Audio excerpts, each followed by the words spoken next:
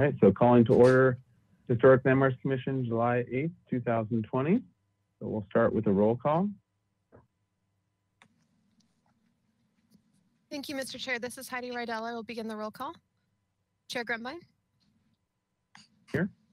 Vice Chair Hausz, Here. Commissioner Drury, Here. Commissioner Edmonds, Here. Commissioner Lenvik, Here. Commissioner Mahan, Here. Commissioner Ooley. Here. Commissioner Vena,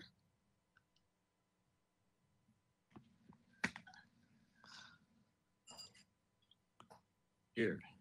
Here. thank you so much. All right. Okay, so now we will um, open public comment. Any member of the public may address the commission for up to two minutes on any subject within its jurisdiction that is not scheduled on this agenda for public discussion. Thank you, Mr. Chair. And I would ask that um, all the uh, commissioners, if you would, those of you who have a webcam, if you could please turn them on.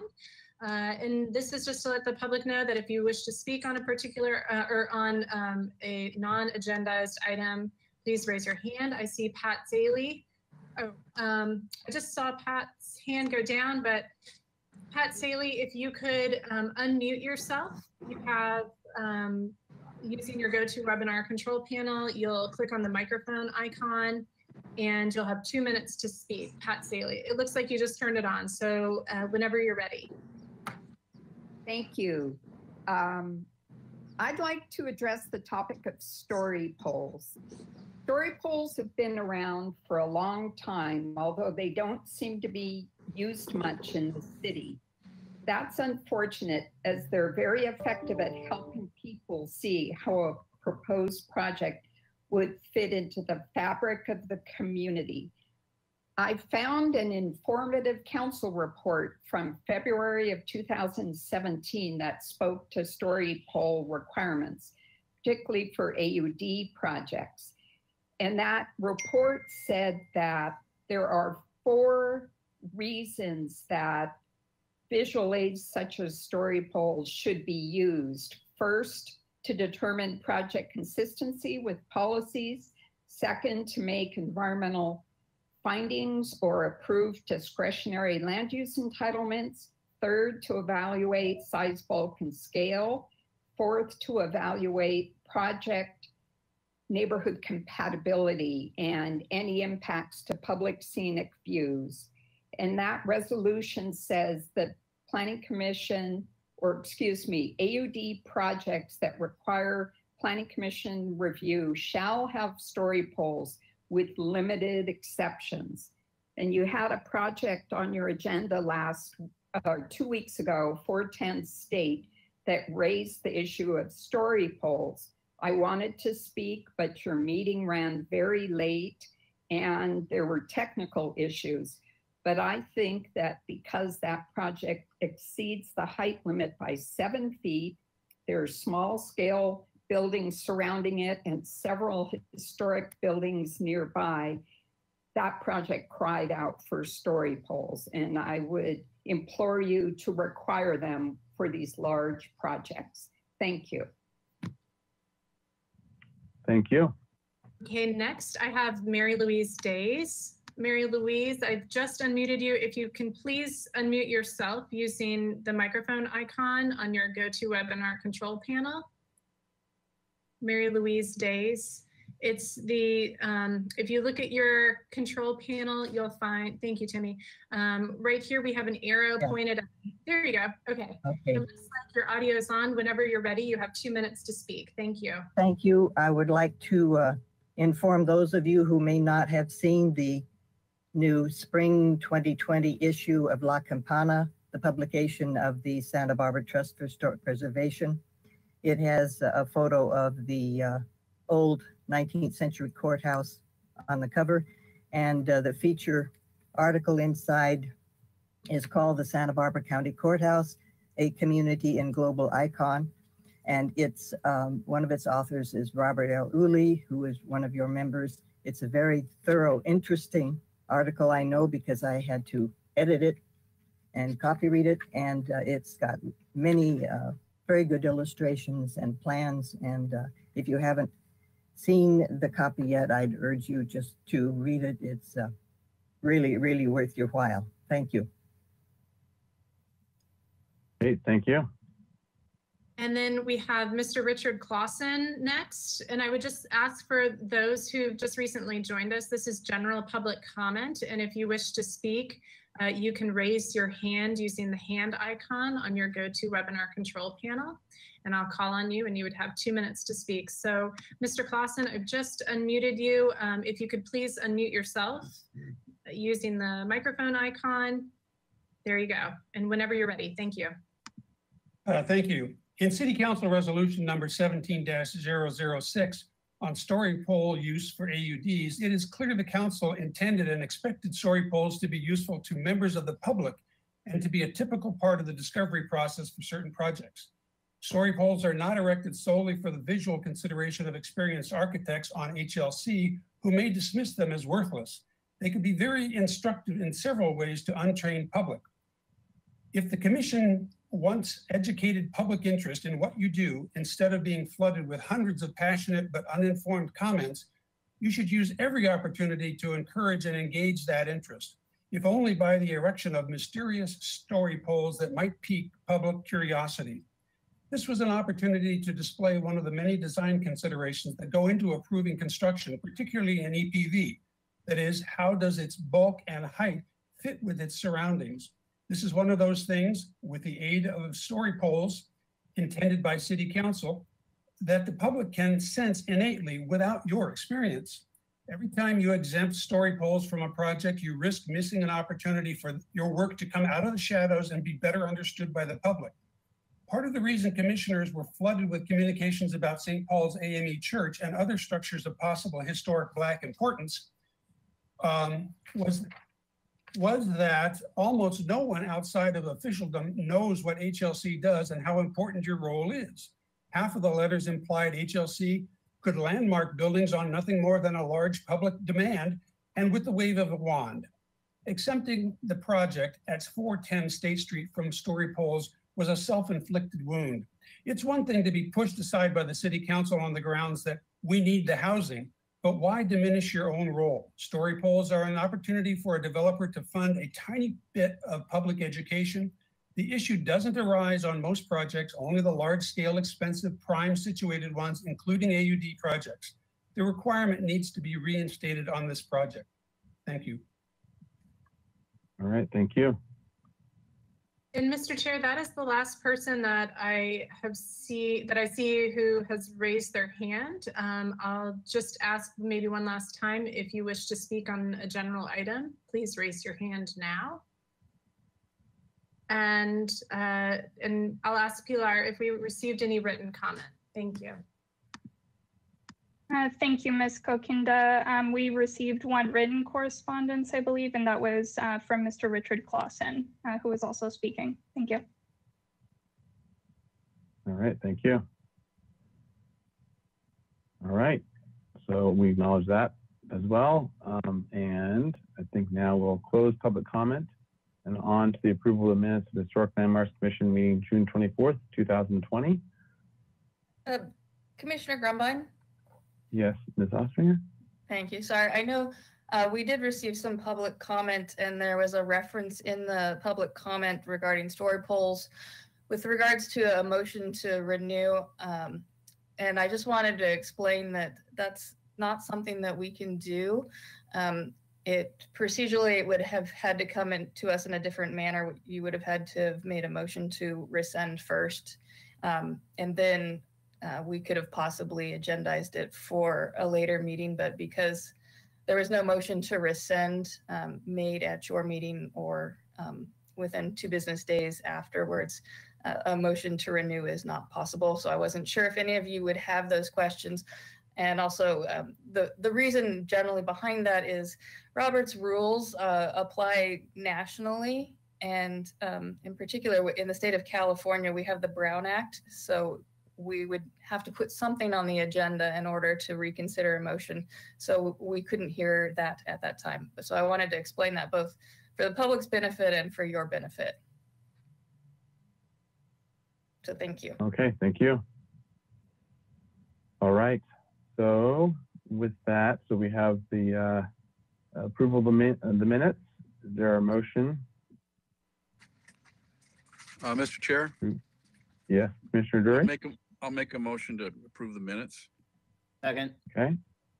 Second by Ooley. Under discussion, edits. Commissioner Mahan, did you have an edit? Mr. Chair, I do have uh, several. Um, On page five, uh, in, uh, in the motion, item seven, the wrought iron balconies are improved, but the top and bottom railing needs more refinement. I think, I think the word refinement isn't um, clear enough. I think maybe we should say, should be more traditional. And, and uh, I remember that uh, uh, Commissioner Lenvik s- suggested a certain way that they would be more traditional, and I think you talked about the railings at the top of the uh, courthouse tower being something else, but in both cases, they were more traditional. I think that'd be a better word to use.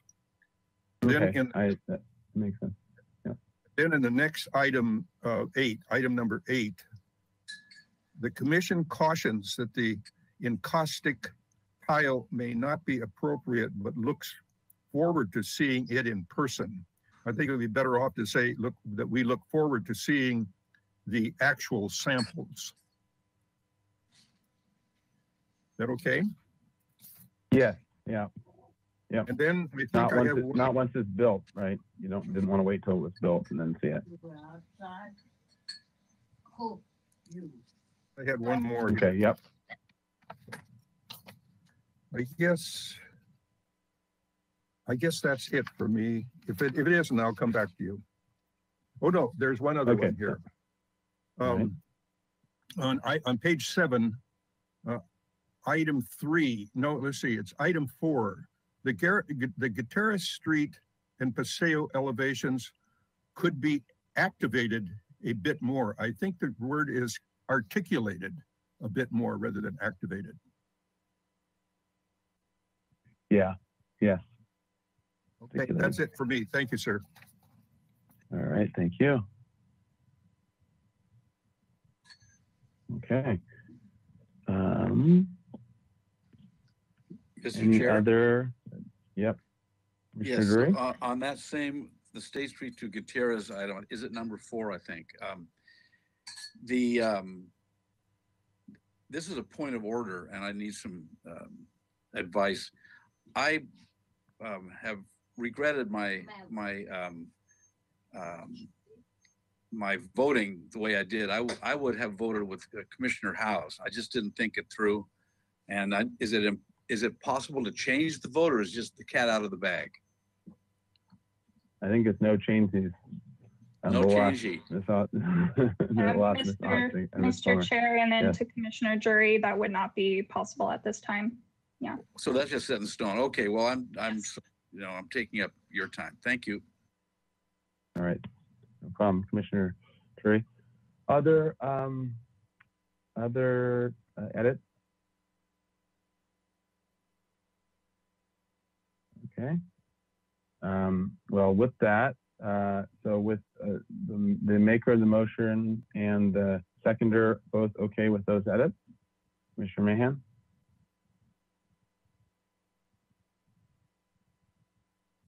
Or sorry, Never not mind. Commissioner Mahan, it was Commissioner Never, never mind, Drury- never mind. Drury and Ooley. Okay, I'm fine with those. I'm fine with those. Yes. The secondary is, is also fine. okay, great. All right, so with that, um, motion to approve the minutes, all, uh, roll call and vote. Thank you, Mr. Thank you, Mr. Chair. This is Heidi Rydell. I will take the roll call vote. Uh, Commissioner Ooley,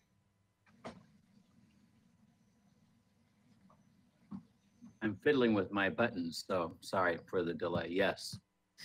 thank you. Commissioner Drury, Yes. Commissioner Lenvik, Yes.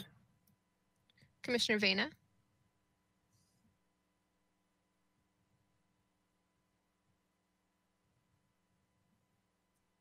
We can't hear you, Commissioner Vena. Yes. thank you. Commissioner Hausz, Um, aye. Commissioner Mahan, Yes. Commissioner Edmonds, Yes. Chair Grumbine. Aye. Thank you so much. All right. And now we are on to item C, approval of the consent calendar, July 8th, 2020. Ms. Plummer? Thank you, Mr. Chair. Item A, uh, 700 to 800 Chapala Street received project design approval and final approval. And item B, 32 East Junipero Street received project design and approval and final approval. Item A was reviewed by uh, Commissioner Mahan and Commissioner Vena, and item B was reviewed by Commissioner Mahan, Vena, and Chair Grumbine. Thank you. Great, thank you. Calendar, Sorry, was that a motion to approve the consent calendar, Commissioner Early? correct? I'll Okay. second that. Uh, Commissioner Lenvik, second. All right, under discussion, any discussion?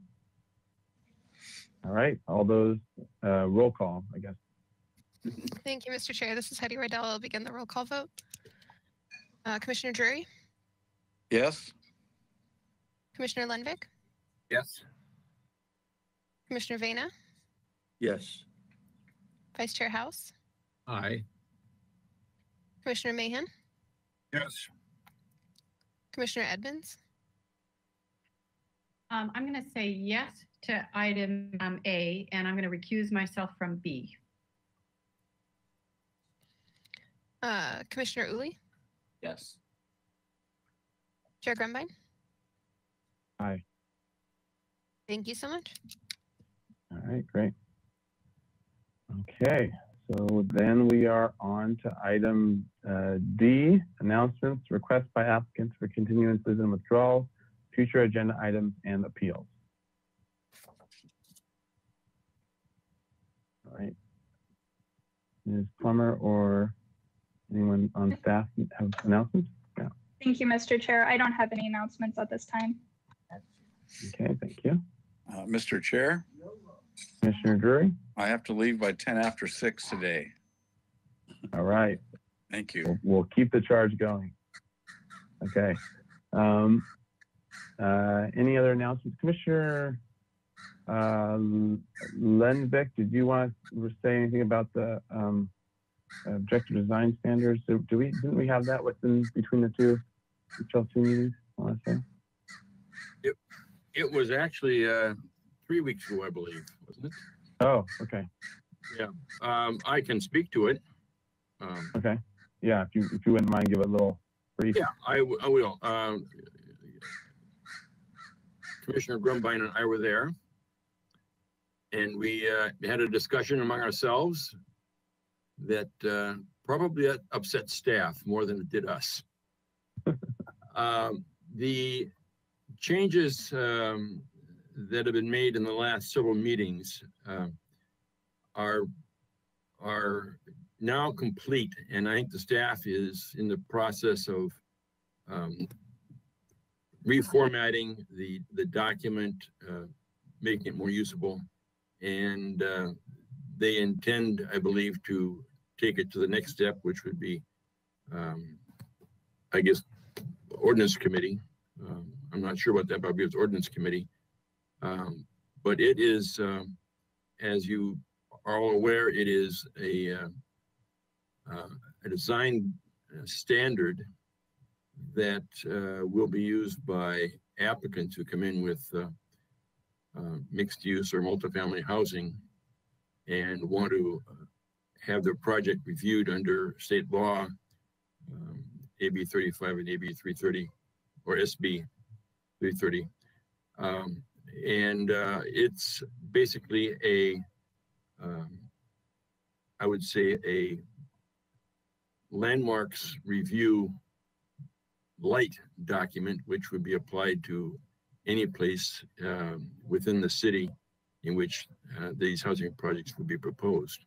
So um, it's it's being uh, you know finalized right now, and uh, I don't expect there'll be any more meetings of our committee. The next time we'll see it will be at uh, probably an ordinance committee meeting.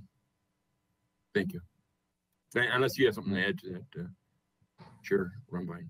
Um, I think that's a pretty good summary, although I'm not sure exactly the, the, the process, whether we'll see it all again or at, at exactly what time, but it was basically incorporating a lot of those, the comments that have been, um, that everyone has contributed and kind of uh, working that into, um, a, I would say, a near final, you know, getting, getting there, uh, draft.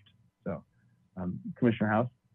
Uh, Yes, I just wanted to say I would uh, hope that it would come back to HLC before it goes to ordinance committee, because I think the ordinance committee needs to know if the full HLC has reviewed the final draft and supports it. And I don't, I don't know if staff has an update for us, and I, and I can't remember the exact timeline of everything. Um, so we can, we can get an update if we don't have one this week, or we can get one, uh, uh, either sent out to us or, um, uh, on, in, in two weeks, get, we get a report back what the game plan is. So, Okay, Yeah, hopefully I- the agenda is for the next meeting. Um, Is there a date set for the ordinance committee meeting? Pilar? Ms. Barr? Mr. Chair, and then to Vice Chair Hausz, um, I'll need to confirm with Rosie Dyste and the team that's working on the objective design standards. Um, I can probably send uh, the commission an email within a couple days on that. That'd be great. Thank you. Uh, Mr. Chair, Commissioner Drury? yeah, I would concur with Commissioner Hausz. I, I'd like to see that draft form before we approve it. Thank you. Um, Mr. Chair, Yes, Commissioner Leonard. uh, I don't, I don't believe it is a document which we will approve. And if I recall, it wasn't the intention of the staff to bring it back for more input.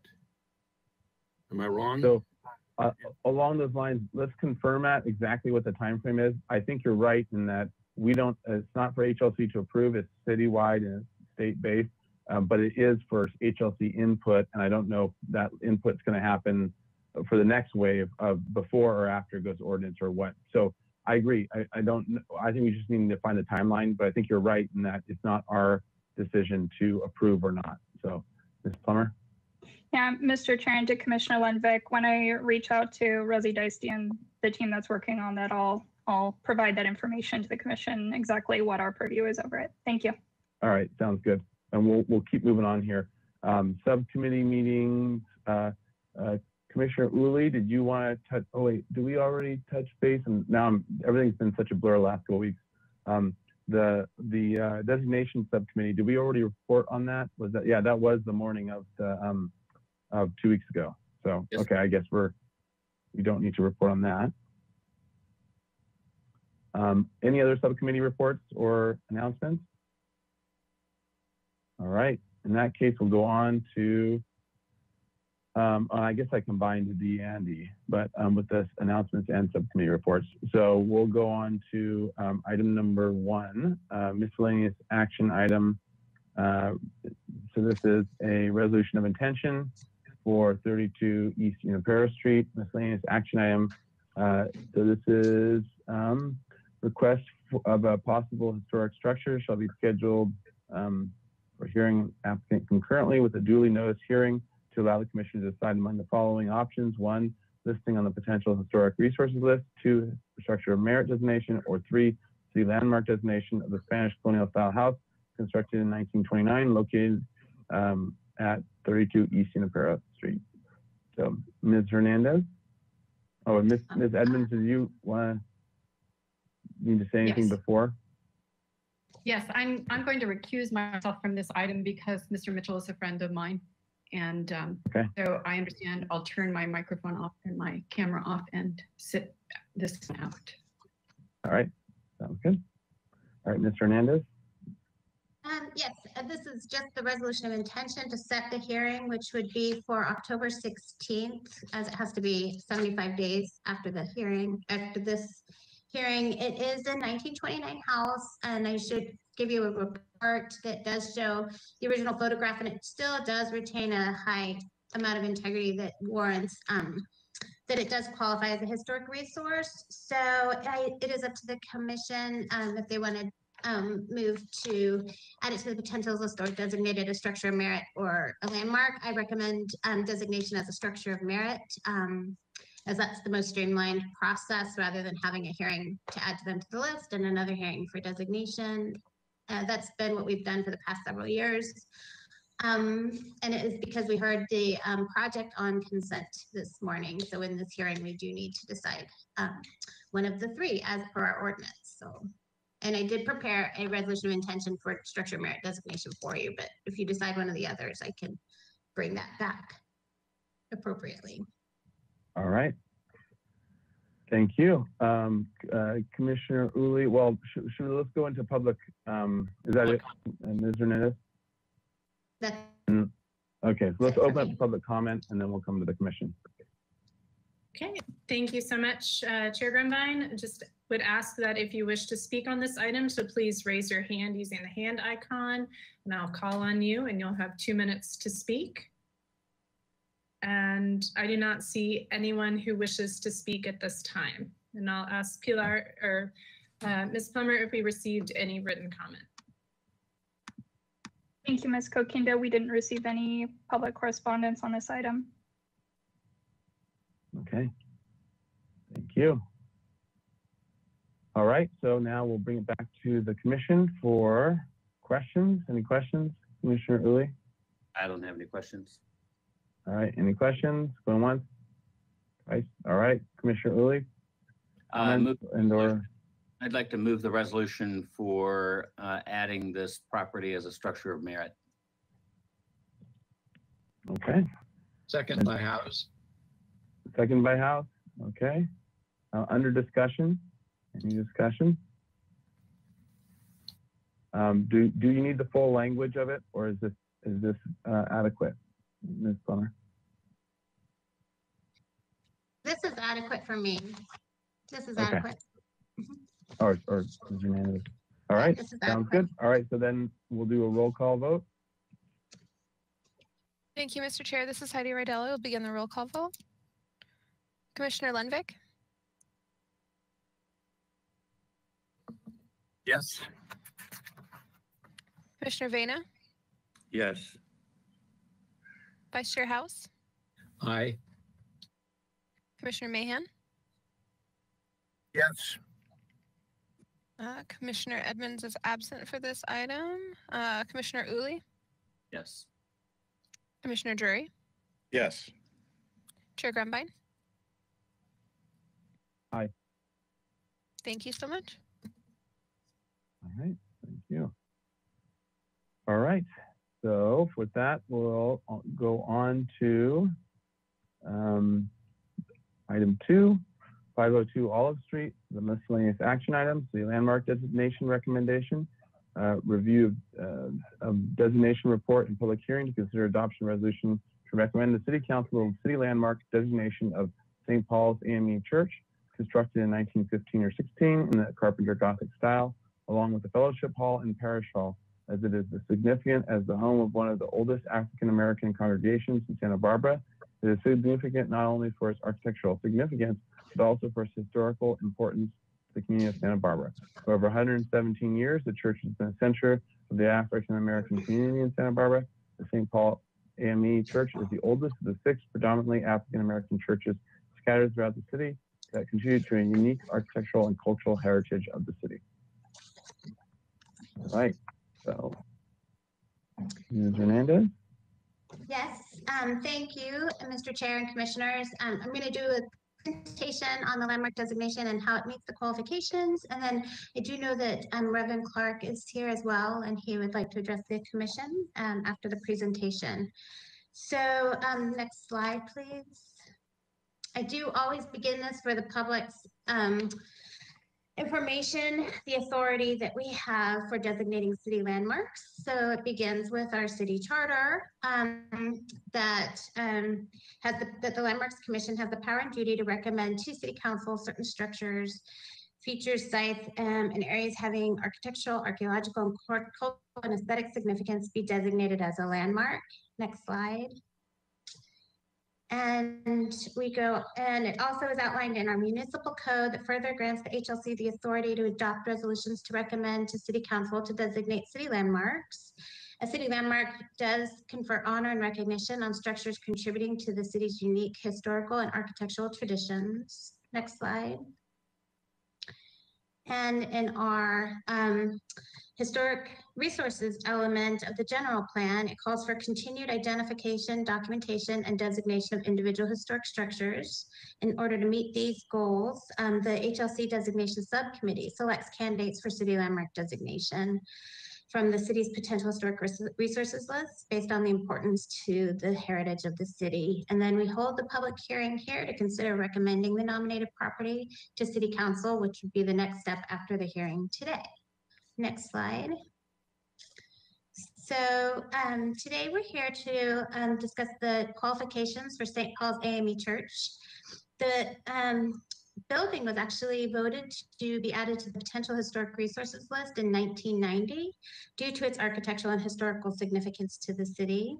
At its meeting in July 11th in 2018, the Historic Landmarks Designations Committee nominated the church as an excellent, candidate for landmark designation. At that time, I notified the church of the nomination, and the church worked with um, their um, chapter and presiding district um, to discuss the nomination, and they have I now support the designation, and we have a letter from the Fifth Episcopal District um, AME Church presiding bishop in support of the landmark designation.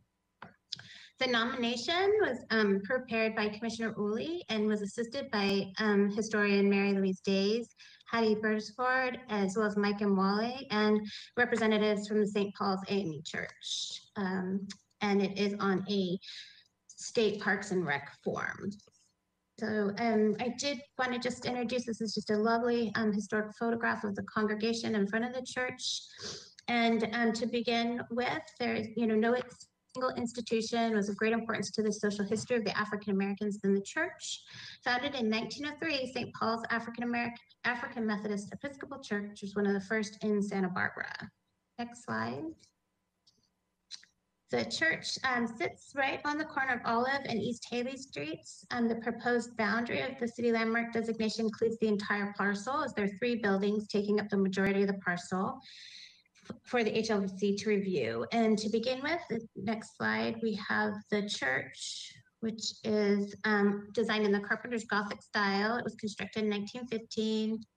And next slide, we have the Fellowship Hall, which is attached to the church. Um, that was designed in the craftsman style in 1924, as well as the parsonage, which is next slide, is designed in the mission style in 1924. So next slide.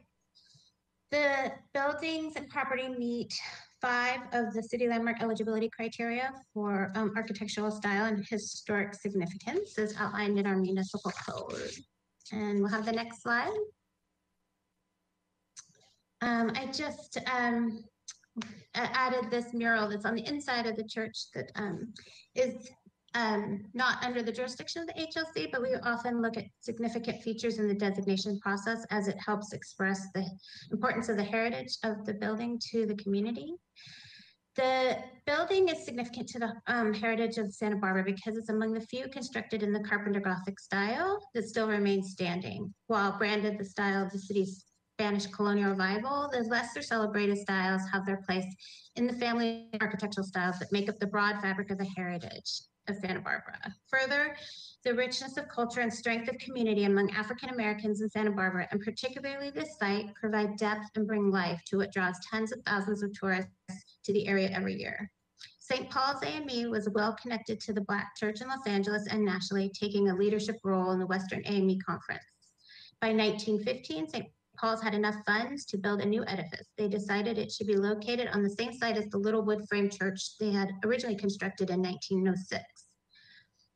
The original church seated a modest 50 people for public and private meetings. In 1916, through the congregation had grown and funds were limited, the congregation chose Carpenter Gothic as a style from which to build. It could be done easily at a modest $3,500, yet still had the features representing an important icon in the community with its steeple overlooking the corner, calling its congregation, as seen in many neighborhood hits churches dotting the nation. Still a great sum of money for a small church. It raised the funds with the effort of the congregation from offering chicken dinners to bake sales and direct appeals to the community at large.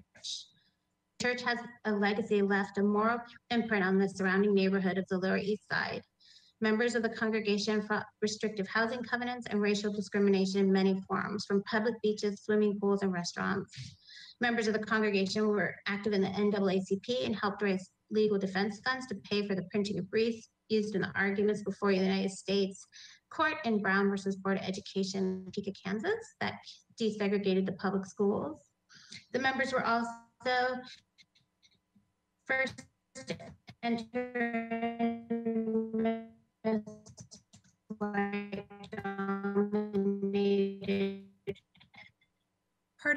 pardon my interruption. Um, Nicole, social work, all making the fabric of the Santa Barbara community and the territory compelling experience. And Nicole, very pardon my- excited for- hey, Oh, Nicole. Can we turn off my webcam?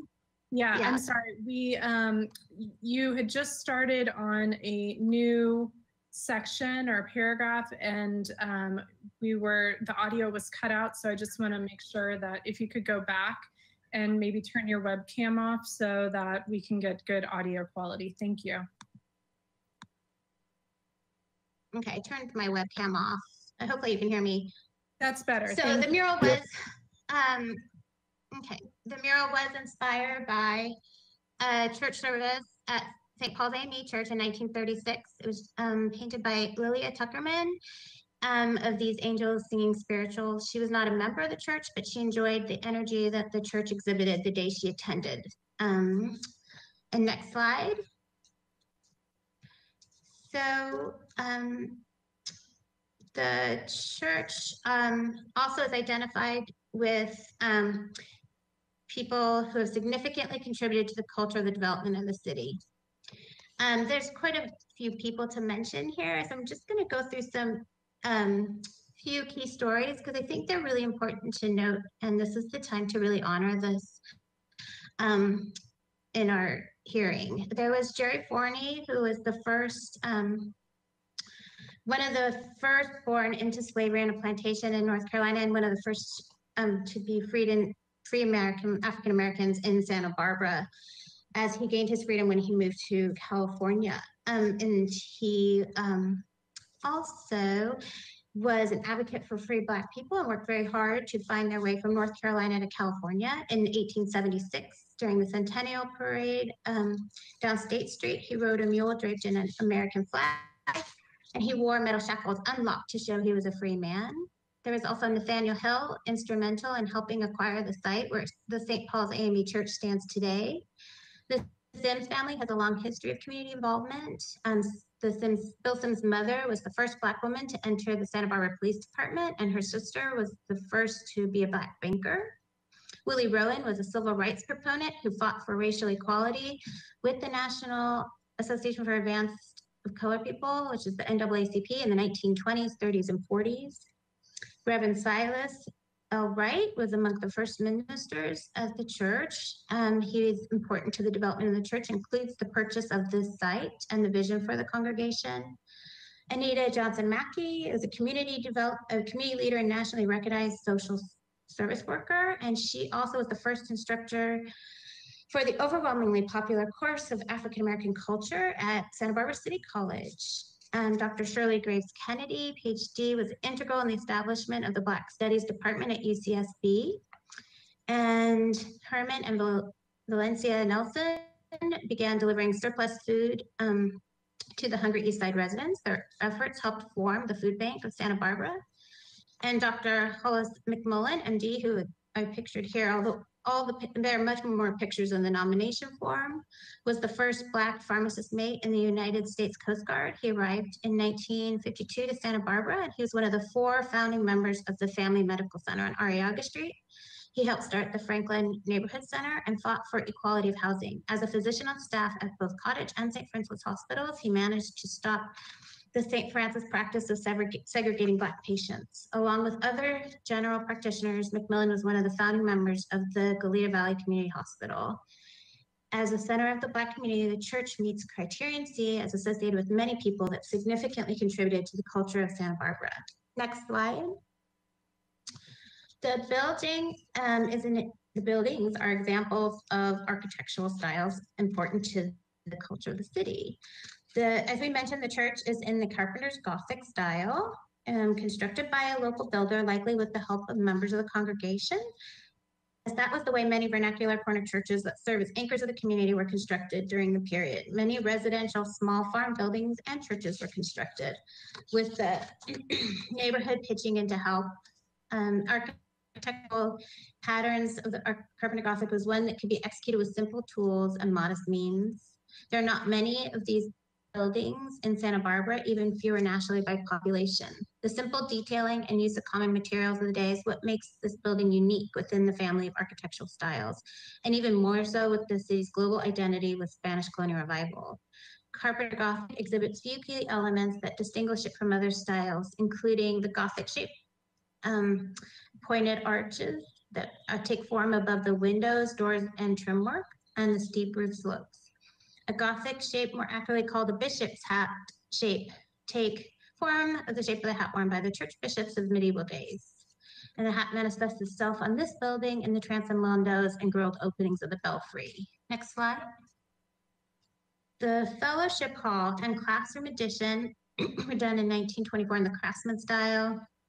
This building has character defining features of the style with horizontal siding on the first floor and shingle siding on the second floor, wood trim around the doors and windows, low rise sloped roofs, and extending eaves with angled rafter tails. This was a very popular um, style in Santa Barbara and California from 1905 through the 1930s. And the parsonage hall is in the next slide, is in the mission revival style which was an architectural movement drew inspiration from the late 18th and early 19th century missions in California.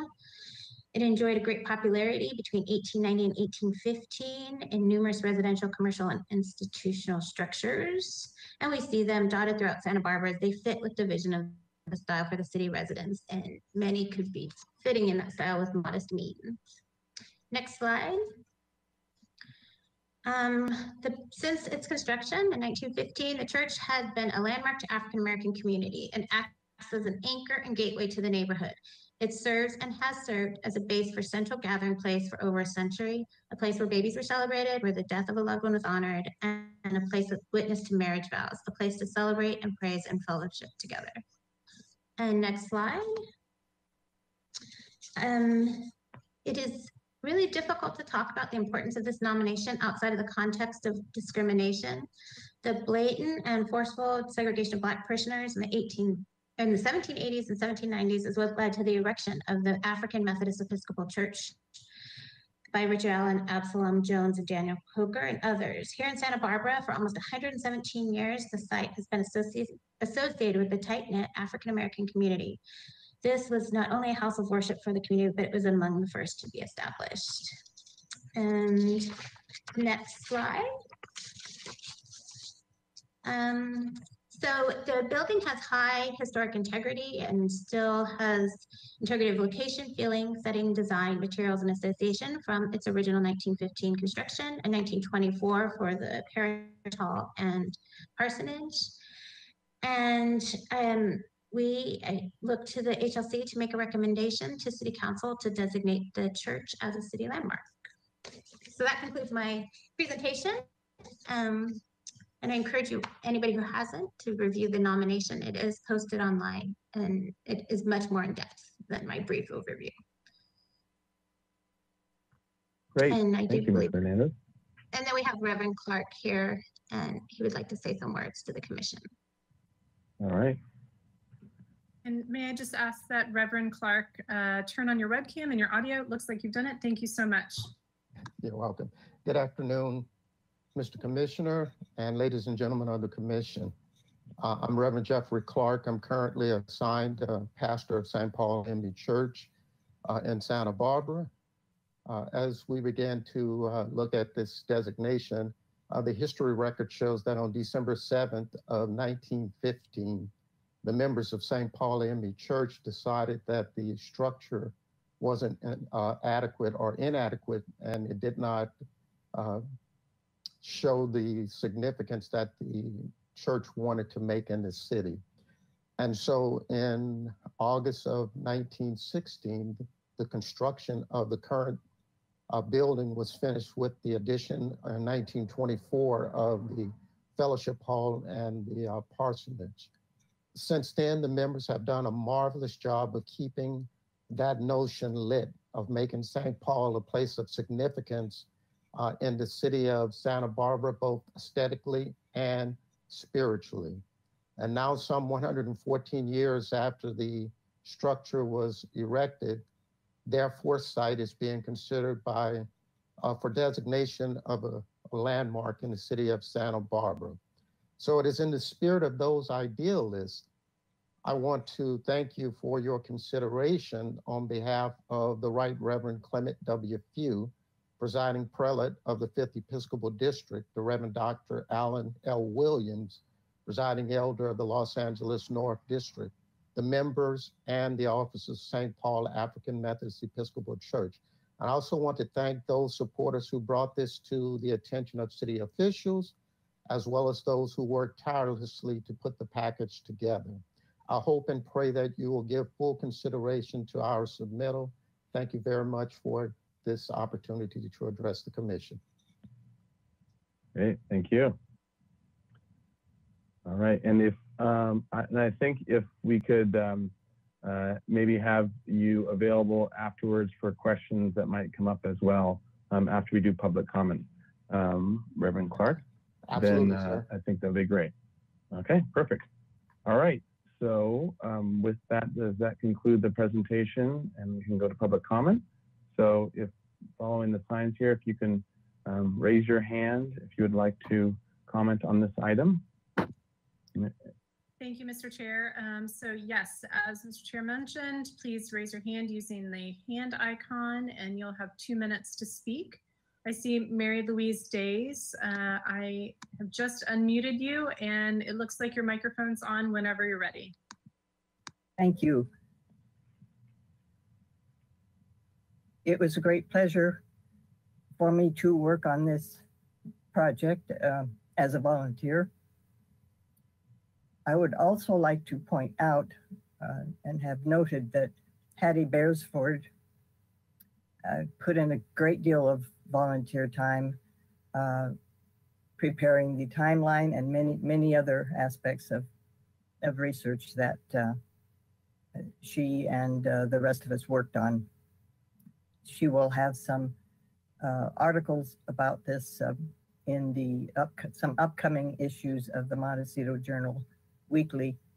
And uh, quite soon, I think, I hope that you will uh, enjoy reading those. And uh, we certainly do support the uh, proposed landmark um, designation, which has been studied for a long time. I did, I supervised the 1990 survey work, which first uh, um, indicated in, in the city survey forms the importance of this uh, structure and institution. Thank you. Thank you. And then next I have uh, Mr. Richard Clausen. Uh, Mr. Clausen, I've just unmuted you and it looks like your microphone is live whenever you're ready. Um, Thanks very much. And first of all, thank you for the commission's forbearance on my previous comments, which I expect ran long.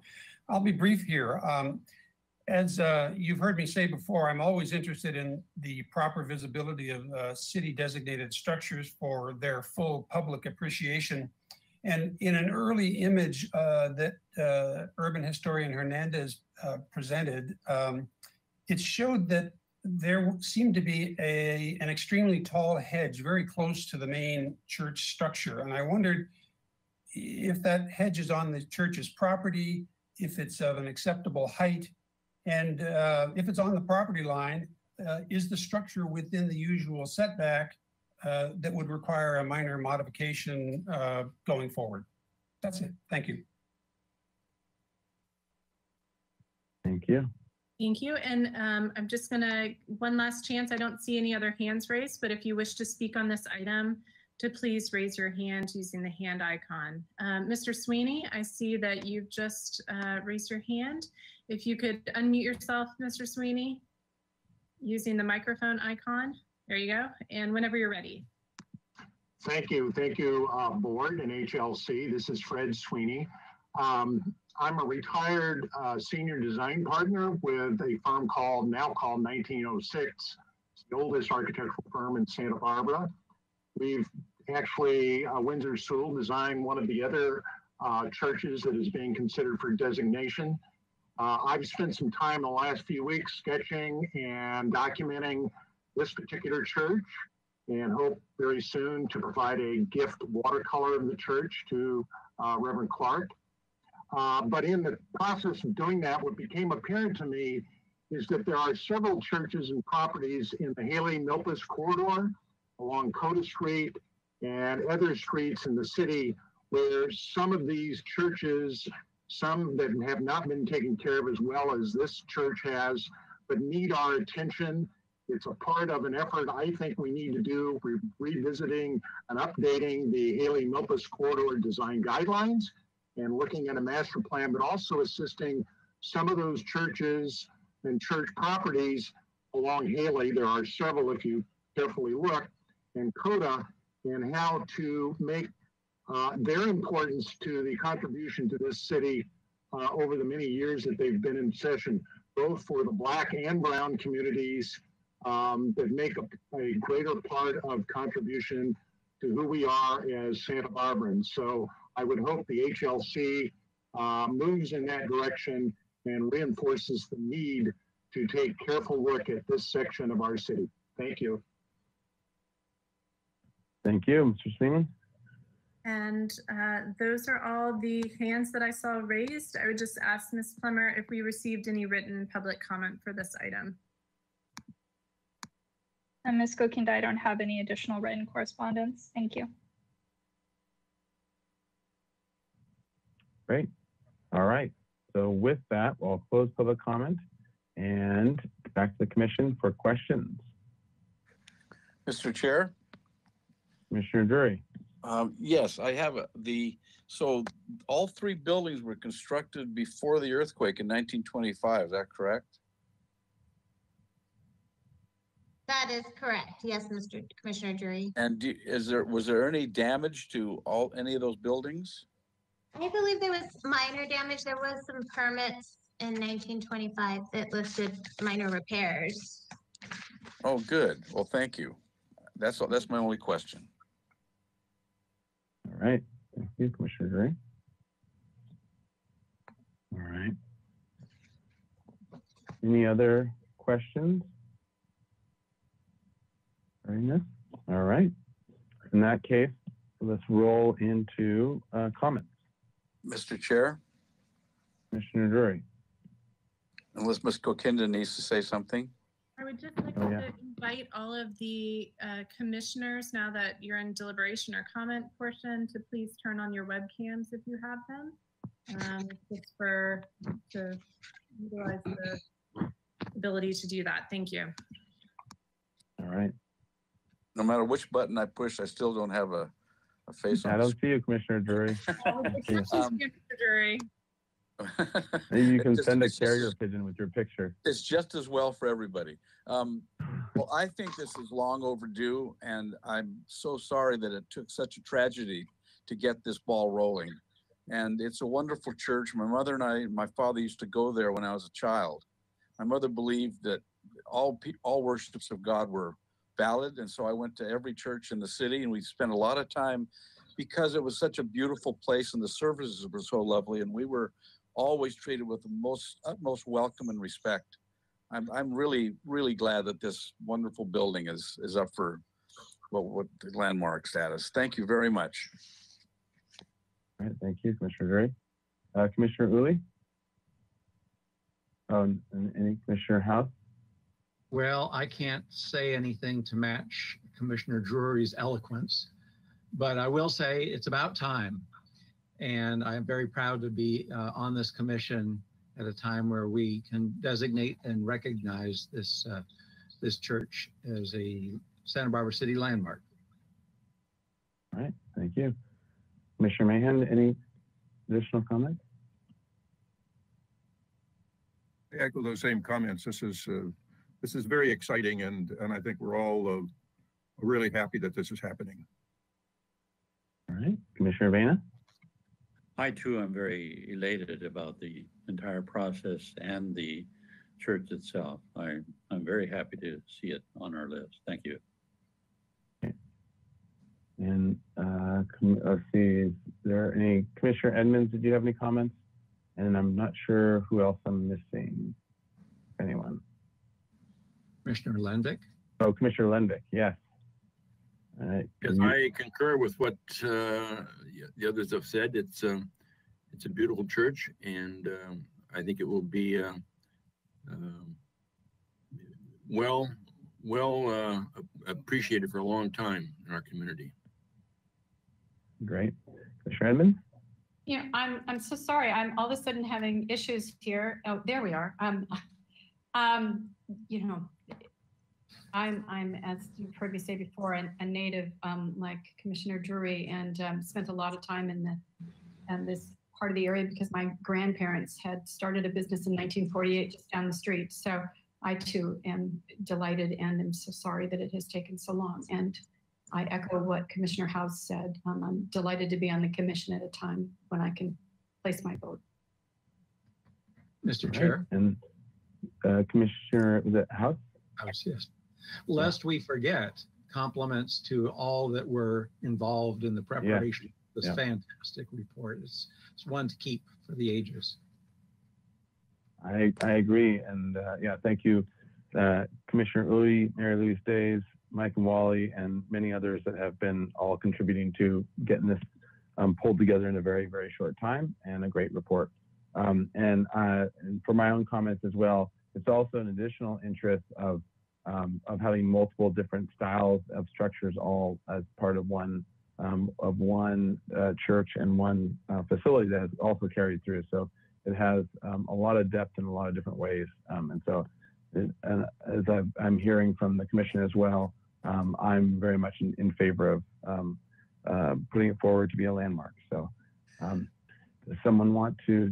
Mr. Chair? Yes, Commissioner Drury. Yes, I'd like to make one more comment. I hope this is the beginning of a, a survey of the contributions of the African American community in Santa Barbara in terms of structures. I'd like to see um, a real uh, push to um, aggrandize our knowledge of, of this culture. And I, I hope, I suspect it will, but I hope it does. Thank you. Thank you, Commissioner Drury.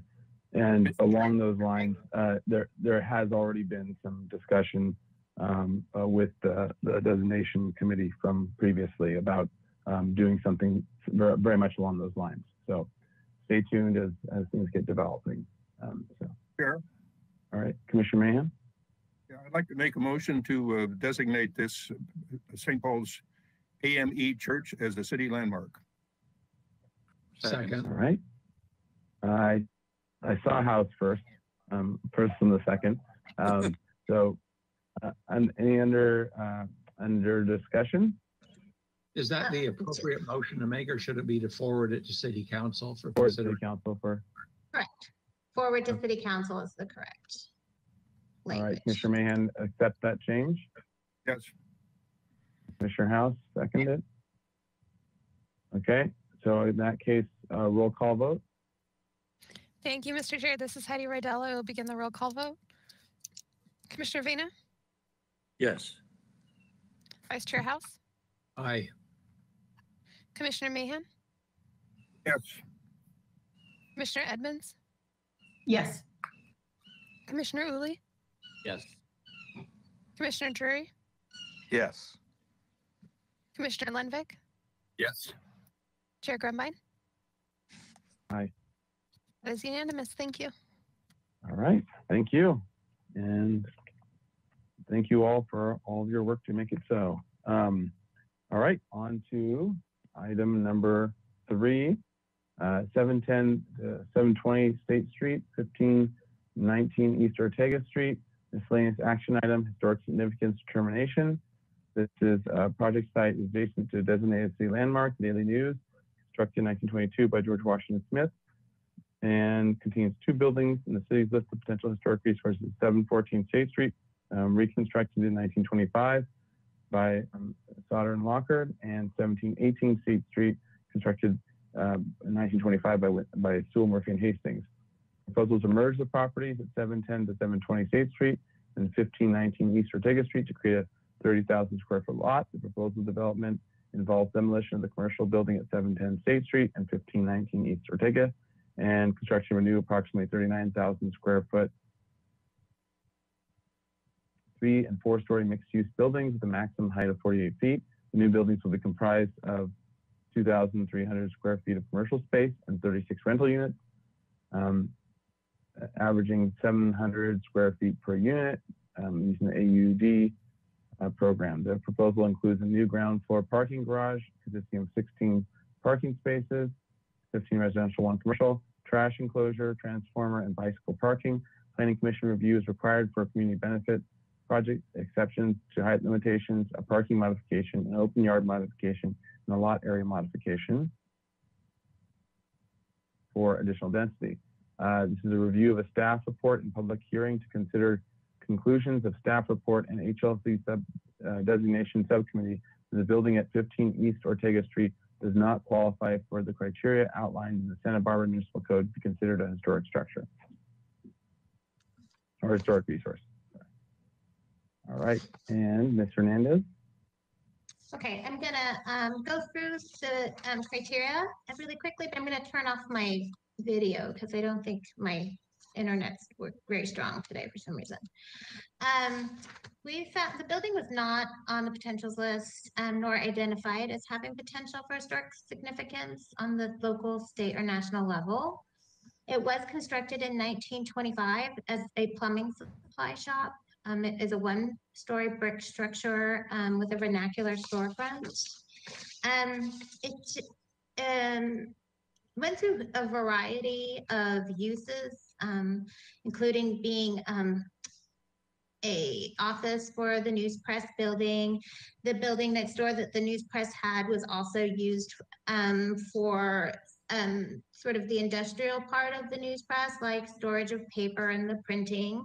So this block did not really see the high style architecture and Spanish colonial revival um, architects designing the street like the, we saw around the corner of State Street and other parts of El Pueblo Viejo. This tended to be a little more vernacular and um, used for more um, practical um, back of house sort of uses. And more significantly, um, in 1993, there was a a plan that took out the original storefront and put in the existing storefront. So we don't have an original storefront any longer as well. Um, however, you know, it has been occupied by the press club, which is how it was originally titled in 1994, now the press room, which is a successful business that's an important gathering place for the community, but um, that is not really, we look at things over 50 years old typically. So as I went through the um, criteria, I found um, it really has not re- acquired um, any significance to the heritage of the city. Um, it's not associated with a significant event. It's not identified with any significant people to the community. The vernacular storefront does not exhibit a particular architectural style and has changed owners and uses um, since 1925 construction. So does not exemplify a way of life important to the city. It's not exemplification. It's an exemplification of a vernacular storefront, but not with a specific style, and it's not the original storefront or original design. Um, no architects or designers or contractors are associated with it. It does not embody any original elements that demonstrate outstanding attention to detail. Um, it is part of the El Pueblo Viejo district. However, it does not contribute to the integrity of the district as it does not retain its own integrity to convey its significance. And due to the new storefront, does not represent, represent an established familiar feature to the neighborhood. So I did present this to the designation subcommittee and they concurred we do not find the building um, historically significant.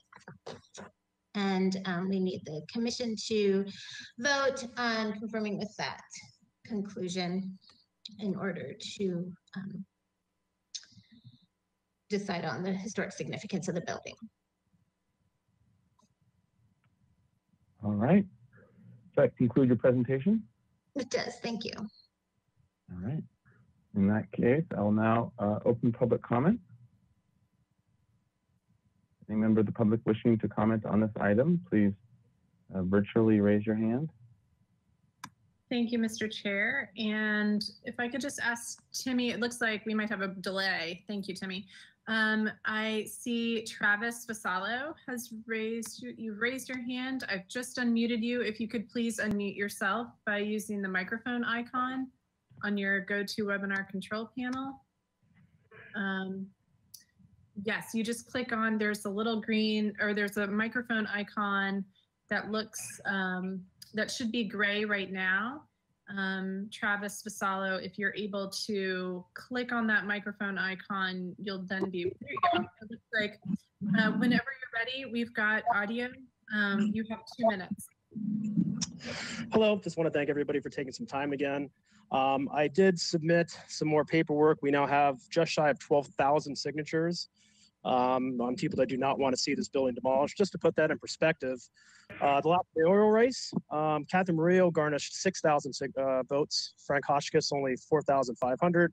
The top two people in the mayoral race didn't even get as many votes as we have for people that want to save the press room. So just want to put that in perspective. Um, additionally, on the report that Nicole Hernandez filed, I wanted to mention that as of, as many of the commission members probably know, as of just a year ago, uh, all the historical findings were done through outside consultants, and it's now been turned to interior people doing it. I'm not discrediting Nicole's ability to do it, but I can tell you that I have a private firm looking into it, and we do have reason to believe that the building does go back much further than 1925. As you many of you know, the Sanborn um, maps, there's a plethora of them, all saying different things. Um, so we do think that the building does go back well beyond that. We do know it's withstood the 1925 earthquake. So um, I'll be looking into that and I can submit things to you additionally. Um, just one other thing on a personal note, as a cultural relevance building in Santa Barbara, I think it's extremely terrible to lose something where so many of the community rally around and support each other with everything, whether it's through friendship, through getting together during fires, through you know supporting each other during various Black Lives Matter rallies or you know really any kind of charitable thing. The has always been a key a key place for the community to really rally behind, and it would be a giant tragedy to lose that little bit of what helps make Santa Barbara Santa Barbara. Thank you. Okay, thank you. And then next I have Darcy Roberts, and I'll just uh, remind everybody if you wish to speak to please raise your hand using the hand icon.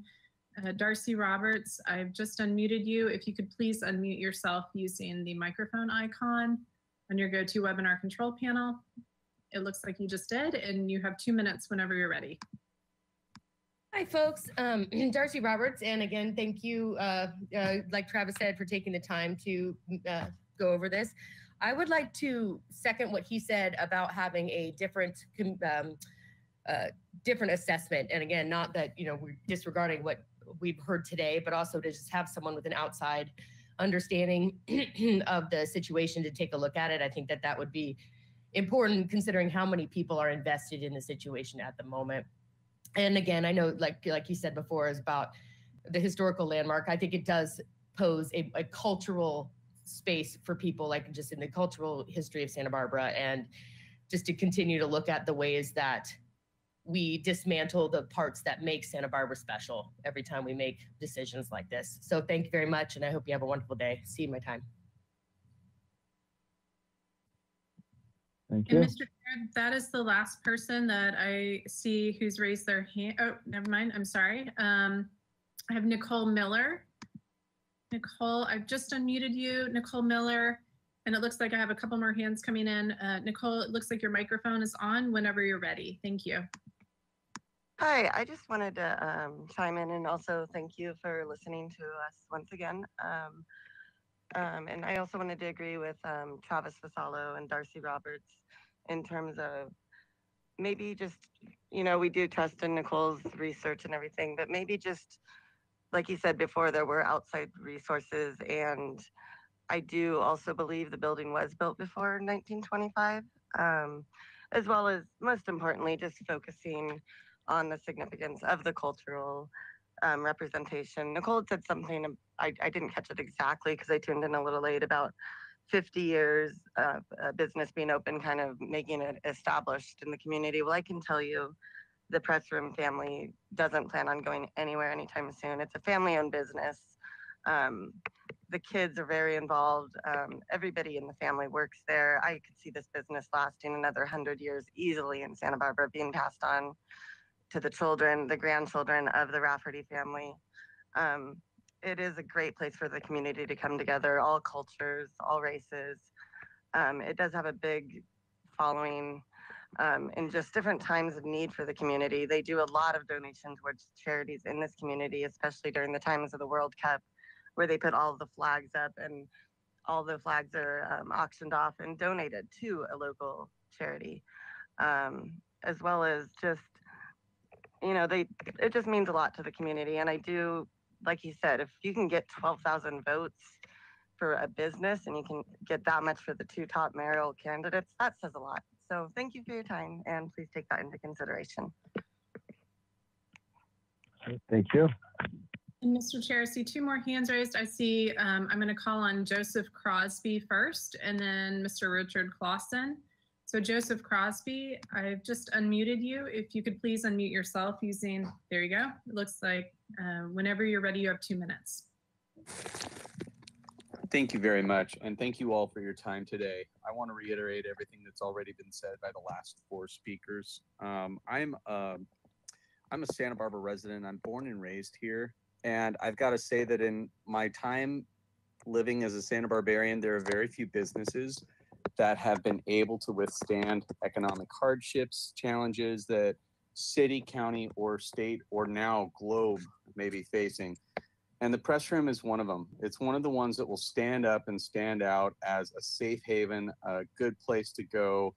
You know, I work in the nightlife industry. I, I don't work at the press room, but I work at another place that has been around a long time. There are very few places at night where someone can go and be somewhere quiet and, and just relax and know that everyone that's coming in is going to meet you where you're at. And there's no race, creed, or color that isn't welcome. It's a community spot. And in this time of economic hardship, I think it's a travesty that someone's considering taking down a wonderful business when we need pillars in this community showing that business is strong and business can thrive if we have county and city support. I also re- want to remind everyone what's already been said. We've had a lot of supporters come out and say, please don't do anything to the press room. More than 12,000 people speaking their voice. I just want to reiterate once again what something all of you know. It only took how many thousand votes for the mayor to become mayor or city council members to become city council members? That's a lot of supporters of the press room. Please take that into consideration when making your decisions about this place. Thank you. Okay, next um, I have Mr. Richard Clausen and then Bryson Smith after Mr. Clausen. So Mr. Clausen, um, your mic is on whenever you're ready. Um, thanks very much.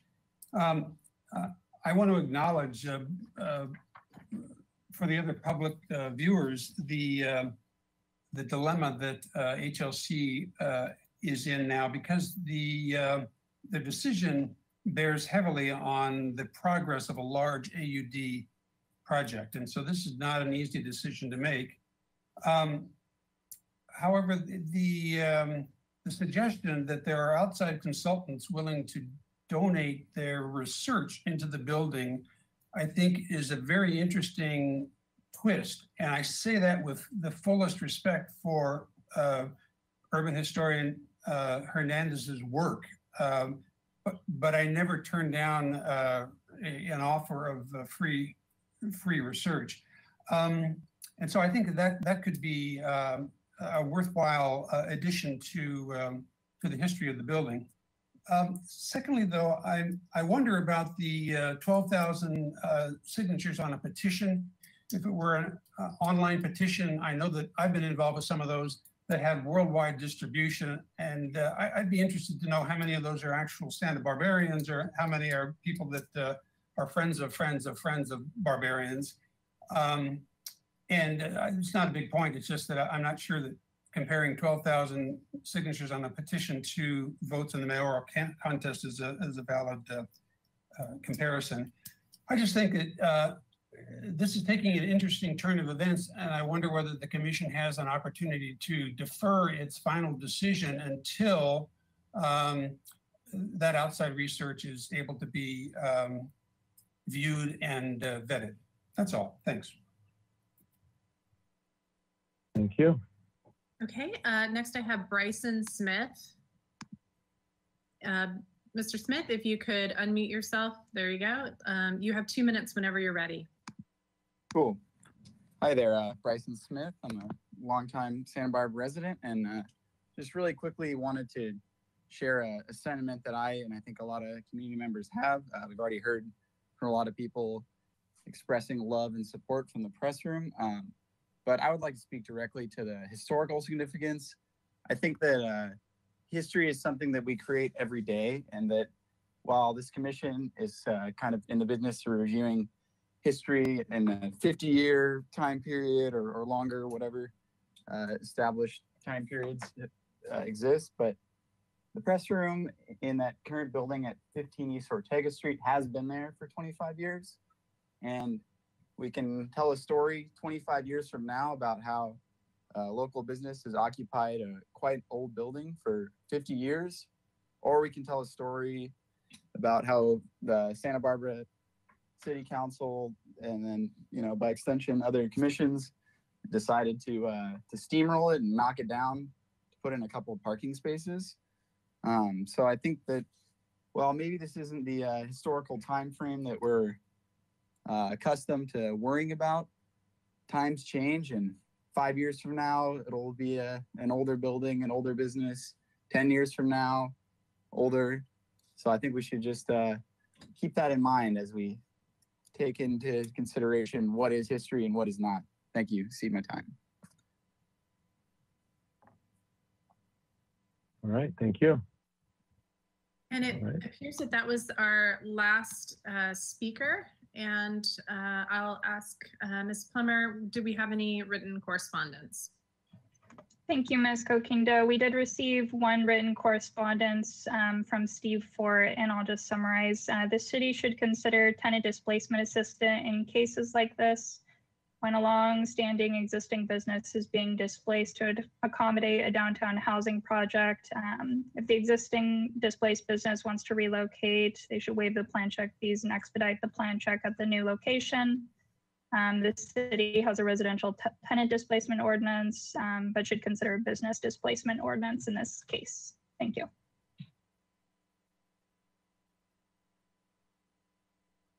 Okay, thank you. All right, so with that, we will close public comment and back to the commission for questions. Mr. Chair, Yes, Commissioner Drury. Michael Drury here. Um, yes, this is for, um, Nicole, um, Hernandez. Is E.T. Edwards part of the Edwards and Plunkett firm? Um, thank you, Commissioner Drury and Mr. Chair and uh, Commissioners. I did research that. I did not find any connection. They are not the same. So not, not connected? No, Okay, but an architect that, not in my research, and um, I did not find that. 'Cause I And did is there, double check. and in your, was there any hint that, that was a building there before this building was built? Or is it a refurbished after the Well, earthquake? I, I found the original building permit that said nineteen twenty-five, building this structure for a plumbing supply shop. So, and so that there's no in the chance, that records. there's no chance that it's more than ninety-five years old? There, there's a slight one, there's, um, you know, I did look at Sanborn maps as well, but, um, our building permits from nineteen twenty-five are pretty vague. It says building. It's, it did say new construction. I have a copy of it and I can send it to you. Um, it does Mm. have the architect listed and this is what they said they did, is a new building built for a plumbing supply. Okay, Um, it did not say repair on that. So I went by that and I tried to double check it just to make sure because, um, my, you know, it was rare to build a brick building in nineteen twenty-five because that was the earthquake kind of took down all the brick buildings we had.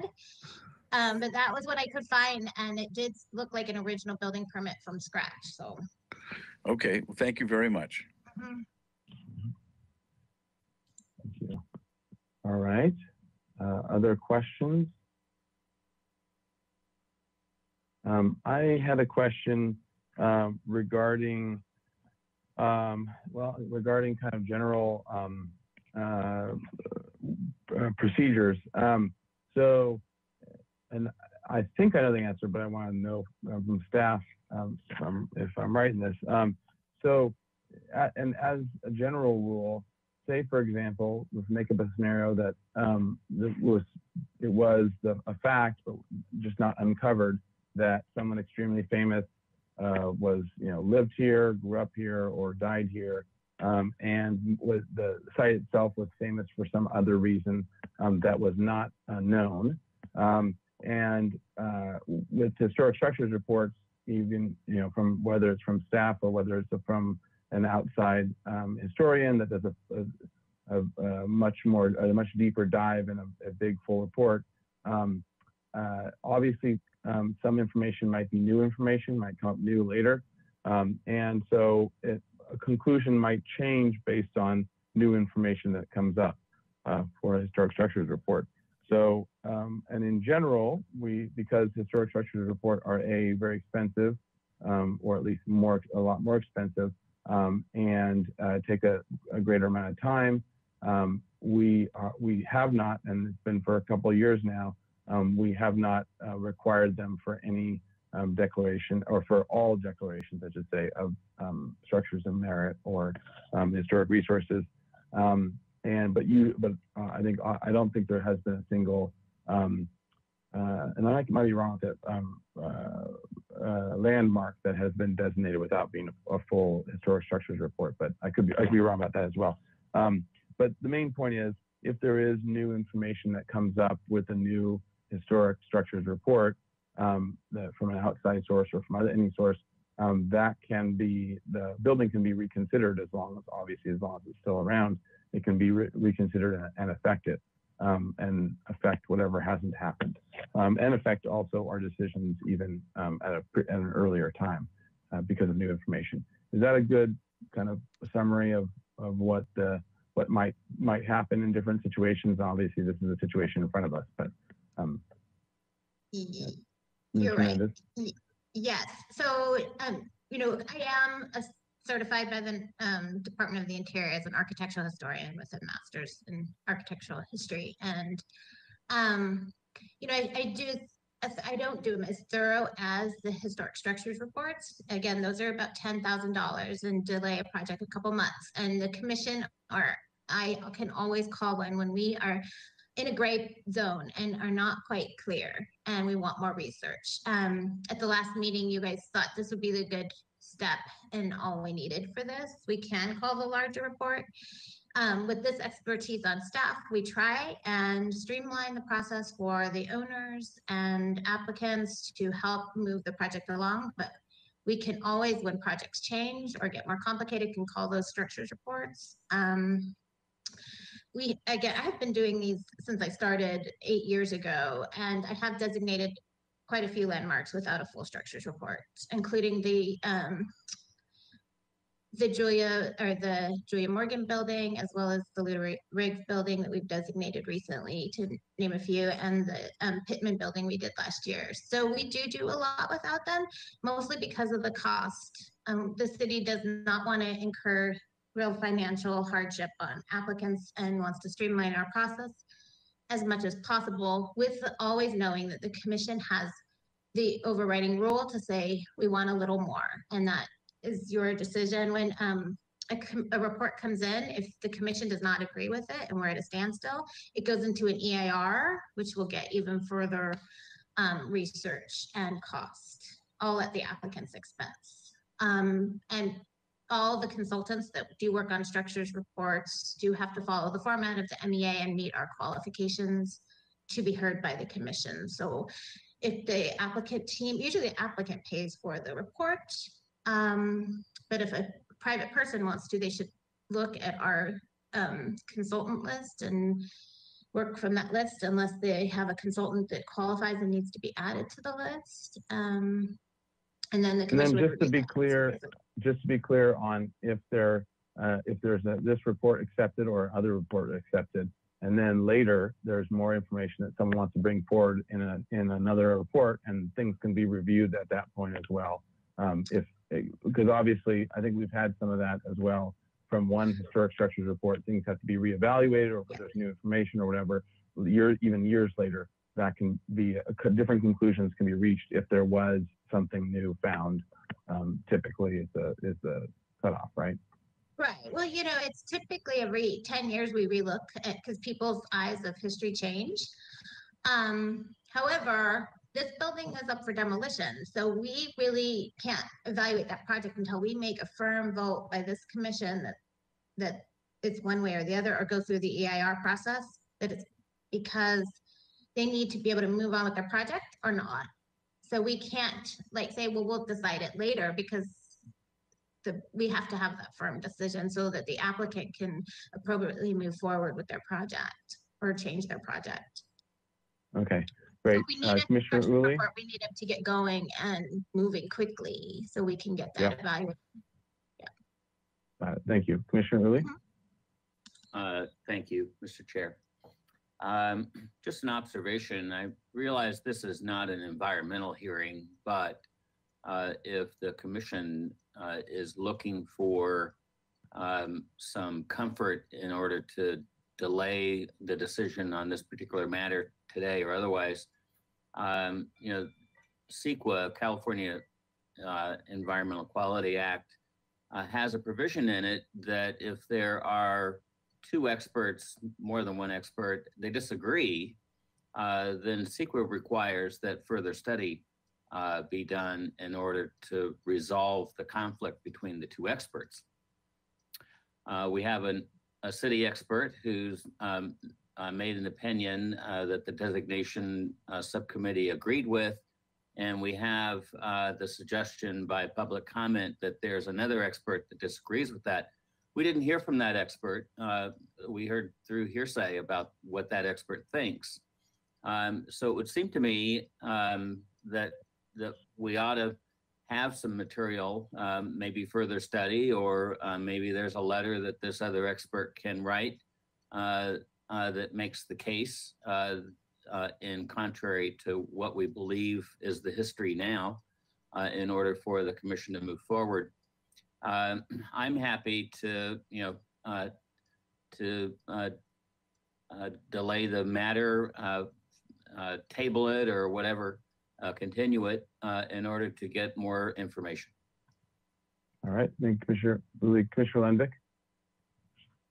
Uh, Yes, I wanted to kind of uh, restate what Nicole said, and I hope that the, that the people out there who are volunteering uh, an additional study or whatever realizes that their expert has to be uh, either qualify to the city standards or be on the current city's list of approved historians to be able to um, submit a credible uh, report.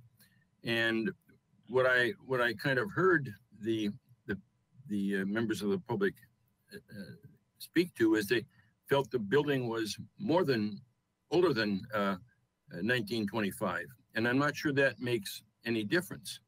It could be 1920, it could be whatever, but you know we have 11 criteria under the municipal code section 2222040 by which we judge whether or not a building qualifies as a structure of merit. And none of these 11 simply say the building is old and therefore it qualifies. None of these 11 say, gosh, we got an awful lot of people who pass through this business day in, day out um, and like it. That doesn't qualify it for a structure of merit designation. Um, if you read the the 11 qualifications, one of the 11 qualifications, one of which has to uh, be met, uh, I have not heard anything, nor have I seen anything, which would lead me to believe that simply because it's a popular social gathering place, that it qualifies as a structure of merit. And I think that's the real, the real, you know, question. Does it, does it have the ability to qualify under the criteria under code section 2222040 or it doesn't? And I think we should look at that, understand that, know what those criteria are, and move ahead with our decision today. Thank you. Thank you, Commissioner Lenvik. And I guess it seems like we're rolling uh, uh, questions and comments together right now, but um, let's uh, because there's there is a complexity to this issue. I will keep going, but please uh, let's let's try to focus as many questions as we can first, so we can get into our comments. Commissioner Commissioner Edmonds. Uh, well, based on the last two um, commissioners speaking, I thought we had rolled into, even though you didn't say it, into comments. I have a comment. Yeah. So I can, wait. I'll wait. Okay, let- let's see if we can get any other questions out first, um, and then we'll, and then let's have the, the discussion after. Any other questions, Commissioner Hausz? Do you have I'm que- holding any questions? Okay. Um, all right, well, if there's no other questions, um, then, uh, we'll go comments, Commissioner Hausz and then Commissioner Edmonds. Okay, well, I was going to say that I think that it's important that the commission balance the interests of both the uh, applicant for the project as well as the community. And unless there's an adverse impact on the applicant by uh, postponing this decision for two weeks, I think it's important that the commission appear responsive to the community uh, and give the community the opportunity to come forth with new information in case that changes uh, the outcome of this decision. So uh, I would be interested in, in continuing the, uh, the matter for two weeks. I don't want to do it overly long because if there's somebody that wants to speak to this, uh, I think they can round them up in two weeks' time. But, and I don't uh, imagine that would be an adverse impact on the applicant. Thank you. I, I And just then don't think it'll. I think we'll Hernandez need to and, do it- oh, go ahead. I think it'll take more, at least four to six weeks to run through a structures report. They have, they take about a month to prepare. And then they have to be reviewed by staff and then sent back, and then they have to have it in a certain amount of time before we can get on an agenda. They do take at least almost six weeks, so it would Mr. be an indefinite continuance. Mr. Chair, I'm not suggesting that a a structures report be prepared in two weeks' time, but at least give the, uh, the, the people that have signed this petition the opportunity to bring somebody before the commission to explain why they think there's more information out there. Uh, And then we can more fully consider. Okay, Mr. Chair, oh, Ms. uh, Plummer?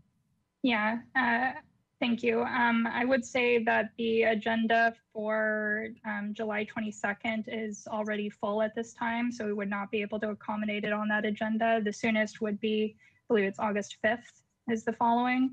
Um, and yeah, I would just echo Nicole's comments that um, whether it's a historic structures report or additional information, it's something staff would have to review and make sure it meets the qualifications necessary uh, prior to bringing it to the commission. Thank you.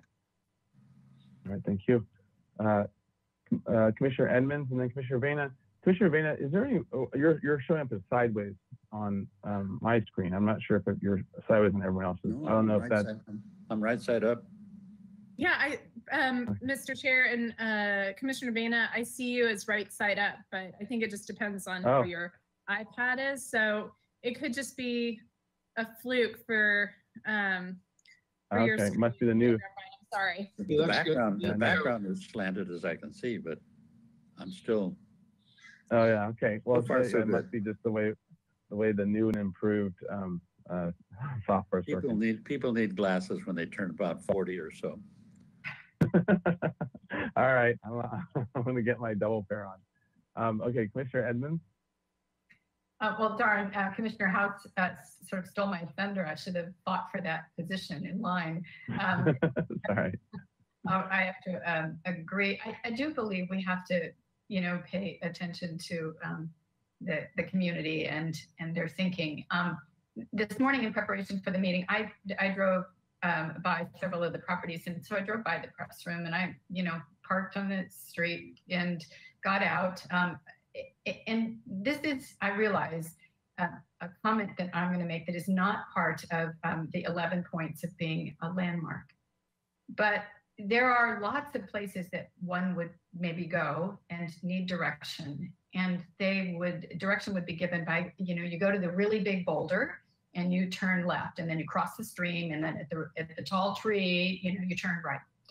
And so for Santa Barbara, when I'm giving directions or somebody is going to give me directions, I would say it's across the street from the press room, or it's down the street from the press room, or it's the Lions property right next to the press room, and Lion is now is in a ceramic. Or you know, I I would use that in my vernacular uh, to give someone direction, and I didn't realize that until I was actually there this morning. That it's an icon in a way. I've never been there, but I know people that go, and I worked down the street for 30 years.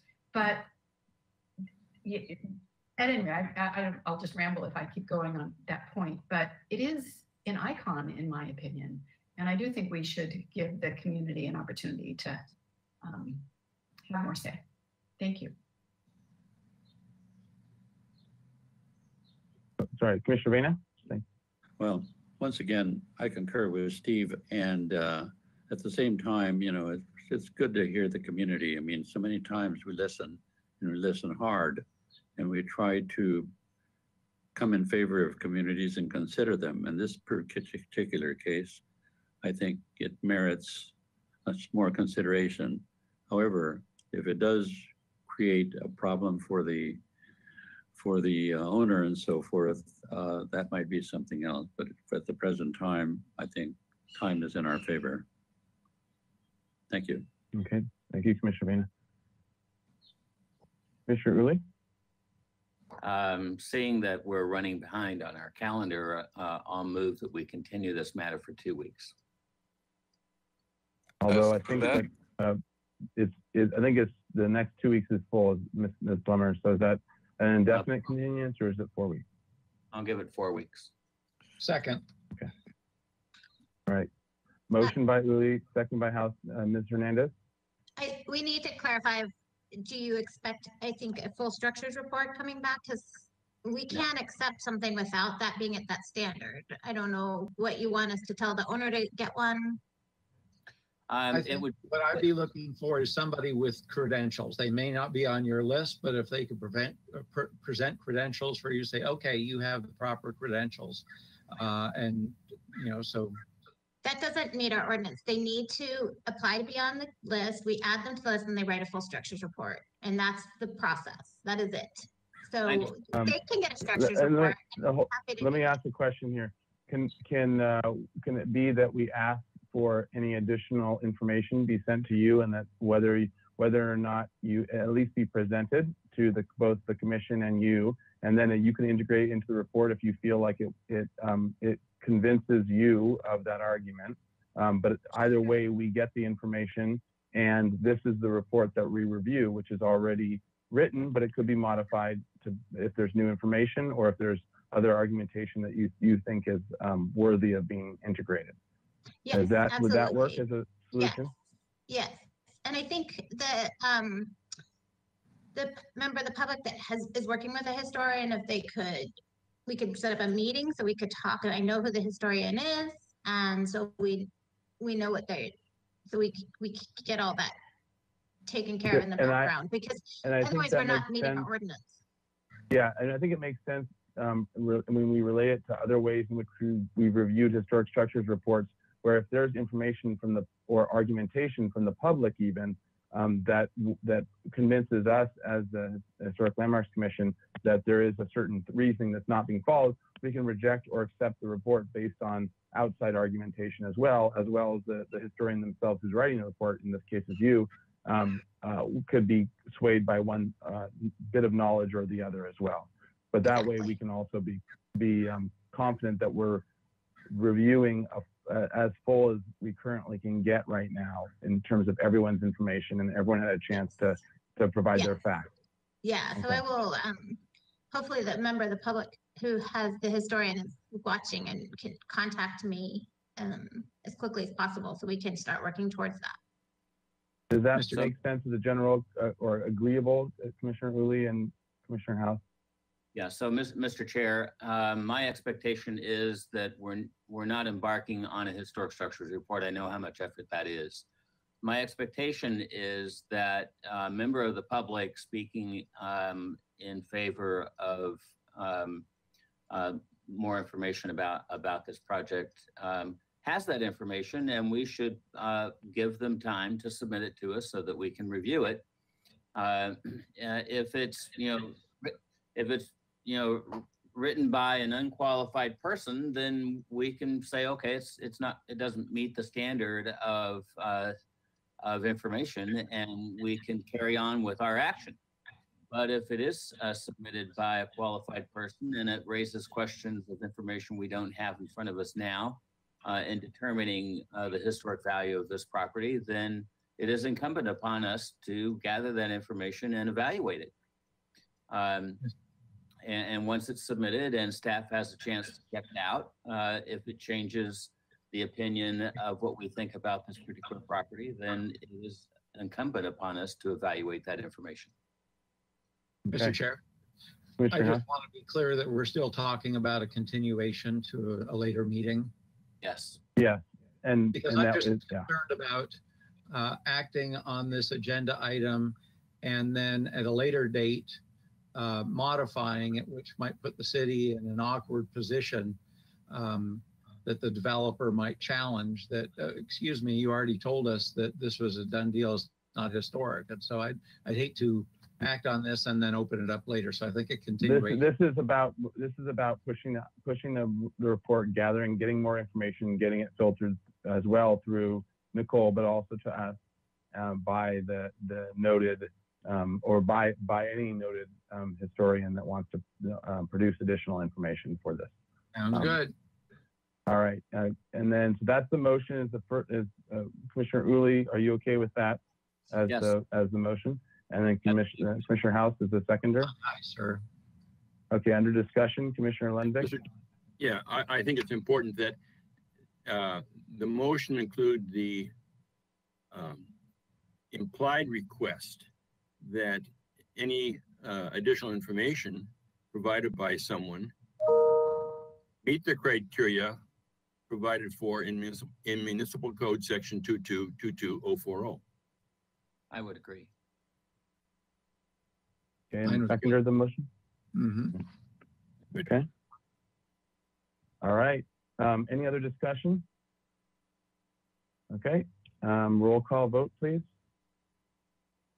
Thank you, Mr. Chair. This is Heidi Rydell. I will begin the roll call vote. Vice Chair Hausz, Aye. Commissioner Mahan, Yes. Commissioner Edmonds, Aye. Commissioner Ooley, Aye. Commissioner Drury, Aye. Commissioner Lenvik, Aye. Commissioner Vena,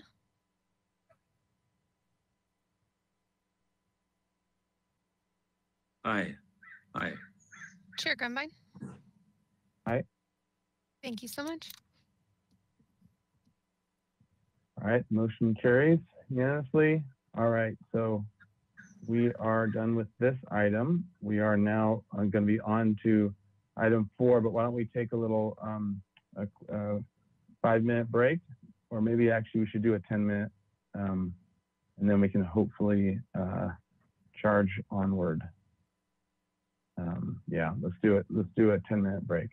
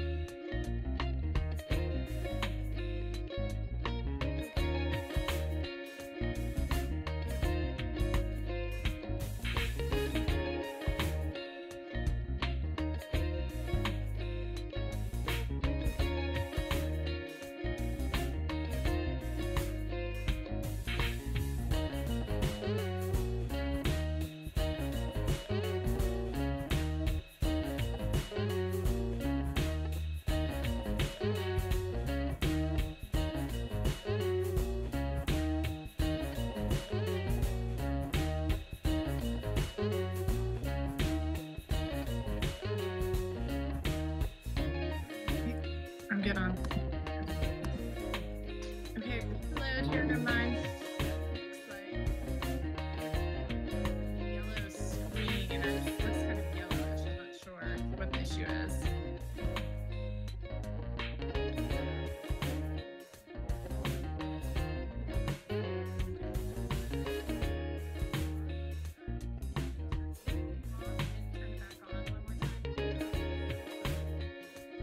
Then I'd also like to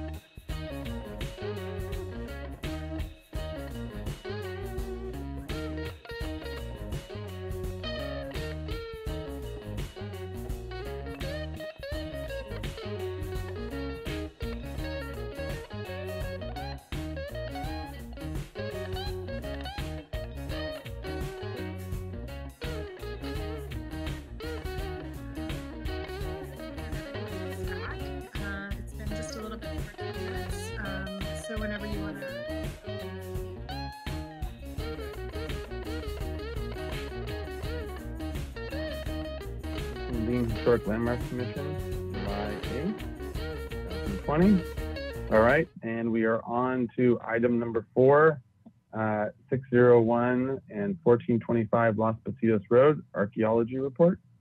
Um, this is uh, the, Ro- the Arroyo Burro Open Space Phase 2 Restoration Project located in the city of Santa Barbara within the Arroyo Burro uh, Open Space Park. Project includes restoration of the ephemeral tributary drainage on the western portion of the site, improvements to existing informal trail routes to provide better access and park experience, an 85 foot long pedestrian bridge along Arroyo Burro Creek at the north end of the park property, and relocation of existing water main crossing the proposed bridge. This is requesting for acceptance of a phase one archaeology, archaeological resources investigation prepared by David Stone, Wood Group Environmental and Infrastructure Solutions. Inc. Um, Ms. Plummer? Thank you, Mr. Chair. I just wanted to announce uh, for the commission uh, that the report was reviewed by Dr. Glassow, and he agreed with the recommendations and conclusions outlined in the report. Um, and in addition, Erin Markey um, is the applicant for the project, and she is available. However, um, Mr. Stone, the report preparer, um, is not. So just so you're aware. Okay, thank you. All right, um, so the applicant wants to come on. And, all right, thank you, Ms. Markey.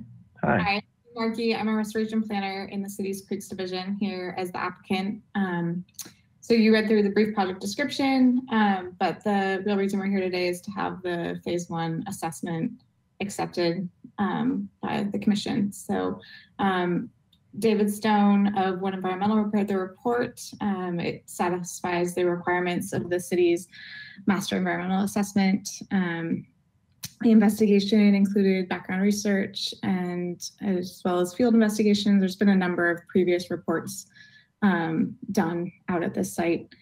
Um, the summary is no cultural resources were found or recorded or previously recorded at the site, um, and that the report concluded that based on the absence of prehistoric or historic era cultural resources, that the potential um, for significant resources on site or no no potential um, no potential for significant um, resources on site.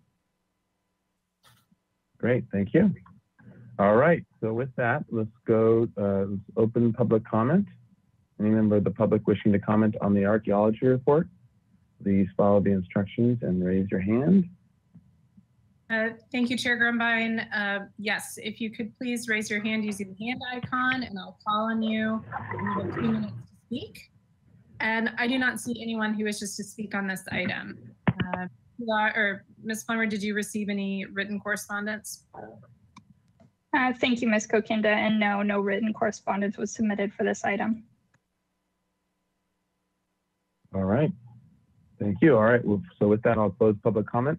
Back to the commission for questions about the archaeology report.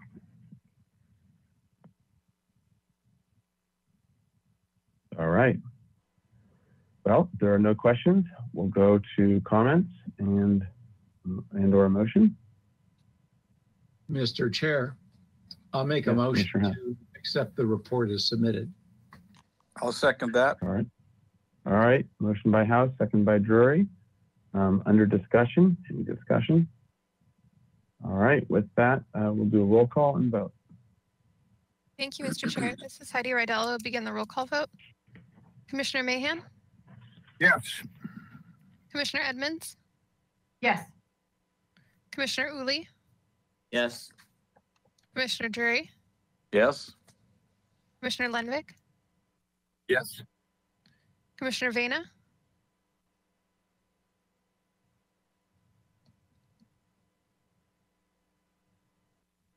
And Commissioner Vena, you just need to unmute yourself using the microphone icon. Yes.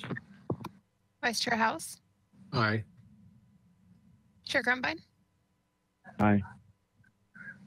That is unanimous. Thank you. All right. Thank you. Okay. Let's go on from there to um, item five, 206 East Victoria, uh, project design approval and final approval. Uh, the Victorian style building constructed in 1888, the Bernasconi residence and barn are designated a structure of merit. Proposal to, for improvements to uh, Bernasconi residence include including replacement of the unpermitted stucco siding with wood siding, um, replacement of vinyl sliders with double hung wood windows to match the original windows, and a change of use from office occupancy to residential use. Project includes a revised parking configuration to provide a total of six vehicle parking spaces and four bicycle parking spaces to serve the neighborhood market, and a retention of two uncovered parking spaces at at uh, serve the res- residential unit. Additional site improvements involve constructing a new trash enclosure, permitting existing AC units, and new site landscaping. Project will address violations, um, and project includes a request for a landscape wa- waiver for the Presidio parking lot and a waiver to allow one of the existing air conditioning units to be located within five feet of the front lot line. Project design approval and final approval are requested. Project requires consistency with the project compatibility criteria, staff hearing officer resolution 001-20 and structure of merit findings. Project includes a rec- request for a landscape waiver for the Presidio parking lot and a waiver to allow one of the existing AC units to be located within five feet of the front line. Uh, project was last reviewed on June 26, 2019. Okay. So, welcome. Um, why don't you uh, take your name for the record and give us your presentation? Oh, do I have, sorry, Miss- staff Yeah, comments? Mr. Chair, thank you. I just want to make some very brief staff comments before the applicant proceeds with her presentation. Um, this project is before you today for project design approval and final approval. Um, since your last review on it, uh, it did go to the staff hearing officer um, and was approved. So we do have that resolution available if you need to look at it. There weren't any conditions um, specific to the acceptance um, by the staff hearing officer, uh, but is there if you need to review it. Um, also, as in- indicated in the footer, this project does um, include two waivers, um, one for the parking lot landscaping as well as for one of the AC units that's located within five feet of the front lot line. Um, for both of those, I do have the findings available. Um, and essentially what it, what you're looking, what we're looking for, um, is that if you are to grant a waiver that there, it is to achieve a superior aesthetic, um, or to, um, other site constraints. So bear that in mind when you're evaluating the project. Thank you. All right, thank you. And actually, that's a good point. We should um, start with the um, uh, the comments from our last uh, motion as well. Um, Yes, please. so, okay. All right. So the motion was continue indefinitely um, to the staff hearing officer and return to the full commission with the following comments. Commission is appreciative of the restoration of the residence. Uh, the, number two, the commission is in favor of the open yard modification because of its location downtown, close proximity to amenities, including Alameda Park and the courthouse, and finds it aesthetically appropriate. Number three, the commission is concerned about the uh, geometrics of the parking lot entrance and would like additional study for a better solution, but recognizes the applicant has been working with transportation on a solution. Uh, four, the commission qu- uh, questions the bike rack location and suggests moving it next to the building and incorporating a landscape solution. Five, the commission suggests adding a planter as a parking stop along the south edge of the parking stalls. Six, the commission is generally supportive of a landscape waiver. And the mo- motion was by Hausz, second by Mahan, six zero two, Nemec and Vena abstained. Ooley was absent. The Motion carried. All right. So with that, why- now why don't you continue with or begin your presentation? And I'm sorry, Oh, Brooke, you just need to thank you, unmute yourself. Thank you. There we go. Sorry about that. I'm Brooke Van Dyne on behalf of Sherry and Associates Architects. And um, so, like Pilar said, we are um, appearing and we're requesting project design approval as well as final approval. We had taken this project over from the previous architect who last last appeared uh, before HLC. And so we have filled in the blanks where they left off. Um, as you can see in the plans, the site plan, which is the second page of the plan set that you have, we address the issues of the air conditioners, the parking barrier with the landscaping as requested. For the conversion of the res or the existing office into a residential unit, only minor changes are being made there. Um, as it's mentioned, the as-built stucco is being replaced with siding to match the existing to keep the design aesthetic of the house. And with the project designed for the site plan and the coverings for the AC units were designed keeping in mind the aesthetic of the property and both for residential and commercial use as well.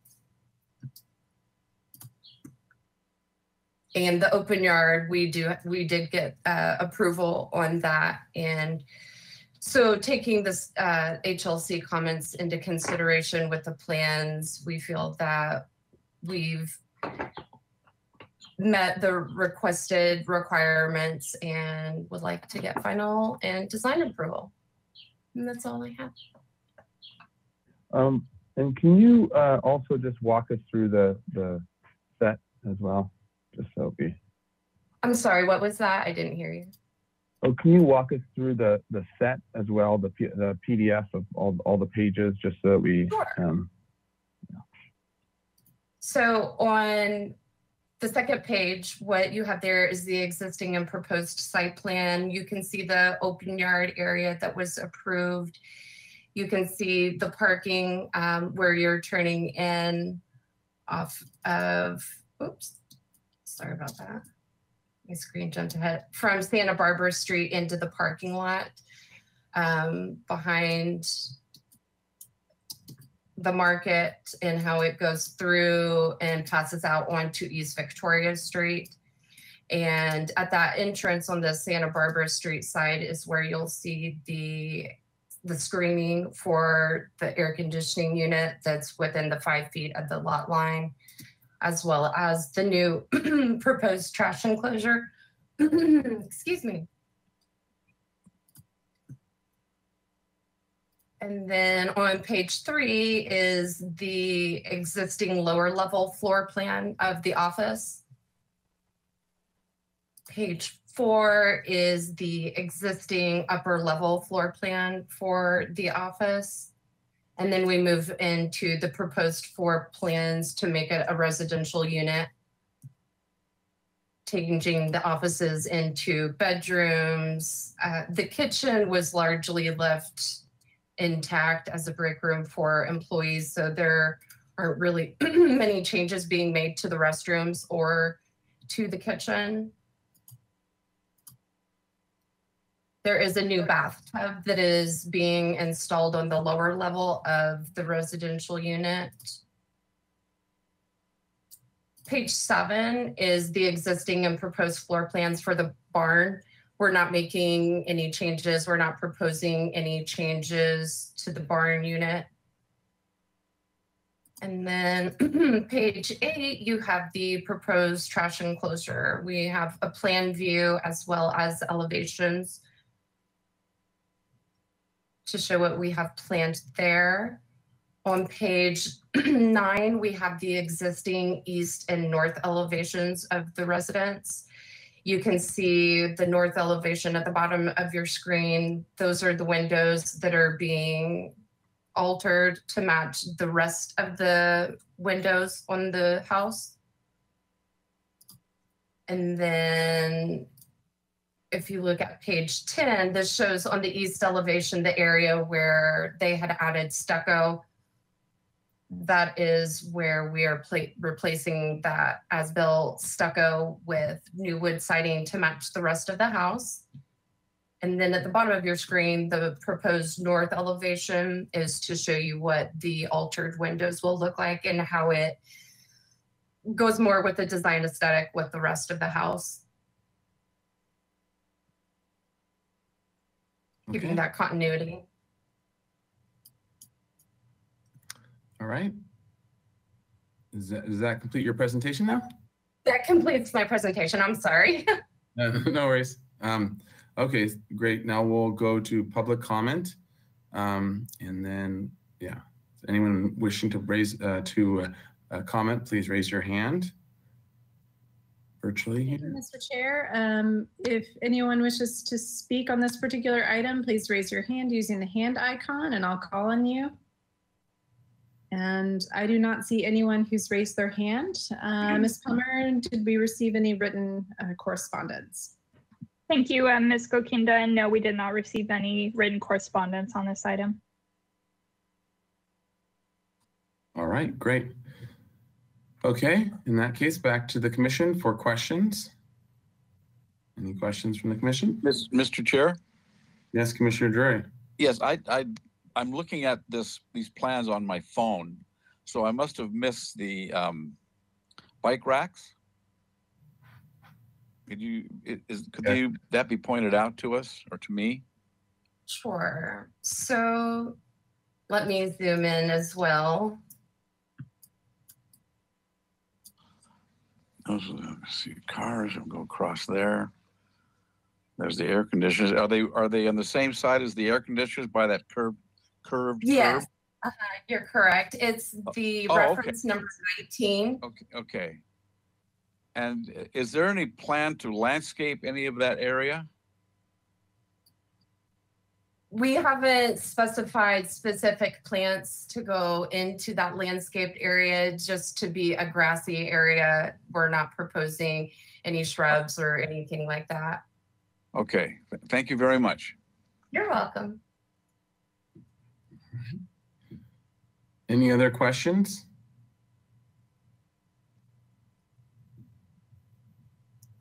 Commissioner Lenvik?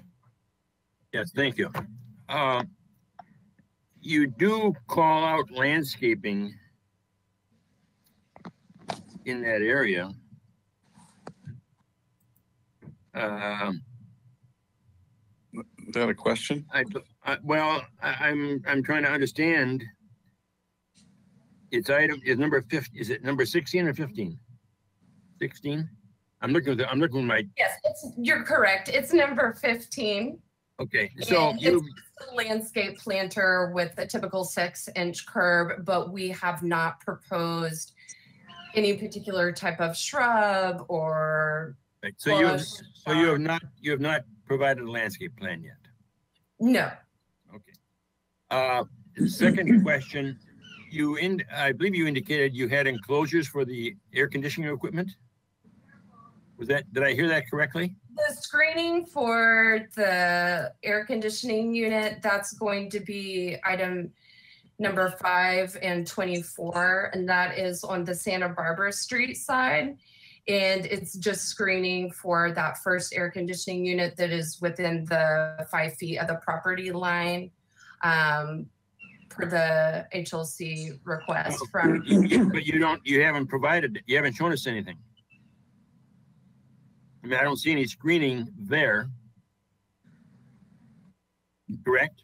It's a question. We can, we can provide an elevation of the screening. Um, if you like, we, we don't have that here on this site plan. Where? And oh, let me- let me just add to that question, Commissioner Lenvik. Um, so what is the screen, the, what is the fence material that's being shown in plan? Just as a, It's just a, a, a wood border.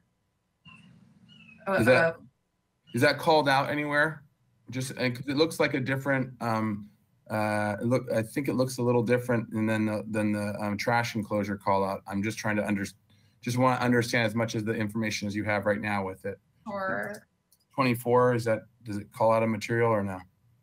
Um, twenty-four is an existing shed to be removed and twenty-three is, Oh, gotcha. Okay. yeah. Okay, so. Okay, Yeah, and, and I apologize, we don't have an elevation of the air conditioning screening, and if, if we need to come back and provide that, we can. It is just a, a low wooden fence around, around the air conditioning unit. That, Commissioner Lenvik, back to you. Thank you. That was requested and it, and we- and we don't see it here.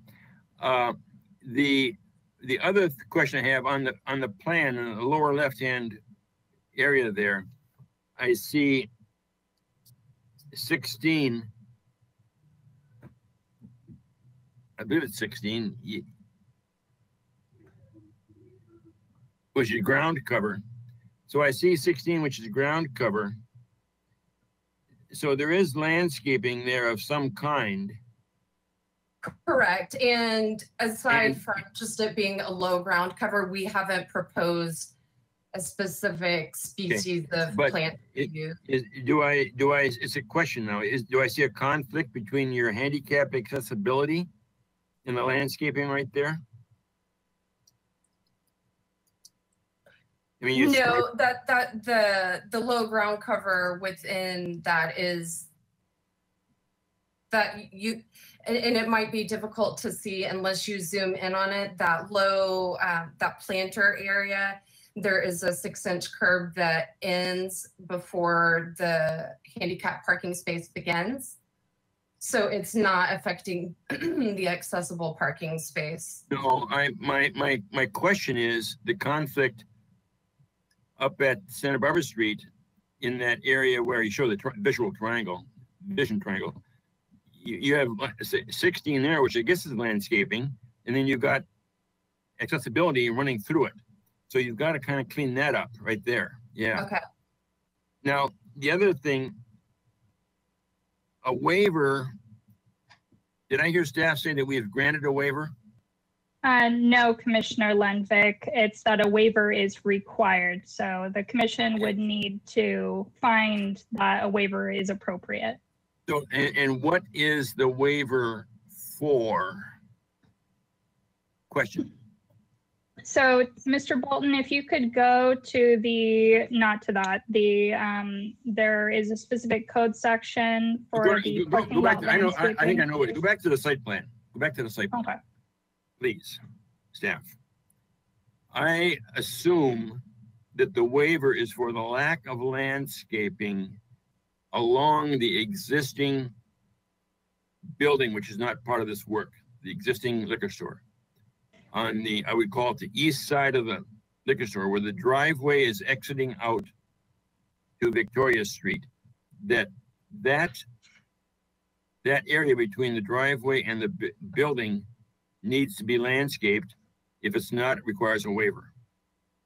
Is that correct? So to Commissioner Lenvik, um, the reason for the landscape waiver is that part of this project was to um, change the how the parking lot actually functions. And as part of that, they are required to go up to the parking lot standards in our in our municipal code. If they're not able to meet all of those sections, then a landscape waiver um, would be required. Um, one of those one of those is yes, um, as you indicated, but it's the the trigger for it was because they're changing the parking lot. Yeah. So it appears to me, and this is the question for the uh, applicant, that you have landscaping on the south property line where those one, two, three, four, five cars are, or whatever, six cars. You have Mhm. landscaping there. Is that correct? That is correct. That is where you're seeing that low ground cover. Yeah, okay, yeah. So we- we, that would not necessarily be a waiver there, although it may be a dimensional waiver, but I think the waiver is probably between the driveway and the building, uh, existing building remaining. I think that's where I see the waiver. Um, I could be wrong on that, and I'd like somebody to clarify that for me if, if at all possible. Mm. Those are my questions. All right. I'll take Commissioner my Vina, magnifying glass and go home. Commissioner Vena, any questions? Uh, yes. My question is, am I understanding you correctly in that you're not going to be submitting a landscape plan or you're going to be submitting it at a later time? Or which, which is it? Um, we can submit a landscape plan if you want us to designate a specific species of low ground cover. We were using that as just general terminology, but we can prepare one if, if the HLC commission requests it. I, for one, would like to see some kind of a landscape plan and some softening of the trash area through vines and so forth. I think the low shrub is, the low ground cover is just not going to make it as far as I'm concerned.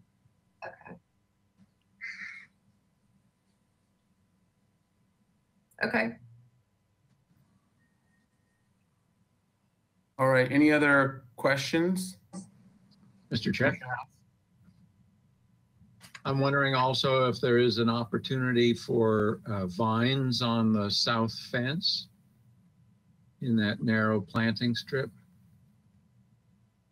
Uh, you mean the, where the cars are? Yeah. Because once again, low ground cover isn't going to go very far. So I'm wondering if there is an existing fence there that uh, vines could be trained on. So that's, that's the question Mhm. to the applicant. Is- is Um, I believe that there's no fencing, uh, on that property line. You can see just where the parking ends and the rear yard area of the residential unit. There is a fence that goes around the backyard area, but there's not a continuation of the fence in front of the parking spaces. Okay.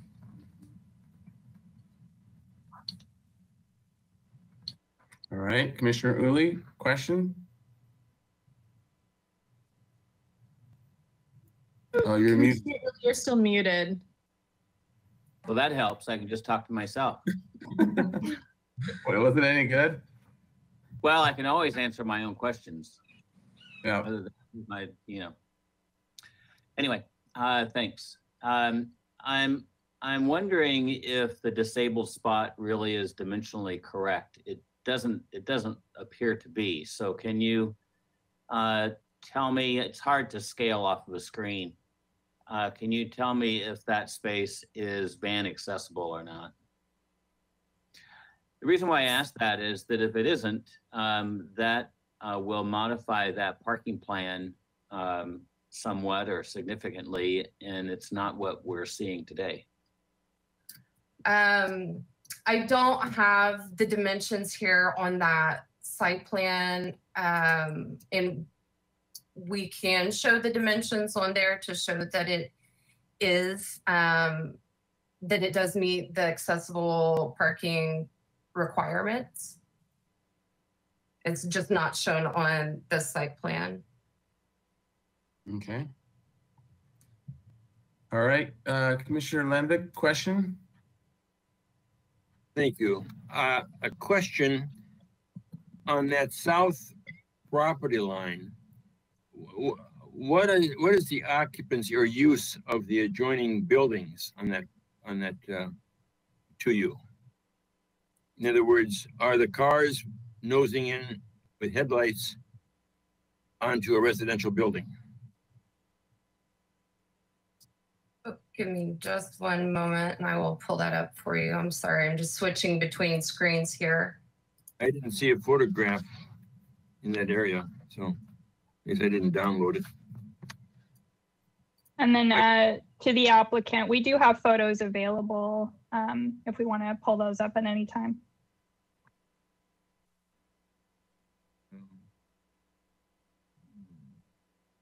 It appears that um, there's, there are commercial buildings on the other side of that parking. You go, you see other, other photos, staff? Other photos?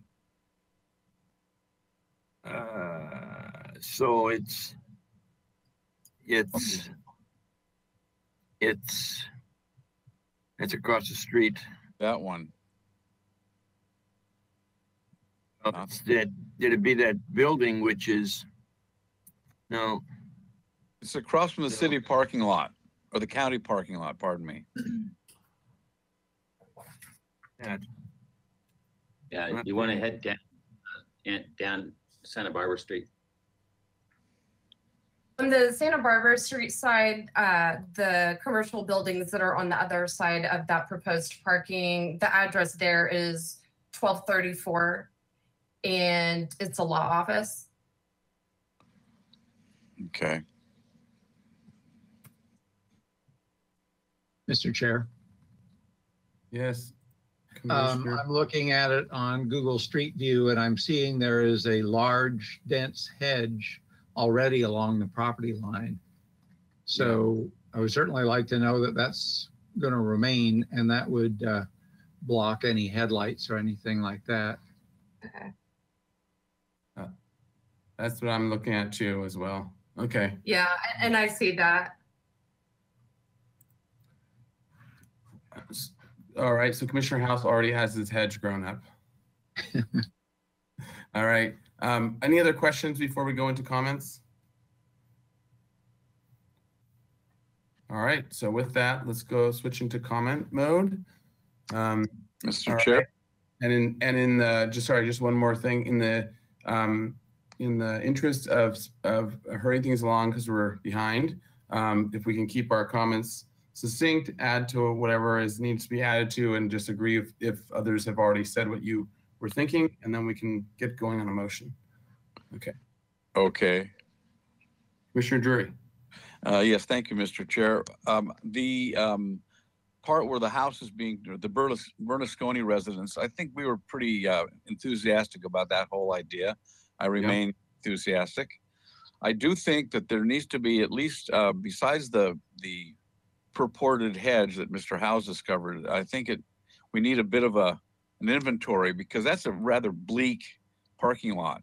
And I think it could use a little bit of, um, little bit of shrubbery, some, actually a, a real plant. And uh, I would, I would defer to Commissioner Vena about what kind of plant, but I think that that's, uh, that's one of the things that certainly needs to be addressed. Otherwise, I think it's a, uh, it's a good project. Thank you. Thank you. Commissioner Vena? Well, my comment is that I think they need to submit a landscape plan by a qualified individual. It's not up to me to suggest what to plant. So given, I think that is imperative and screening and vines and whatever else is necessary. A professional should be able to ascertain that. Uh, in addition to, to what I'm seeing here, the large tree that's existing, I'd like to see some of the pavement removed around it and re, and reconstruct the fence or redirect the fencing if possible. I mean, it's, it's paved right up to the, right up to the trunk there. Unless the fence is already existing. Thank you. That's my comment. Okay, thank you. Um, Commissioner Hausz? Ditto those comments. I think that um, the landscaping really needs a lot of help and is important because looking at the street view currently against the building are just a series of pots with some uh, sad looking plants in them. So it's a improvement to put a curb and actual dirt to plant in, but if it's just low ground cover and there aren't any parking spaces there where it's a consideration of the bumpers overhanging the curb, you know, I think there needs to be something that softens the view of the building.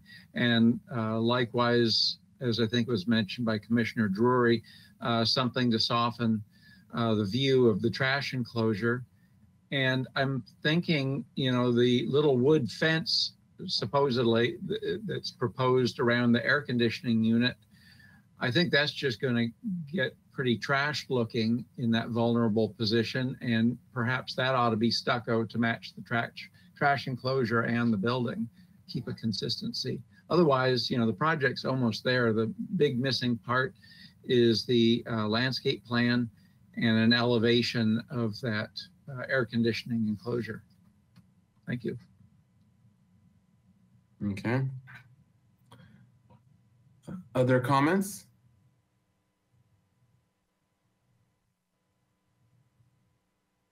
Okay, so um, in summary, um, and actually, let's uh, we should also well we had we have our comments from previously about the the commission being generally supportive of a landscape waiver, and I think that we're going to um, uh, based on the comments, add a number of those, um, give direction for working towards that. Um, uh, let's see, I'm just looking to make sure we've addressed the other. Um, I would also add to the comment of the bike rack, we, we're gonna want to have it an elevation of the bike rack as well, um, as I didn't see that. Uh, and that could work with the elevation of the, um, of the condenser enclosure. Um, and then, um, and then we also already weighed in favor of the open yard modification and um, the geometries of the parking lot. Um, I think uh, have been addressed uh, to uh, as a change from previously. Um, I guess with the only uh, additional current concern of the um, to see the accessibility dimensions shown, um, how that uh, is going to meet the accessibility requirements. Um, and then, okay, so, um, all right, so I'll attempt to summarize here uh, the comments. Oh, Commissioner Lenvik, did you have additional? Well, I would make a, I would be prepared to make a motion if, if that's appropriate. Yeah, do you want me to give you the comments we have so Well, far? let, let me fracture a, a motion here and, and then we can add to it. My, I'm proposing to give them um, preliminary approval, project design approval with final to be uh, taken to consent with the following items to be to be addressed. Uh, number one, I'm not prepared to grant a waiver. Go back to the site plan staff, if I could. As I see it, the waiver, the only waiver would be the landscaping, lack of landscaping along the existing building. And if the entry drive width is shown accurately, then the exit drive would not need to be any wider. And therefore you could landscape between the drive and the existing building. So if that's the only waiver that we were asking for, or they're asking for, then I'm not prepared to grant a waiver. But I am prepared to give them project design approval with final at the consent calendar with the following provisions. There be a, a professionally prepared landscape and irrigation plan, which includes some vertical elements at the existing building and includes planting on the face of the trash enclosure wall uh, facing Santa Barbara Street.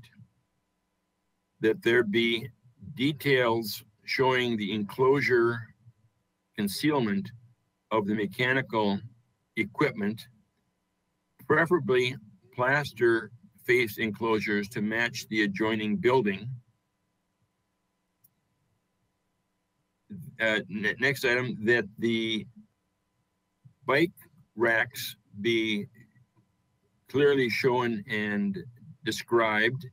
And if there is a paved area that they sit on, the bike sit on, that that be shown.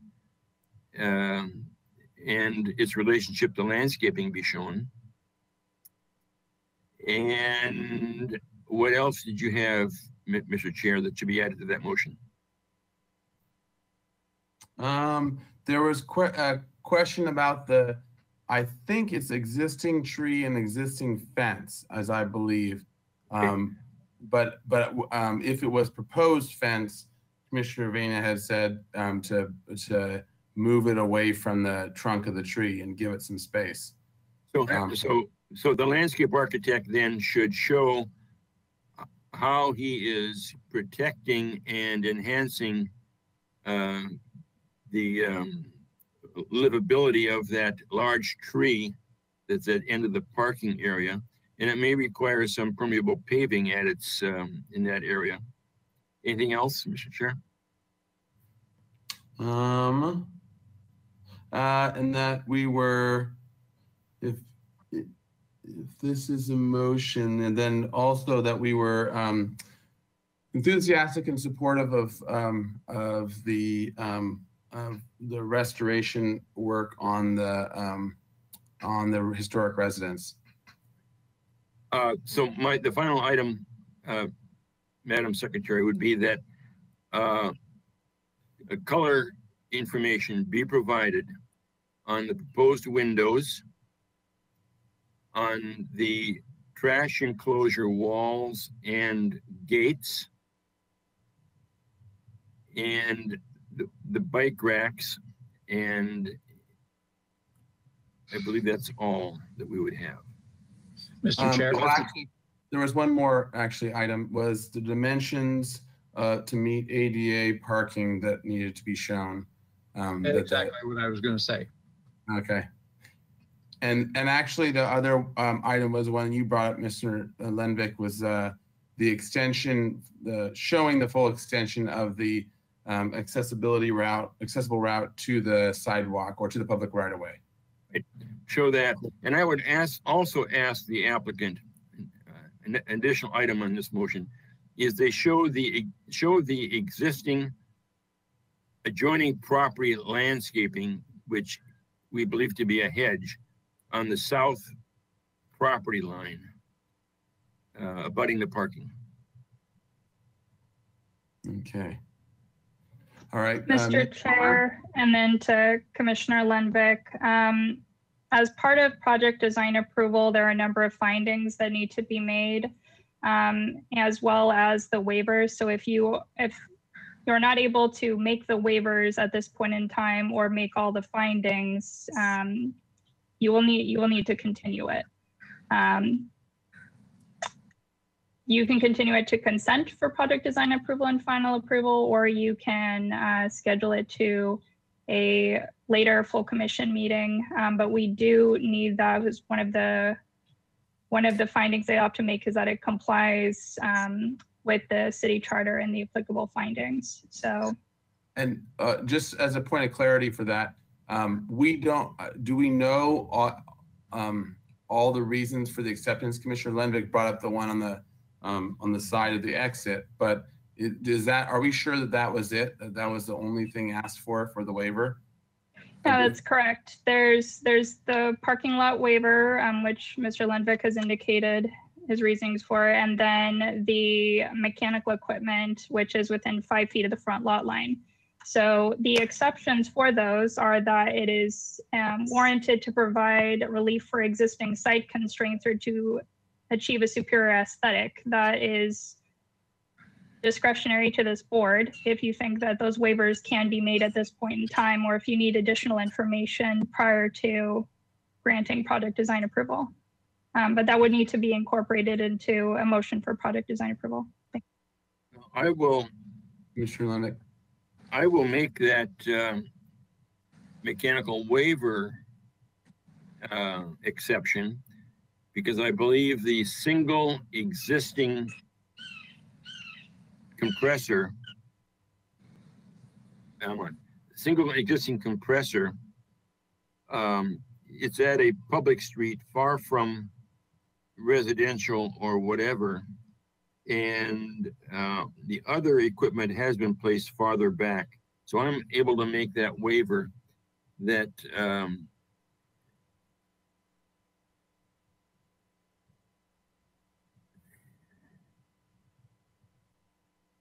for existing site constraints. Although that's not really true because they could move the darn thing. Um, But I, I may, I, I would, I would test the waters on making the waiver. Um, because what I asked also that, um, in, in looking at the site plan, if we can go back to the site, that site plan real fast. Um, perhaps as part of that, uh, the, um, instruction to the landscape professional as well is to, um, it seems like there's a plenty of space in where there's, where the other con, the open condensers are to, ha- and of, of landscape possibility that they could also screen it, um, screen those uh, other two condensers with, um, you know, low hedge or la- other, some other landscape um, element so that you don't see it walking by um, uh, as well. So would you add that to your um, landscape, uh, um, what's it called, direction? The, the ones I'm labeled. gonna- I'm gonna, I'm gonna back off the waiver for that equipment. That equipment can be moved back five feet without a problem.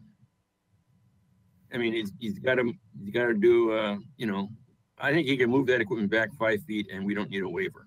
So I'm not abo- about to give a waiver for that single piece of equipment. No.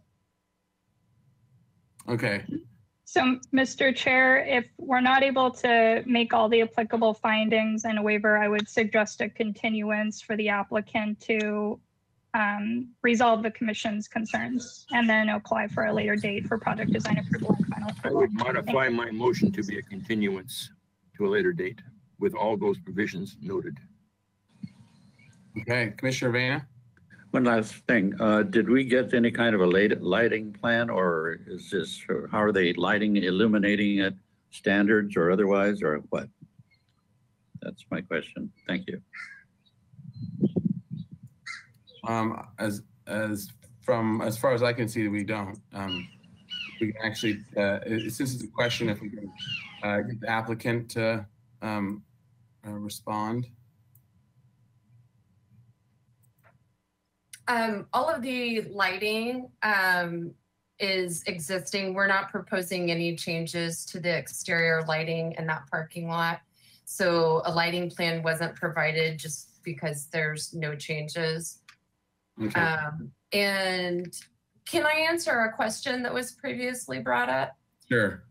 Um, on the the large tree that you're seeing on the site plan and how the fence and the paving go right up to that tree. I just wanted to point out that that is existing. Um, And- that's not something that's new and proposed. That's something that is already there. And To be clear, the, the only proposed portion of that then is the, um, is the fence, uh, or sorry, the gate, um, going through? Is that what we're That is seeing? correct. Okay. All right, so that, that actually makes it simpler. Uh, Commissioner Vena had said if it was, uh, existing, then, then that's a different, uh, scenario. So, and tell us otherwise if you don't, if you don't think so, Commissioner Vena. Okay. Um, all right, was there any other questions? Because we had jumped back into the question. Mr. Um, Chair. Yeah, Commissioner Hausz? I hate to be difficult, but uh, in looking at this street view, I see there are three wall packs, which are kind of a light fixture mounted high on the wall, which point out from the building. So they're not shielded and they are quite glary, as well as conduit applied to the surface of the building.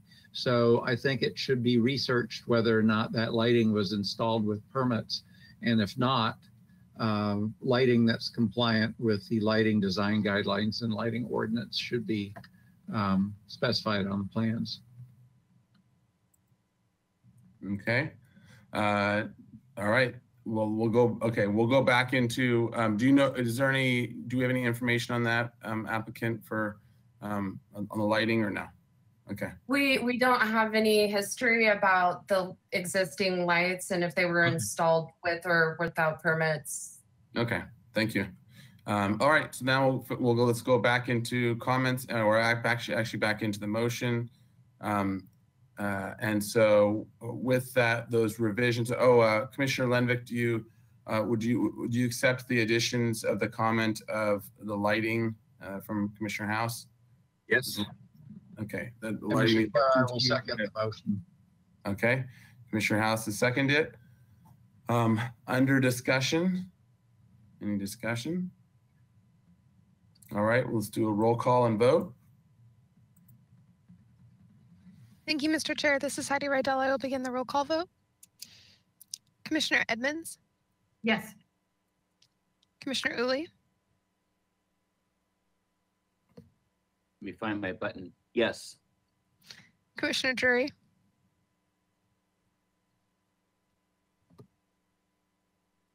Commissioner Drury? Commissioner Drury, you're still muted. Oh, yes. Commissioner Lenvik, Yes. Commissioner Vena, Yes. Vice Chair Hausz, Aye. Commissioner Mahan, Yes. Chair Grumbine. Aye. That is unanimous. Thank you. All right, thank you. All right, so we are on to item six. 215 East Victoria Street. This is a continued item for concept review. Um, and this is a revised project description. The 12,900 square foot lot is currently developed with three unit building fronting Victoria Street um, and two store and a two story, two two story buildings towards the rear of the lot. Proposal to demolish the existing 1,000 square foot garage, uh, the existing two story building, three bedroom unit, existing two story building, two bedroom unit, and 45 square foot shed in order to construct a new two story apartment building. The three existing units in the front building are proposed to remain. The seven unit project will be developed under the average unit size density incentive program. The residential unit mix will include five one bedroom units, four two bedroom units, and one accessory dwelling unit with an average unit size of 1,100 square feet.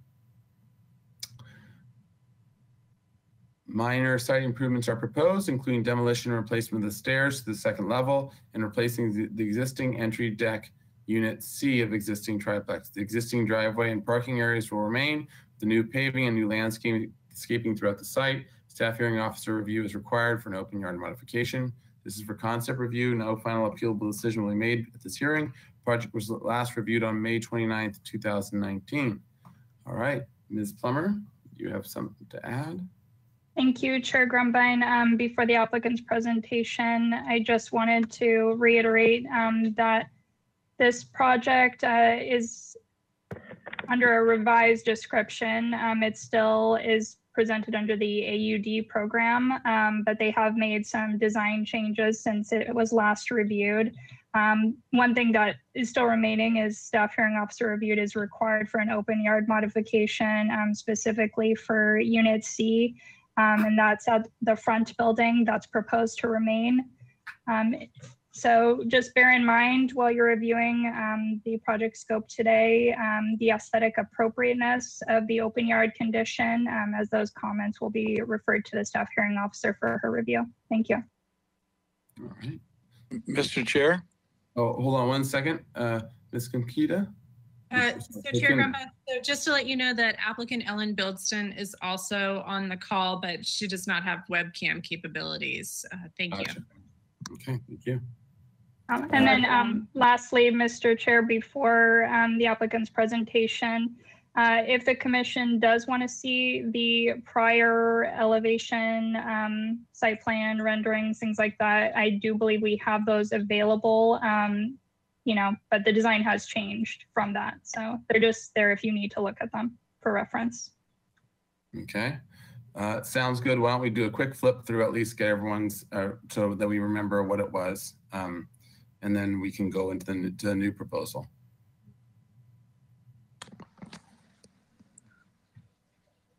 Mr. Chair? Yes, Commissioner Drury? Um, could, could you read the comments from the last meeting, please? Yes, absolutely. Sorry. I, yep. I will pull them up. You can keep going through here. I'll pull them up separately. I should have them here. Um,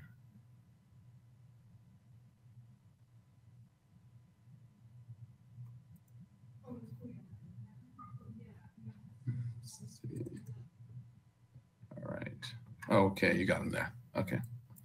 Um, okay, so the last comments were continue indefinitely to the full commission for project design approval with the following comments. The commission thanks the applicant for their additional study and work. The project is moving in the right direction. In general, the commission encourages the applicant to seek a modification from the staff hearing officer for a reduction in open space with a roof above to preserve the existing balcony configuration of the front building. The back building looks too sparse. In general, the commission would like to see the back building softened with elements such as awnings, landscaping, and lights. Enhance the paving materials, especially at pedestrian walk areas and around the entries. Use landscaping to break up the long east side. The commission likes the coloring of the windows and would like to see a color sample. Uh, look at uh, favorable locations for a trash enclosure. In general, the commission would like to see another solution to the overhang over the garage of the second building. The horizontal railings are not appropriate in El Pueblo Viejo. The, it was motion by Hausz, second by Drury, six zero zero. Mahan, Ooley, and Nemec were absent. The motion carried. All right. So, but this is uh, also a new design, and so with that, um, I'll let the applicant um, take over. Please uh, introduce yourselves for the record. Uh, Commissioner Ooley, did you have a, a question before? Uh, just a quick point. I meant to say it on the last item as well. There are two channels I've been been binge watching lately: Netflix and Channel 18. Um, and so I've uh, seen all of the hearings of of this matter and the previous one. All right. I'm glad you have such good taste in binge watching. All right. Good afternoon, everyone. I'm Ken Vermillion with Bildsten Architecture and Planning. Oh, sorry. We could, we could just pause you for one second. Uh, Commissioner Mahan, did you have something you wanted to add? Yes, I, I've also, I've also watched the, uh, the hearing that I missed earlier. Okay, great. Thank you. All right, sorry, uh, and you may continue, applicant. Good afternoon, um, everyone. I'm Ken Vermillion with Bildsten Architecture and Planning, and on the call as well as Ellen Bildsten. And part of my interruption, could you just uh, project your voice a little bit more? Uh, the audio for you is a little bit quiet, or if you have headphones, that might work better. Thank you. Yeah, I've got I've got a phone, so I'm going to put it more in front of my. That's that's much better. Thank you. Great.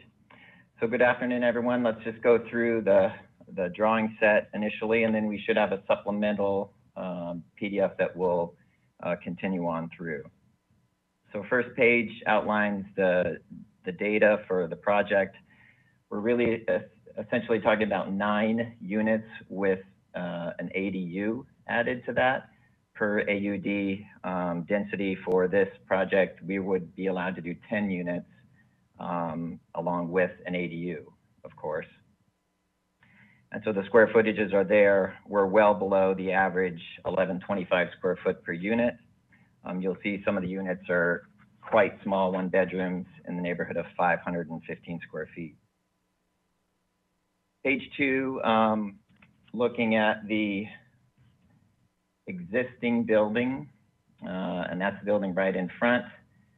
We're essentially uh, proposing uh, no major changes to that building. And we know in past meetings, the uh, board was recognizing the existing front balcony. And we'll get to that page in the set, but we would like to agree with that assessment. Um, and that's why we need a slight modification for a couple of private open yards for the existing front building.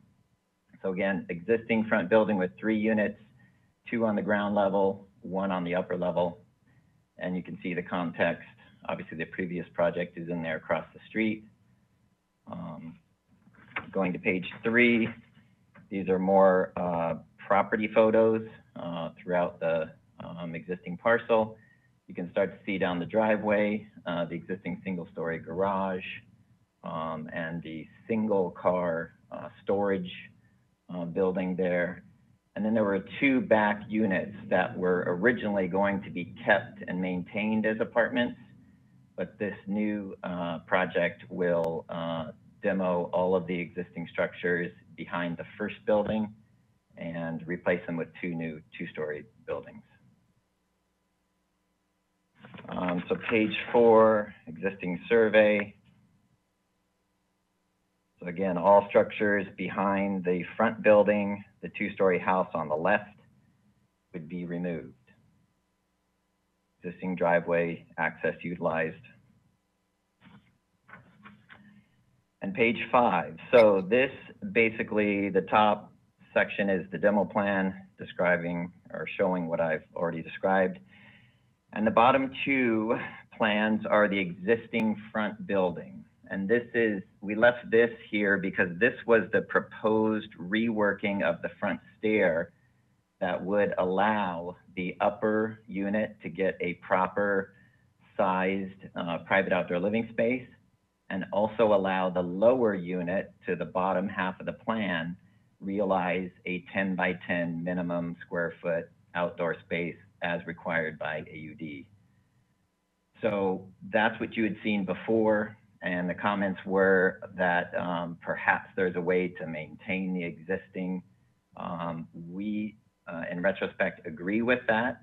And so you'll see in the new plans, we've simply taken the existing stair and changed the bottom run from going to the driveway to going to the middle of the property. But again, no changes to the downstairs units, no changes to the upstairs unit is proposed here for the existing front building.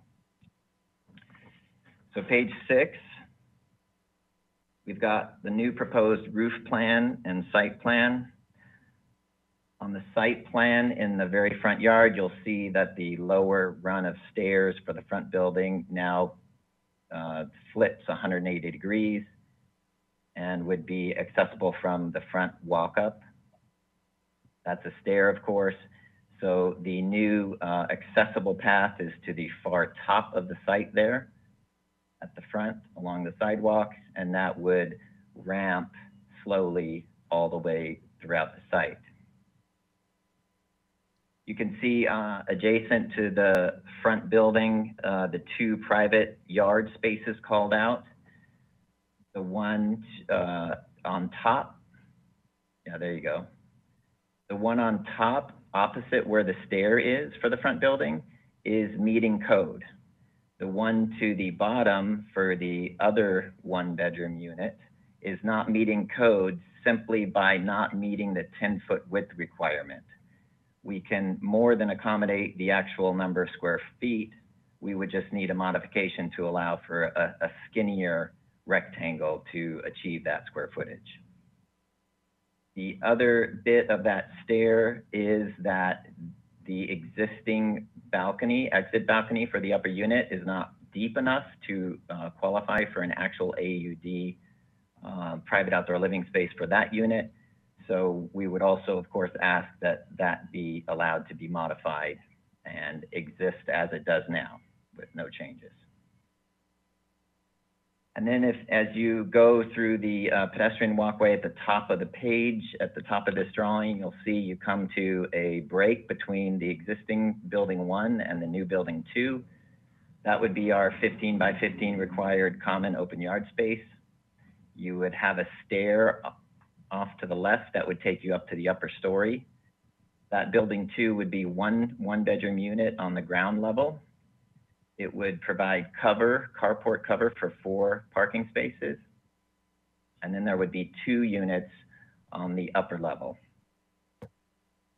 As you proceed on, you would come to the entry for that unit. You can see the recess, provide some, uh, uh, some uh, porch space for the unit. And then as you continue on toward the back building, you would pass by a fenced-in private outdoor living space for that ground floor unit.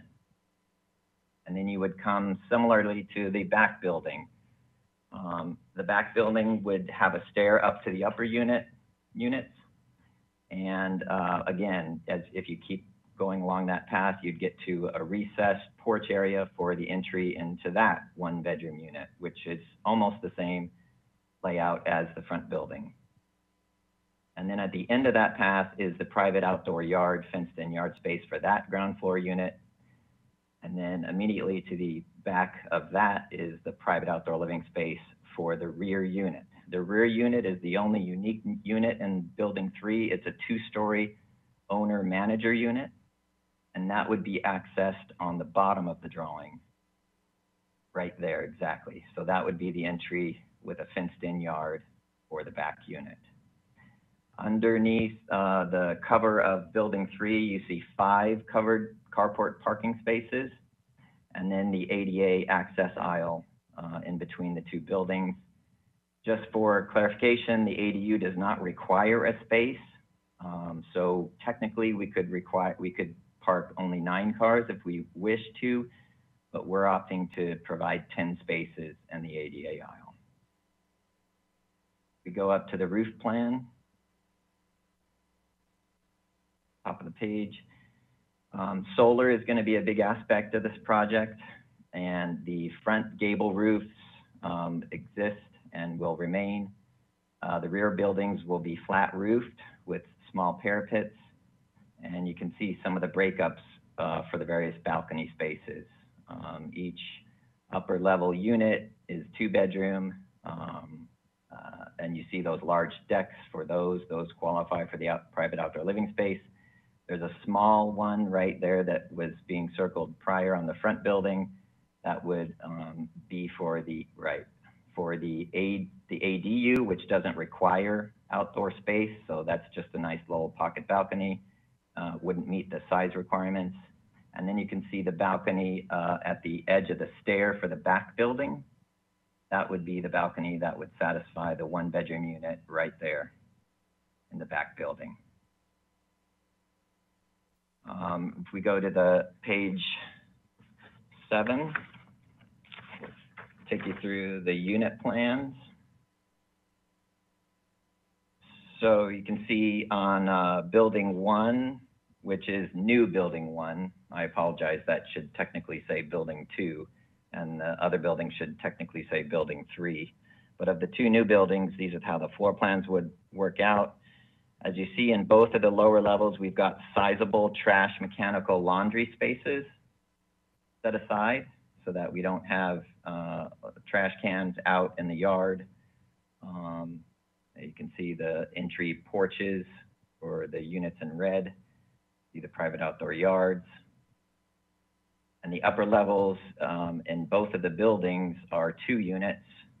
Coming up the stair, you've got a common landing, and then you proceed on to the green unit, which would be the two bedroom with the large outdoor deck. And then you'd have the one bedroom back uh, 180 degree, degrees back from there. Unit H is the unique one. The one in orange is the two-story owner-manager unit. And that would have bedrooms and bathrooms on the ground level and living and kitchen dining space on the upper level with its own private deck. Uh, going through to page eight, take a look, take a look at the elevations. The old building had a similar roof height as the front building. The front building is uh, basically 23 feet above its grade position with the gables. Our new buildings are 21 and a half feet tall from their relative ground levels. Now, the front building is roughly two feet lower than the middle building, and the back rear building is two feet higher than that. So while the site does step up gradually with the uh, parapet heights and the roof heights kept low, they will be almost um, not seen from the front street elevation. And what we'll do is we'll go through um, some of the design intent. Um, the flat roof idea is um, largely based on the work of Irving Gill. Um, time, time-wise, uh, era-wise, uh, his work was going on from early 1900s through 1930s. Um, really clean interpretation of, he started with Spanish, Spanish colonial, um, and really, there are a few concepts that he felt were very important. Um, and we'll get to those on the next page, but just wanted to go through some of the thoughts and design cues that we brought from the front building are the wraparound corner windows. Um, we've maintained that, um, albeit a slight interpretation from that, uh, with not as many breakups in the glazing panels themselves. And then these uh, built out window boxes, uh, so to provide sun protection on various uh, elevations um, and to promote the look of this uh, kind of like Irving Gill popped um, window box. We've come up with a system to do that, and you can see some of those with the sloped edges. Um, and again, simple massing, but carved away in, in, in methods that would change the appearance of the buildings from different spots on the property. Um, that was another big uh, design uh, idea of uh, Irving Gill. Um, and you can see on the uh, walk access way, uh, the sloped uh, stuccoed wall for the stairs for each of the buildings. You see the carports with the cars tucked in underneath. Um, then if we go to the last page on this drawing set, you can see some of the ends of the buildings. Again, these are elevations that really are um, not seen um, in total at, or at all based on uh, the layout of the buildings. Um, but again, the same kind of uh, simple form making, um, carved away masses uh, to get a uh, lots of shadow play and some three to three dimensionality to um, each flat elevation. So just to look through a little bit of Irving Gill's work, that's the far right, the photos, uh, top, the very famous apartment complex in Santa Monica, California. Um, these, you can see the pops of the massings, you can see the wrapping ribbon windows, um, you can see the popped out window box uh, ideas. Um, and, you know, basically the things uh, that I haven't maybe mentioned are he was big about landscaping and letting the landscape be um, the uh, foremost um, uh, aesthetic appeal uh, and, and let the architecture take a back seat to that. That's why he didn't do a lot of cornices, um, a lot of fancy railings, um, and uh, uh, um, column capitals or, uh, or other details like that. And then if we go to the other document, it's just a little three-page document there. So we've got a cardboard massing model, um, and I can hold that up if anyone wants to see more of those images. But here's what we've got basically. Uh, the concept behind the forms of the roof is the two uh, photos on the left is the building immediately to the west of this property. In fact, that's our driveway uh, alongside of this building. And what we're what we see over and over again in this type of architecture and all around town is this front kind of sloped roof piece attached to a back much more simple parapet flat roof style massing. Um, you could even see in the lower photograph the front windows of the neighboring structure have uh, breakups in the windows yet the ones that face away from the street are much more simple and less um, detailed. The building on the corner, the upper right photo, that's the convenience store at Santa Barbara Street in Victoria. Again, same thing. Even though you can see this building from the long side, there's a small portion that's got the, the, the tile roof, and then the rest is a flat parapet roof. As you go down Santa Barbara Street, um, of course, against traffic, you would come to the, um, the restaurant building there at Santa Barbara Street and Equestrian. Same concept, the sloped roof in the front and the flat in the back. And that's really what we're trying to set up here with our project. We've got an existing gable roof for the existing residents, no intent to change that. We want to let that be the front piece that's visible from the street and we want to let our two buildings be simple flat roof for many reasons. One of which is that we like the style of that and the simplicity, but again, it's going to be covered in solar panels And we want uh, condensing units and everything to be placed up there. We need mechanical space uh, to make that happen. And we feel like that's a much more efficient use rather than putting more equipment on grade level. And if you just go to the next page, there are some other projects around town, other buildings around town. Um, Alameda Court, as you may or may not know, uh, in that ring of buildings, several of those buildings are flat roof with parapets. Some are a mixture of gables with some portions raised parapet. Um, the University Club at the corner of Santa Barbara Street and Sola Street. Obviously, the front main building on the corner has the gable roofs with the tile. And then the back portion of the building visible from the parking lot, as you can see, is a, is a combination of the flat roof that works well.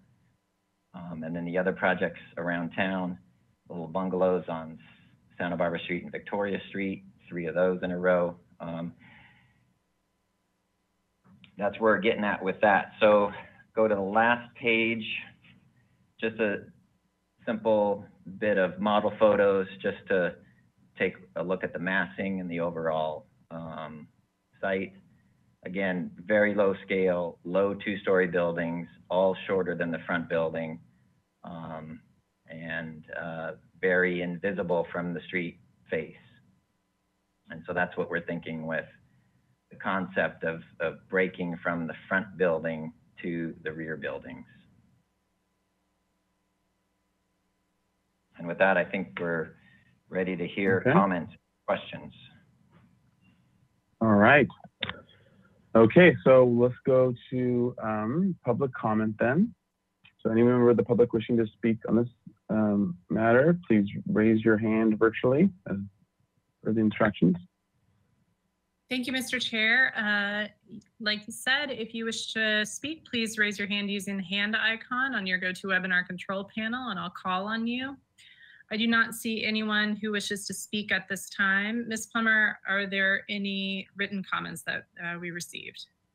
Uh, thank you, Ms. Kokinda. No, we didn't receive any written correspondence for this item.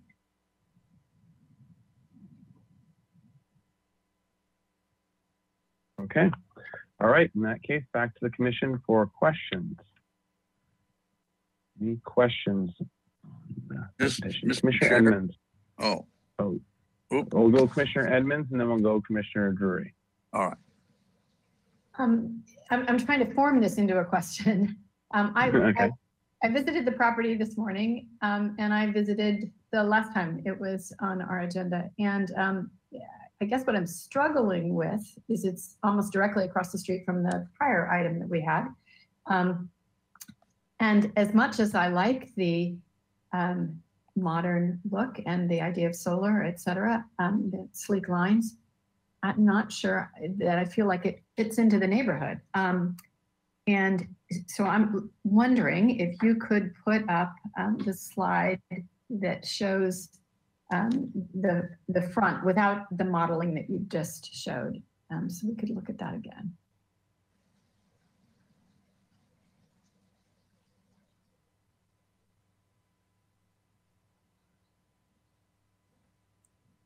Back to the that seems to be it. yeah, that's a side view. I'm wondering if we could have a front view. No. If the applicant um, has a particular page number that we should go to, uh, please let Timmy know. Hi, sorry, you're talking about the existing building. If I'm standing across the street and I'm looking at the existing building, do you have a Page slide. two.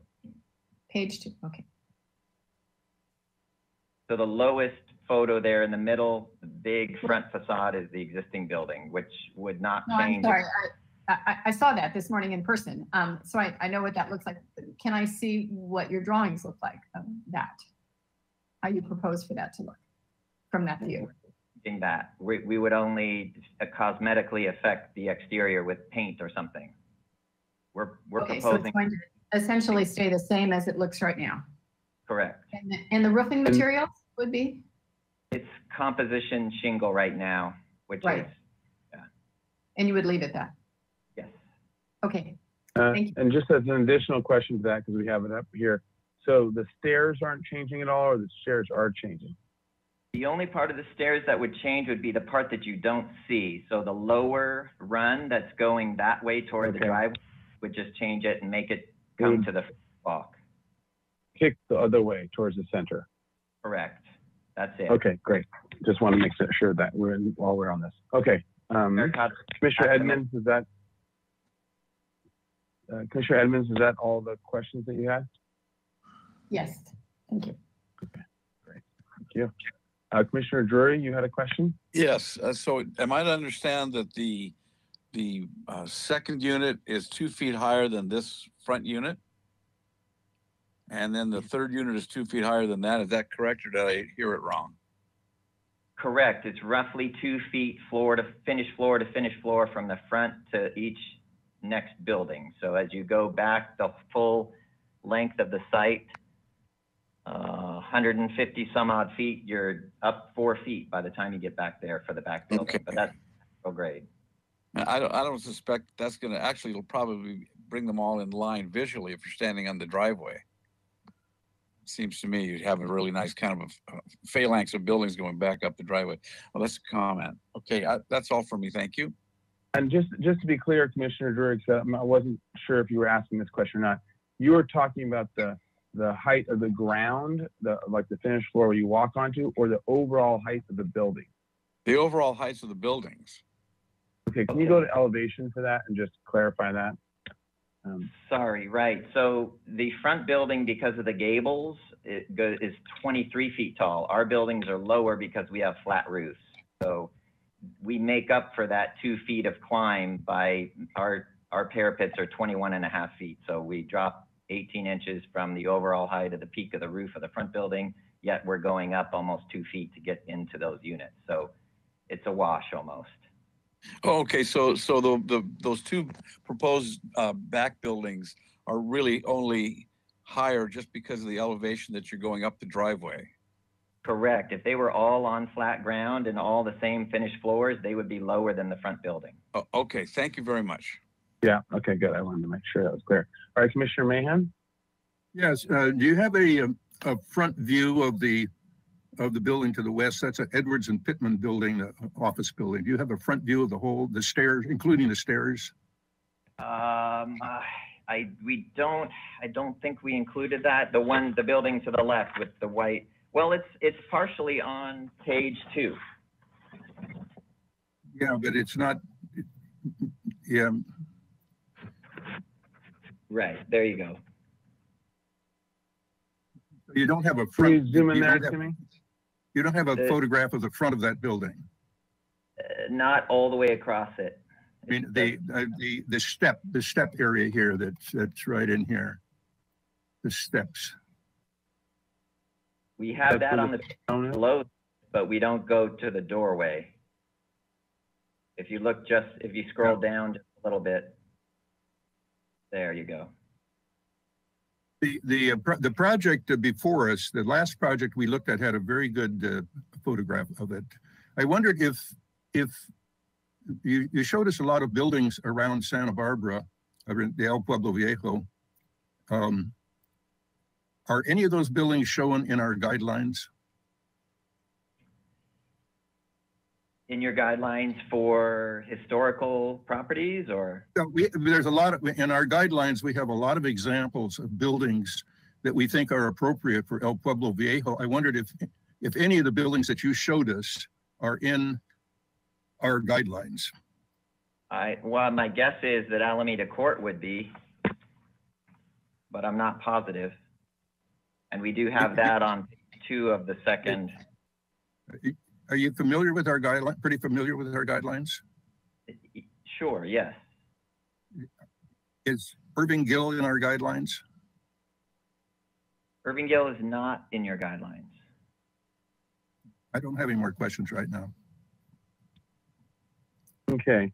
Um, so I'll, I'll add, and, and I I wanted to get one thing in terms of clarity and then uh, I had a question as well, unless, unless there's other questions. Uh, or uh, I guess we can just keep going with other questions.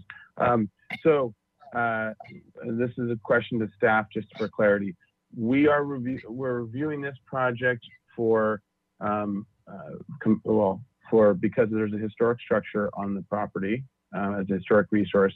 Um, and then as, uh, and, but it's not in EPV, is that correct? I just want to make sure that we're clear on everything. I, I know, I think I know what Commissioner Mahan knows it's not, but I- I No, make Mr. Chair, there's no designated building on the property. It's an EPV. So that is the only reason Oh, um, okay. that it's being Sorry, I- reviewed is because it's It's within been, the. it's been a while and I thought it was, okay, gotcha. Okay. All right, um, so, uh, uh, the, uh, question I had was, and if we can go to the Irving Gill examples, um, and inspirations. Um, okay, so, um, let's see. Okay, yeah, if you can zoom in, uh, well, let's start with the top image. Let's, if we can zoom into the top right. And then, okay, so looking at this inspiration image and looking at the, the drawings you have, um, uh, and looking at the, some of the others as well, um, it looks like there's a corner condition um, that Gill likes to um, go glass and similar in similar way to what um, you have with the existing building, uh, especially in that lower bay uh, window that's popping out and has that little shade device. Um, there's that condition. And then in general, I'll start with a comment and then roll into a question. In general, uh, Gill tends to uh, less not have a, a strip window all the way across, but really have super simple massings. And then in some corners, he go he eliminates it to a, a glass um, corner. In this case, is it seems to be pretty long on the strip window version um, across the top. It seems even more abnormal than um, most of the uh, Gill examples that I've seen. Um, so, and I and I noticed that you did. It seems like that's the, the direction of you're incorporating into the massing for these uh, for your back buildings. And what for one, the question is what why not? And then if you can scroll down a little more, um, what what was the thoughts behind not going towards a more the Irving Gill of this, where you have massing stronger on the corners and also more wall um, and less of a strip opening effect um, than uh, than the the sort of the upper example, which was the the only one that I've seen that has such a strong. It's almost like a uh, well, uh, some of it is sort of Le Corbusian, um, and it's um, Villa Savoye um, kind of uh, effect, or or reverse um, with having this the strip up up top and not not a uh, removed bottom on pilotis. But um, it I, so I wanted to get some of your thought on the on that design um, of of not going with the, as much of mass uh, for some of your Gill examples. So, yeah, so you, I mean, basically the ribbon window versus just a corner aperture. Um, Mhm. Yeah. thing. And yes, the ribbon windows are great. Um, and without being, you know, hundred percent literal, um, we wanted to utilize that as a concept of, um, you know, opening a corner with windows is a lot different than having a window on either one wall or the other.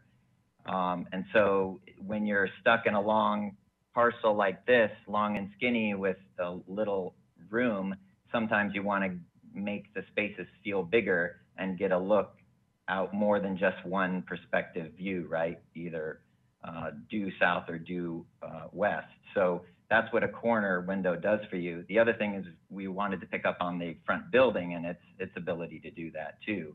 I mean, clearly that was one of the things. Almost on every corner of that front building, there's a series of wraparound windows. And so we felt like incorporating that was reinforced by Gill's um, thinking and then by the building itself that was on site. Okay, great, thank you, uh, Commissioner Lenvik. Yes, I, I need some, some help from the commissioner staff. We're in EPV. And as I understand it, there are three or four or five accepted design standards that uh, are available to us in EPV. You know, you have Mission Revival, you got, you know, Monterey, Monterey Revival, you got Spanish Colonial Revival, you got California Adobe. But I don't know that by ordinance or charter that I see any place where Irving Gill is an approved and acceptable design for EPV. And when this project came to us originally with the um, 50s contemporary whatever house in the front with with a low sloping roof, the applicant proposed to have the building, the single building in back, made similar to that. And we found that we probably could bend the rules to make the, to allow the back building to match the front building. But I don't know that it's in our purview, and Pilar will probably correct me on this. I don't know that it's in our purview to take and make the entire project, which is a new project with two new big buildings, something other than the approved standards in the EPV. So I need some help on that first before I go ahead and comment on Okay. Irving Gill's architecture. All right, Commissioner Plummer. I'm Sorry, Commissioner Plummer, sorry. Ms. Plummer. Thank you, Mr. Chair. To Commissioner Sorry for calling you that mean name. Go ahead. Yeah, in, in general, Commissioner Lenvik is correct. There's um, 22, 22, 104 required architectural styles. So there's subsection A, which specifically outlines what styles of architecture are appropriate to the district. Um, so for any structure hereafter constructed or altered shall be within one of those styles. Um, then there's a subsection two, alterations within El Pueblo Viejo, notwithstanding paragraph one, alterations to existing structures within EPV may also be permitted by the commission in the following circumstance. The commission determines that the owner of the existing structure is proposing alterations or additions that match the original architectural style and such alterations or additions do not significantly alter style and the commission determines that the alteration or addition would be more compatible with the existing structure by matching and maintaining the existing architectural style, which demonstrates outstanding attention to architectural design, detail, material, and craftsmanship. That is up to the discretion of the commission to see if you feel that this project meets that section. Um, I don't, I don't know that I could make the finding that this is an alteration or an addition. These are two new buildings, larger than the remaining building on the site. And I think we ought to be real careful before we move down the road too far with this, with this application and understand that we are not complying with the charter or the, uh, or the ordinance. Is there a question in there? No, it's a statement. Okay, well, let's, let's stick to questions right now. Um, so, uh, all right, any other questions? Mr. Chair. Commissioner Hausz. Uh, Just to confirm what I think I'm looking at on your uh, elevations on sheets eight and nine, I think. um, It looks like it's a pretty scant parapet, so it would not be sufficient to conceal solar panels or mechanical equipment. Is that correct? Uh, no, we certainly believe it would conceal solar panels in the middles of the roof. Um, you know, it's whether you could see that from the property um, or however far back, we could make that a reality that whatever parapet is there, we would make that the goal to to hide the visibility of the parapet Okay. of the. That's my only question. Okay. All right, any other questions from any? other Yes, Mr. Chair. Commissioner It would- Drury.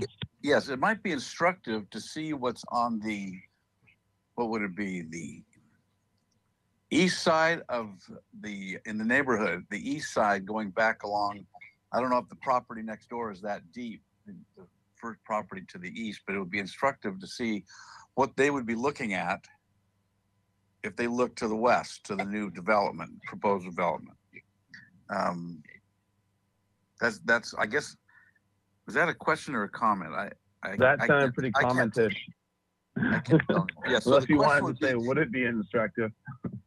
Yeah, because I, I know that we, we've had a, a, sometimes a problem with, with solar panels, which we support, of course. Um, but we don't want them, um, visible to neighbors.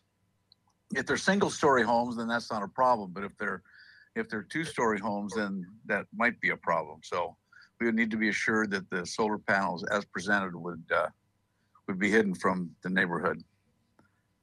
Okay, Is that so, fine? uh, I'm, I'm So muddying the the waters. question, I'm so the mistaken. question is, the question is, will, will those be visible? And it might be that you can show us with that in other ways um, later, or do these drawings actually show that right now? Right, and, and I would just say that if these were gable roofs, you would see the solar panels, absolutely.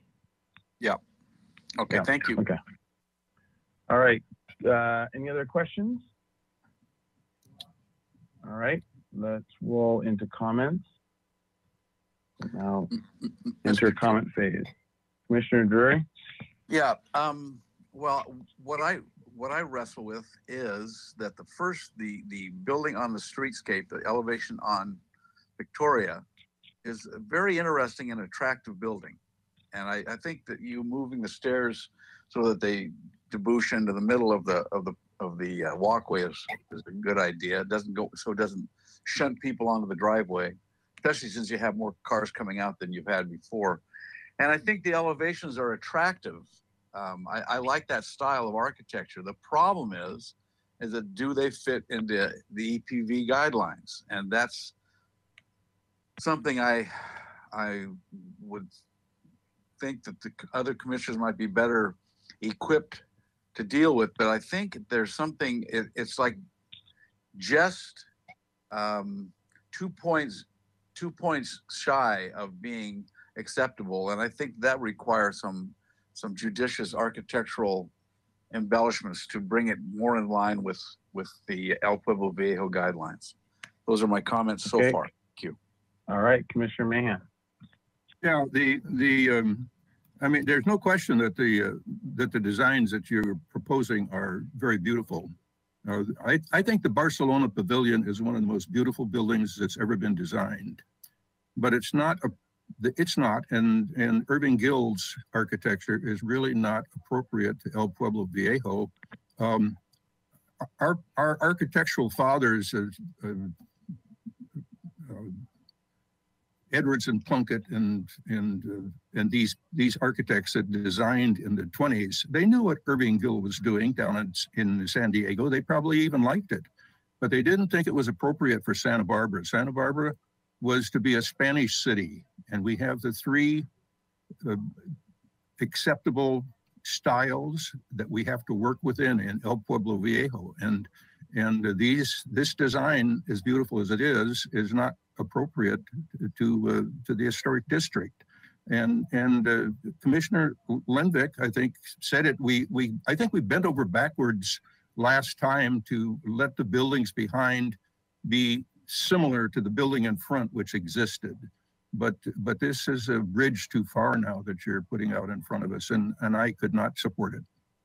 Thank you. All right, Commissioner Ooley. I don't have any comments at the moment. All right, Commissioner Hausz. Oh, that's uh, that's right. You're just turning your camera on because everyone's supposed to turn their camera on. Yeah, very good. All right. New Thank you. rules are hard. I was gonna, I tried to jump in there, but yes, just for this. Okay. Yeah, everyone can turn their cameras to- on. You can, but maybe not everyone has a comment. I'm not sure. Uh, Mr. Chair, I also want to know that um, applicant Ellen Bildsten also um, would uh, like to request your attention, um, but that's at your discussion. Okay.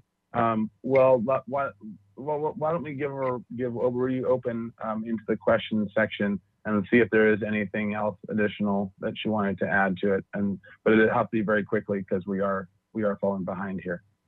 So, Right, um, yeah, I, I apologize. Somehow I was muted, um, by the, by the organizer, so I wasn't able to speak earlier.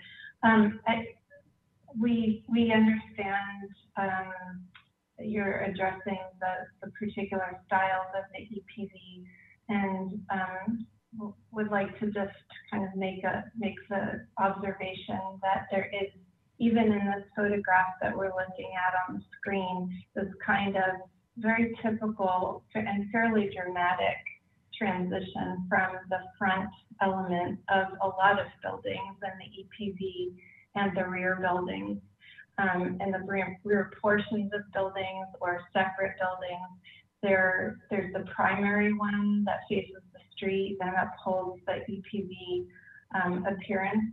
And then frequently there are simpler structures behind so just like to kind of emphasize the fact that our view of compliance with EPV is more that, um, despite the fact that these are new buildings, they're, they're intentionally playing a modest role and in a way wanting to augment the, you know, what's very special about the front building that is a bit mixed in its background and its aesthetic, as we talked about in previous meetings. Got some elements of Monterey style, other elements of fairly standard apartment buildings of its time. So there are a couple of, uh, ref, you know, historical references to tie into for these very simple buildings as we see them at the rear of the property.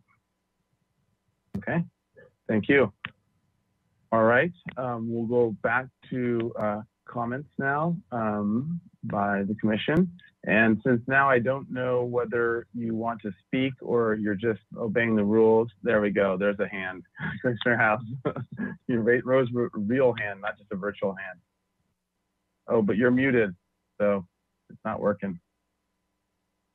Turn on your microphone. Okay. I don't have a hand icon, so I had to use the real thing. yeah. Okay. Uh, I love Irving Gill. And, you know, I could see an argument for an Irving Gill building, but what I'm seeing is not Irving Gill. The point was made that the buildings were background to the landscape, and I don't see much landscape in, uh, in the site plan uh, to make that um, similarity. Um, and with the carports tucked underneath and various other things, it's it's Irving Gill with a modernist flair, a contemporary flair, and the inspiration drawings or photos that we saw have a lot more traditional detailing that has more in common with the front house. So, you know, there's an argument to be made for the flat roof buildings I don't know that I call them Irving Gill anymore, but you know they they need to have more of a relationship to the front house. This has been a consistent theme on this application that it's constantly an effort to depart from the architecture of the front house, which you know could um, be argued for, even though that's not entirely consistent with uh, 2222 104 you know, if there there have been instances where the HLC has required uh, the new construction to be Hispanic uh, and not match the existing, just because it's consistent with the ordinance. You know, there's uh, in other cases an argument that well, this is the existing architecture of this front house, and so it doesn't make sense to depart from that. But to go to something yet different that has very contemporary detailing on it. Um, you know, it's just stretching from here to there, and it's just too far afield from what I could possibly approve. Um, so I think if the applicant wants to get closer to an approval, they need to get serious about something that's consistent with what's required by the uh, municipal code. Um, and I think also it really needs to be taken into consideration that solar panels and mechanical equipment need to be hidden.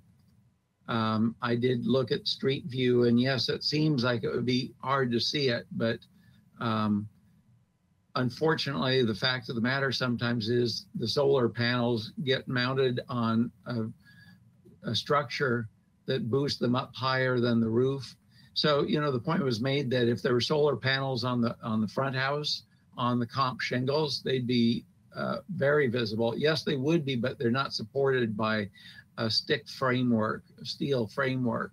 So that's kind of the difference. That if they're silhouetted against the sky, that's more of a problem. So I think that's all I have to say. All right. Um, uh, Commissioner, uh, Commissioner Edmonds, I like this. This has the old school feel instead of the virtual hand. All right, Commissioner Edmonds. I, you know, I thought I had a comment, and then after listening to Commissioner Hausz, I actually have a bit of a question, if that's all right. Um, yeah, sure. You know, I, I, I'm, I'm struggling with um, the fact that uh, you know I, I like the the the sample or the, uh, the examples that were shown. Um, and I, and I like modern buildings. But what I'm struggling with is the front house not fitting into our EPV guidelines.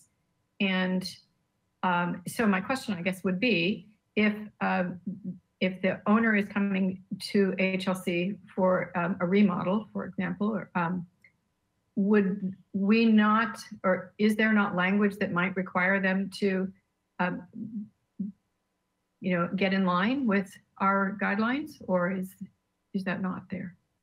I, I think what was read out was that if, if it's a remodel or addition, it could stick with the language that the, the current, the, the existing house is. So if it's a 50s house or 60s or 70s or whatever, um, it could stick with that language as we could find that it could stick with that language. But this, these are the Commissioner Ed Lenvik was making was pointing out these are totally separate structures.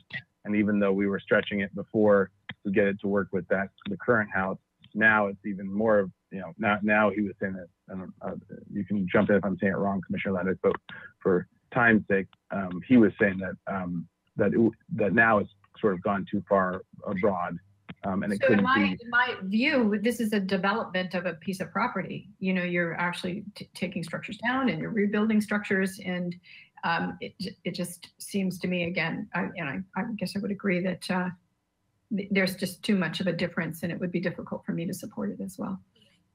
Okay, Commissioner uh, Lenvik. Yes, I, I believe Commissioner Edmonds, oh, I'm muted now. I'm fine. Uh, I think Commissioner Edmund's question was if they were remodeling the front building, would it be required of them to make it comply with the EPV standards? And the answer to that question is yes. If they were remodeling the front building, the ordinance is very clear. New buildings or remodels or additions have to comply. But they're not touching the front building, and so that's fine. But, and, and even, as, as I said before, when they were only putting one new building on the property and leaving all the rest in back, we were able to find a way to bend the rules for them on that and have them match the front building. But when they're taking and doubling or tripling the size of the property development with new building, then it's got to be, I believe, more more consistent with the EPV standards. And um, you know, we've got to make findings for neighborhood compatibility.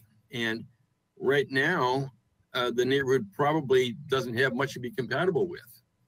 But I think that when they come back to us, in plan and in elevation, they need to show what's happening on the adjoining parcels.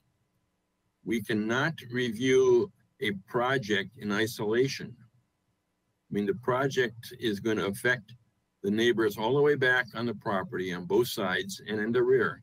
And we need to see what those other properties look like and what their height is and scale is, so on and so forth. If you have only one story buildings all the way back and you're putting a two story building, you know, large all the way back, how is that different than a four story building abutting a two story building? And we struggle with neighborhood compatibility. I don't see we have a neighborhood compatibility problem here, but I believe the applicant has got to make his application drawing wise complete so that we see what's happening on the neighborhood. But as others have said, I cannot support this style of architecture in EPV. Okay, um, any other comments, Commissioner Ooley? I went the wrong, I went the wrong way. um, well, um, I love it.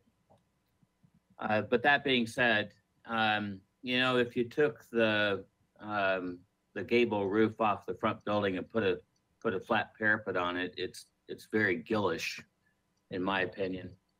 Um, uh, overall, I like it. I'm okay with um, with two story structures. I'm okay with the two buildings.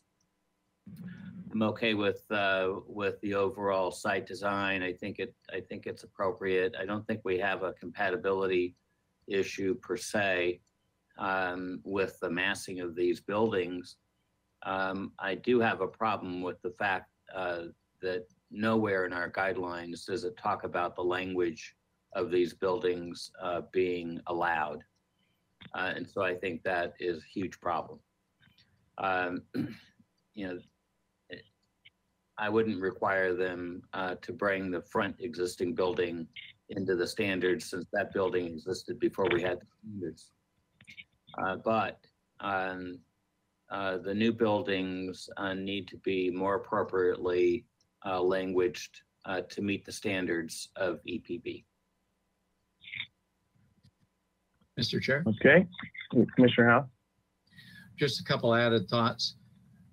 Having served 16 years between HLC and ABR prior to this term, a couple important principles I learned. One was incrementalism, that when a new uh, improvement is added to a property in EPV, even if the front existing building isn't a model of what we would expect or would currently approve an EPV, what's added should be an increment of improvement. So we should always be looking to head in the direction of compliance. Uh, second is when justifying your design, don't look for the worst examples in the neighborhood, look for the best. And I'm not saying that there's worst examples they're comparing themselves to, but I think it's a way too big a stretch to find buildings such as the University Club that have a beautiful front facade and they have a little appendage at the back that has a flat roof. Um, it probably might not be allowed that way if it came before HLC today. But the fact is, this is far more than just a little appendage at the back of a building.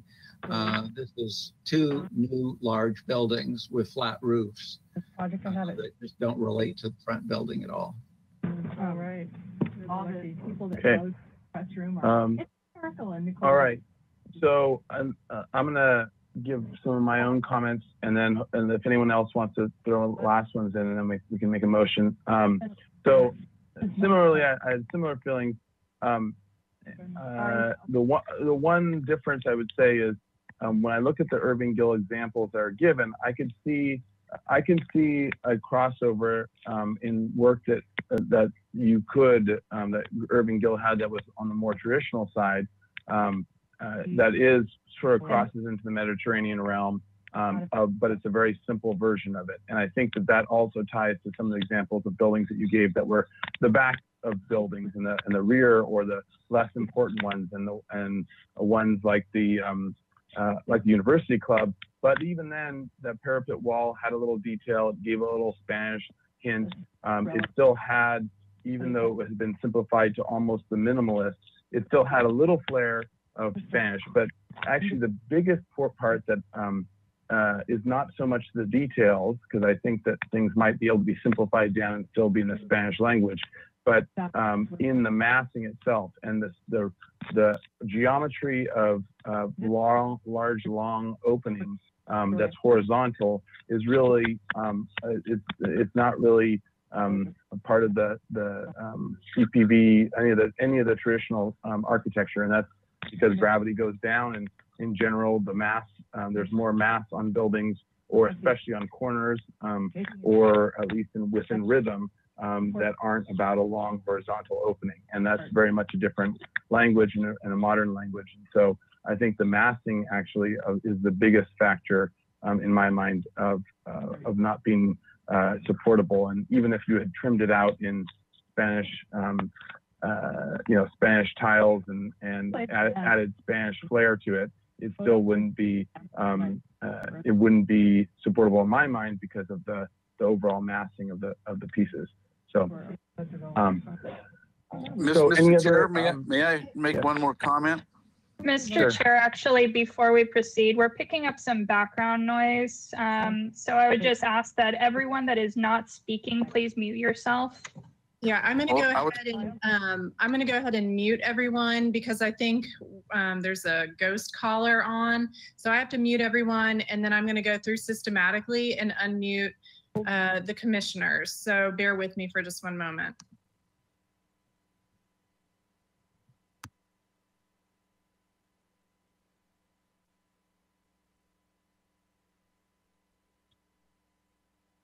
Okay. Please go ahead. I'm going to um, still unmute all right. people, but you can go ahead and uh, continue. And I'm sorry about the Okay, all right. interruption. Commissioner Drury, do you have something to add? Oh, you might still be muted. Commissioner Drury, you're now unmuted. Uh, Go ahead. Thank you. trying to, so I, I'm looking at the, what's on the screen on, on the TV, the, it's, it's weird to me as, just as style that the east elevation, which is the lower picture, is more coherent with the front house than the west elevation, which looks completely out of, out of scale and, uh, looks actually kind of monolithic by comparison to the front house. But the, the east, east elevation looks much more coherent. So I'll leave that to the architect to figure out, but anyway, that's all I have to say. And I think actually, uh, Commissioner Drury, that was that was one of the main the main point I was trying to make in terms of the massing, because I think the massing of lots of plaster on the east elevation that you see versus a big opening uh, where the cars are on the west elevation that reads as an, as opening um, and not as plaster and solid wall coming down to the ground was what I was um, uh, commenting on on the, some of the, the the difference between Gill as um, span, on the Spanish side of things or on the Mediterranean side of things versus and traditional side of things versus Gill as the, the modernist. Um, I agree. But okay, so, okay. So then with so uh, it sounds like let me let me try to summarize the comments. Um, the main comment o- overall arching is that um, the current design as proposed is not um, not is not um, uh, does not belong in uh, or is not conducive to the EPV guideline um, and needs to be so um, to continue. Um, and, the, some additional pieces of concern and um, and study as as we go forward are um, solar the solar panels and um, mechanical equipment on the roof. Wanting to make sure the roof the the parapet, if there is a parapet used, that it's uh, studied from different angles and, and from the neighbor's side of things as well, so that we can see um, how visible um, that mechanical equipment is. Um, the uh, sur- uh, yeah, views views of all the different um, surrounding parcels and um, looking at the the design going forward in relationship to the, the various buildings surrounding this site. And in general, I think that the um, the commissioners were in favor with the, the the move of just cleaning up the front house and also or front prop front building and also on Victoria Street and also um, uh, the flipping of the stair. I, it seems like there was only positive comments for that. So the treatment of the front building was um, was generally speaking acceptable. Um, the uh, height of the two two-story buildings did not. Well, I don't want to go into that because I think that um, some of the comments of um, just compatibility will end up uh, pot- potentially changing heights and, and massing of things. So um, I think we can probably leave it at that point, um, unless there's any other additional comments that need to that people wanted to make. Um, uh, the um, yeah, I- think we should leave it there before we start commenting on open yard or things like that because the massing might be affected. Um, and unless, unless staff feels otherwise, that we should um, weigh in on any other um, element in particular at this point.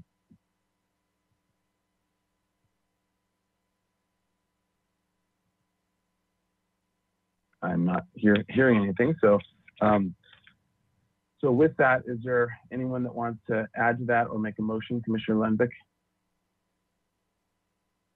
Oh, I think you're muted, Commissioner Lenvik.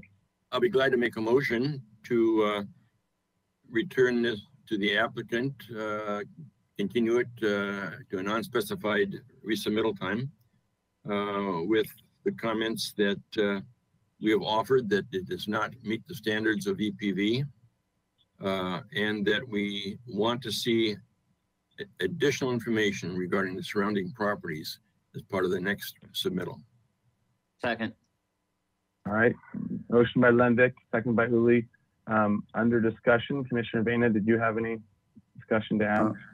Yes, I just have one, excuse me, I just have one example that might fit what we're doing or what's happening here. And that was when I lived at 412 East uh, Figueroa, and it was owned by the Mills at the time. They too had a similar situation. They had a Queen Anne house in the front, which was remodeled and so forth. However, the addition in the back had to be of the Hispanic type as we're speaking of, and so it was. So there's a good example there if anyone wants to check it out. Thank you. Okay. Thank you. Um, all right, any other discussion? All right, in that case, we'll do a roll call and vote. Thank you, Mr. Chair. This is Heidi Rydell. I will begin the roll call vote. Commissioner Ooley, Yes. Commissioner Jury, Yes. Commissioner Lenvik, Yes. Commissioner Vena,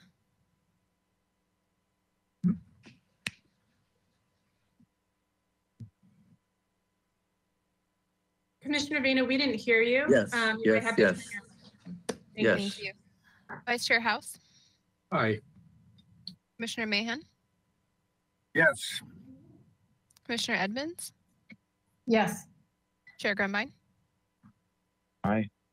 That is unanimous. Thank you. All right, thank you.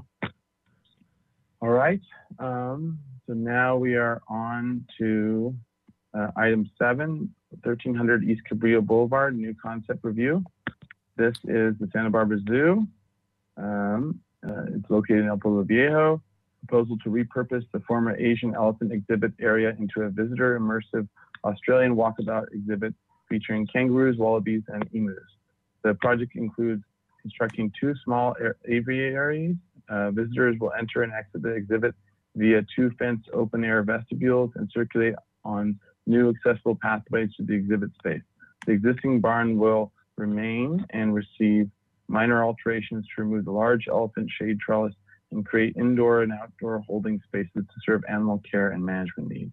The project includes new landscape and irrigation using reclaimed water to provide additional shade and appropriate habitat for the animals. This is for concept review. No final appealable decision will be made this year. Uh, Mr. Chair? Yes. Uh, Michael Drury, I'm going to sign off now because I have to go at six o'clock anyway. Okay. All right. Oh, thank you don't believe we'll be gone? We'll be done in 30 minutes? No. You have no faith. Have, have a good evening. All right. everybody. All right. Thank you, Commissioner Drury. All right, Commissioner Edmonds? Um, I just wanted to disclose that I'm, I'm a past board member of the Santa Barbara Zoo, um, which I ran by, um, um, Ms. Ostrenger this morning, and I don't believe that it would affect my ability to vote on this issue. All right, sounds good. Are you Australian? Uh, no. Okay. Ms. Plummer?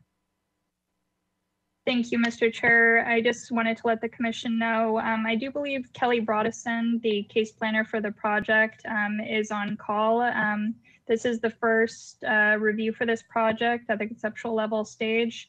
Um, and I did want to note that, um, as it's designed right now, it's not requiring a CDP. It's proceeding with the coastal exemption. Um, and if Kelly has any additional information, she can jump on and provide that at- later. All right, thank you. Okay. So, does the applicant want to proceed? Yes, and um, we have. Cameron Carey. Um, if you could turn on your webcam, I've sent you a couple of webcam requests and um, there's a, a full applicant team here. Um, you know, generally we like to designate a just um, a, a smaller number of people, but um, there's a number of team members who can answer questions if the commission has any. Thank you. Great, thank you. All right, well, would you like to introduce yourselves and um, you and unmute yourself and proceed? Rich Block, if you're on, would you uh, want to take the helm? I am, there we go. Uh, Hey, thank you so much for, uh, thanks, thanks so much for taking uh, the meeting with us today. Uh, We are, it's been a long time since we've been back in front of historic landmarks. The last time was was for our uh, giraffe management facility. Uh, And before that, it was quite a few years uh, with other projects. So we're we're happy to be back. My name is Rich Block. I'm the president and CEO of the Santa Barbara Zoo. So are we going to go? Welcome. Are we going to introduce everybody real quickly, or sure? Jump right into it. Hi all, I'm Adam Sharkey with Blackbird Architects, um, and uh, Cameron, I think we'll want them to load the slides for Rich and Aaron to be able to talk to before we look at the plans. And this is Ellen Kokenda. I'm going to ask uh, Mr. Block if you could please turn on your, thank you, you just turned on your webcam. And for anybody not speaking, to please mute yourselves so we don't pick up background noise. Just as an introduction, I'm Sam Mapus, the landscape architect for the project. So I'll unmute and Cameron Carey, the owner's representative from Timing Group. Uh, Aaron Marshall, Chief Operating Officer, Santa Barbara Zoo. So as you might imagine, uh, over the past two years, we, we lost both of our uh, major uh, residents, our two elephants, uh, leaving a rather large parcel of the zoo empty. And uh, it certainly was, uh, didn't go unnoticed by all of our guests, uh, certainly as well as our, our members and, and- and team members. Uh, One of the, the goals uh, was to try to figure out what to do with that space. Uh, We organized a, a process and started with about 36 different options uh, that we could pursue to fit in that space. And the, the, the range of species was amazing. But what we wanted to try to do was do something reasonable that would uh, be cost effective, create a great new fresh experience for our guests, and be something that we could work with the city uh, to move through quickly so we could, the, the goal was to bring something online by the summer of 2021. Uh, and that would help us move forward and be able to answer the many, many questions from guests about what was going to happen uh, in that space, as well as eliminate so many of the uh, incredible suggestions of a dirt, bi- dirt bike path uh, to bringing back dinosaurs, uh, all kinds of suggestions from the public. Uh, so we would like to move forward. The person shepherding this process for us uh, was Aaron Marshall. We wanted him to, to cut his teeth on a, a new capital project. The scale of, of this project was appropriate, and uh, Aaron did a capable job of stepping in and managing that process uh, from the beginning of 30 some species uh, to where we have arrived today with the Australian walkabout.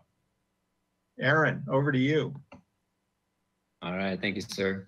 So, so you know, as Rich said, thanks for having us. We're really excited to be on the agenda today and get a chance to share this project with you. Uh, page two, please. Thanks. Uh, so this project's pretty pretty large, and it lies right at the center of the zoo. Uh, I think hopefully we're most of us are familiar with it. Page three. For a number of years, this is the habitat that housed our Asian elephants, and it was actually redesigned for them with the help and support of this group back in 2003. Page four. In that process, we needed to develop some heavy elements for uh, elephant animal welfare. Uh, that included the barn, the bollards, trellis structure, a pool, and a large parasol structure. Page five.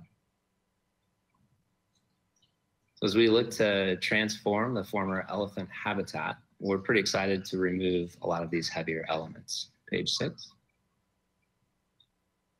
So as you can see here, the parasol and the heavy bollard structures and a lot of that concrete are gonna be removed uh, as we advance this next project. Page seven.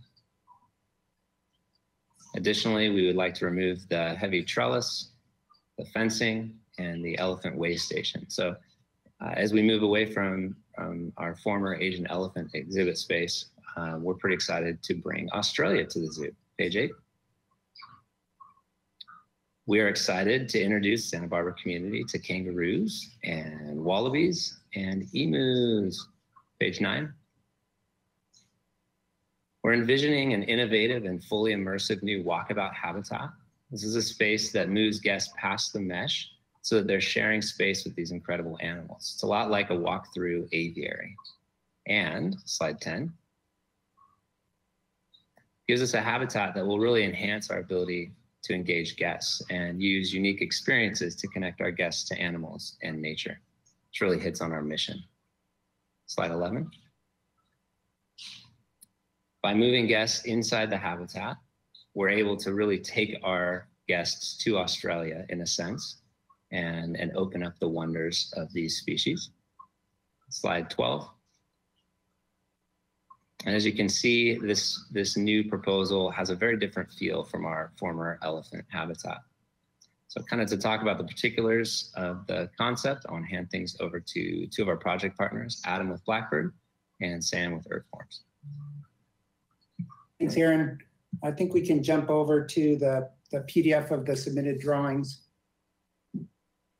Um, if we go to the next sheet, the title sheet just shows, as Aaron has already shown, that it's sort of central in the zoo um, space. From a site plan, the um, lighter gray uh, fill of surrounding pathways is all existing um, that sort of encircles the exhibit and is a, a guest path, visitor pathway that kind of climbs up and around the former elephant exhibit and has a couple viewing decks that are at the bottom of the page that look down over the exhibit. So there's about, I think, a 15 foot elevation change from the visitor experience from the low, the top of the page, basically the low point of the exhibit uh, around to the top.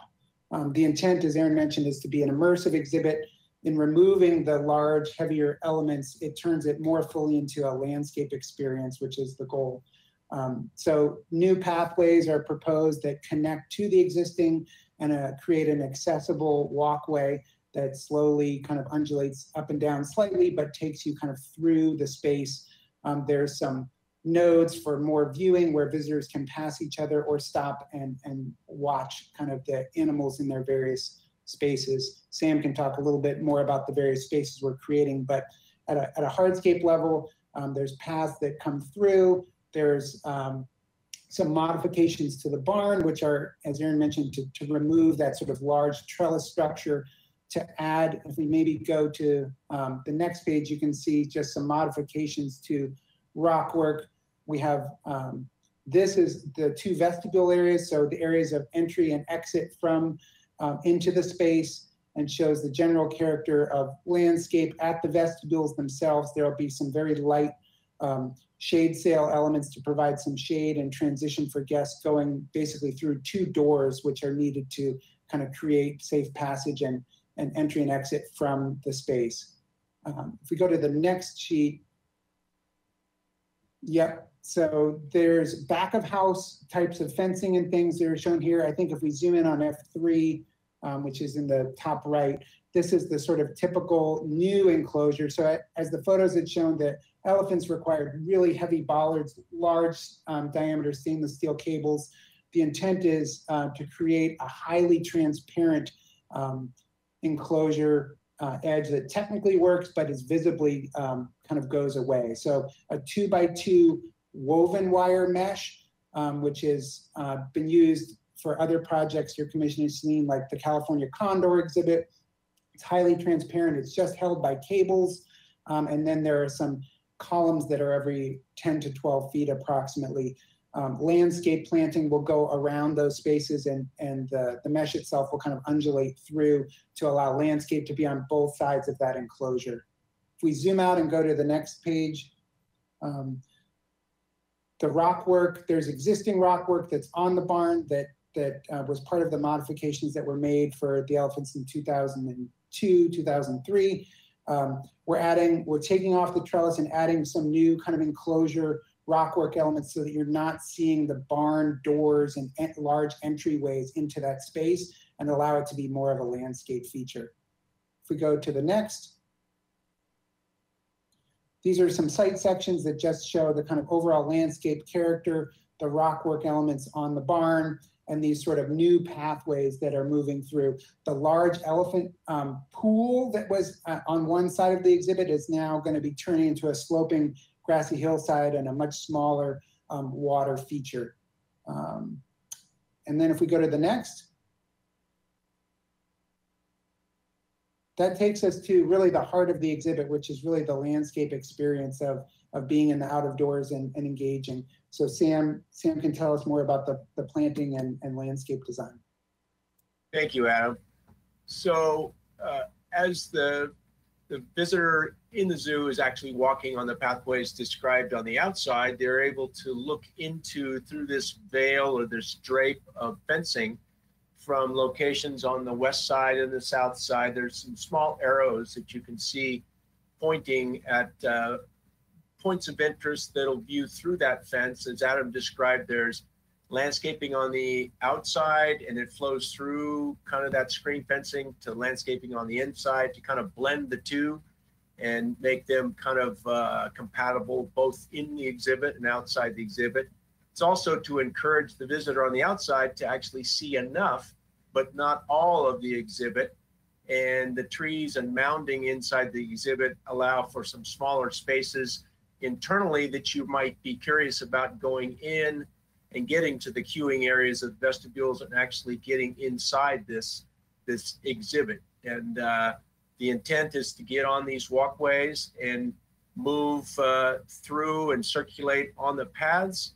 Uh, on the south side, we have existing large olive trees that remain, and we're going to create a sloping, rocky slope that the animals, the kangaroos, wallabies can get up on the rocks. They can rest and They'll be viewed at eye level or maybe even above eye level, as well as being able to be viewed from the decks on the south above. People outside the exhibit will be able to look down into the exhibit, onto the open lawn areas, onto the uh, rocks that are right below them to get a view of the feel of the exhibit and the inside animal activity, which hopefully will encourage them to go inside and be a part of and close to the animals as they're moving around these grassy, more open spaces. All the light colored grass or lawn type area allows for an interconnectivity and circulation throughout the entire project. The water feature on the southwest side and the counter dynamic on the northeast side kind of create little areas where the animals would congregate. They might be in a smaller setting or in groups there where you could observe them feeding feeding areas grouped with water areas kind of encourage the animals to be in certain spots for better viewing the aviaries are on the upper northwest side and you'll be able to get into those via the pathway and get in to see the indigenous birds the, the plant material, we're, we're looking at the, the darker trees in the middle being taller, higher canopy trees to create some shade and a microclimate cooling for the mounding that's in the middle and also on the upper left. So we're creating some undulations of the actual topography to create interest and movement of the ground plane. The kind of olive green trees in the center. Those are more medium height trees, and they're meant to add interest in color and flower. All of these are Australian trees and shrubs and grasses indigenous to the Australian climate. We're working with the uh, San Diego Safari Park and their extensive experience. And the plant list that we're using off to the right has uh, options for us.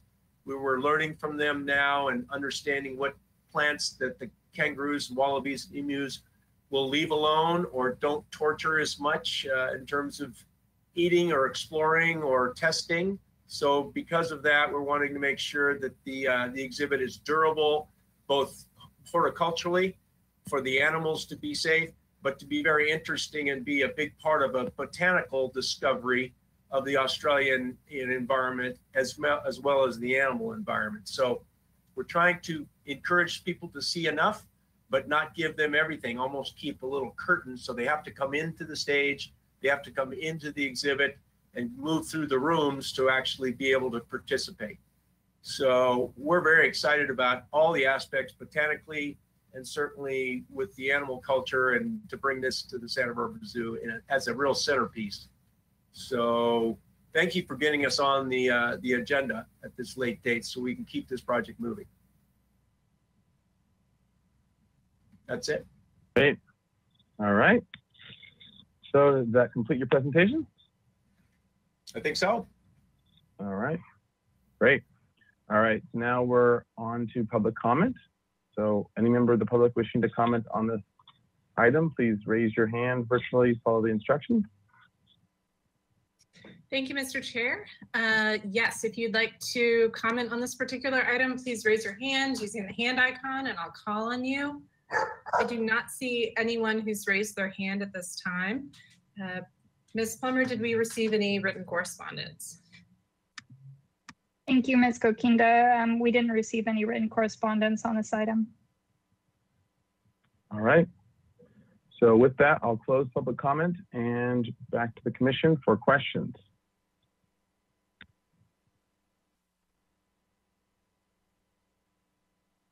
Not all at once. Any questions? Mr. Chair, Yes, Commissioner Hausz. um, on the outdoor holding and support, uh, there's a page that shows the elevations of that. I'm not sure which page that was.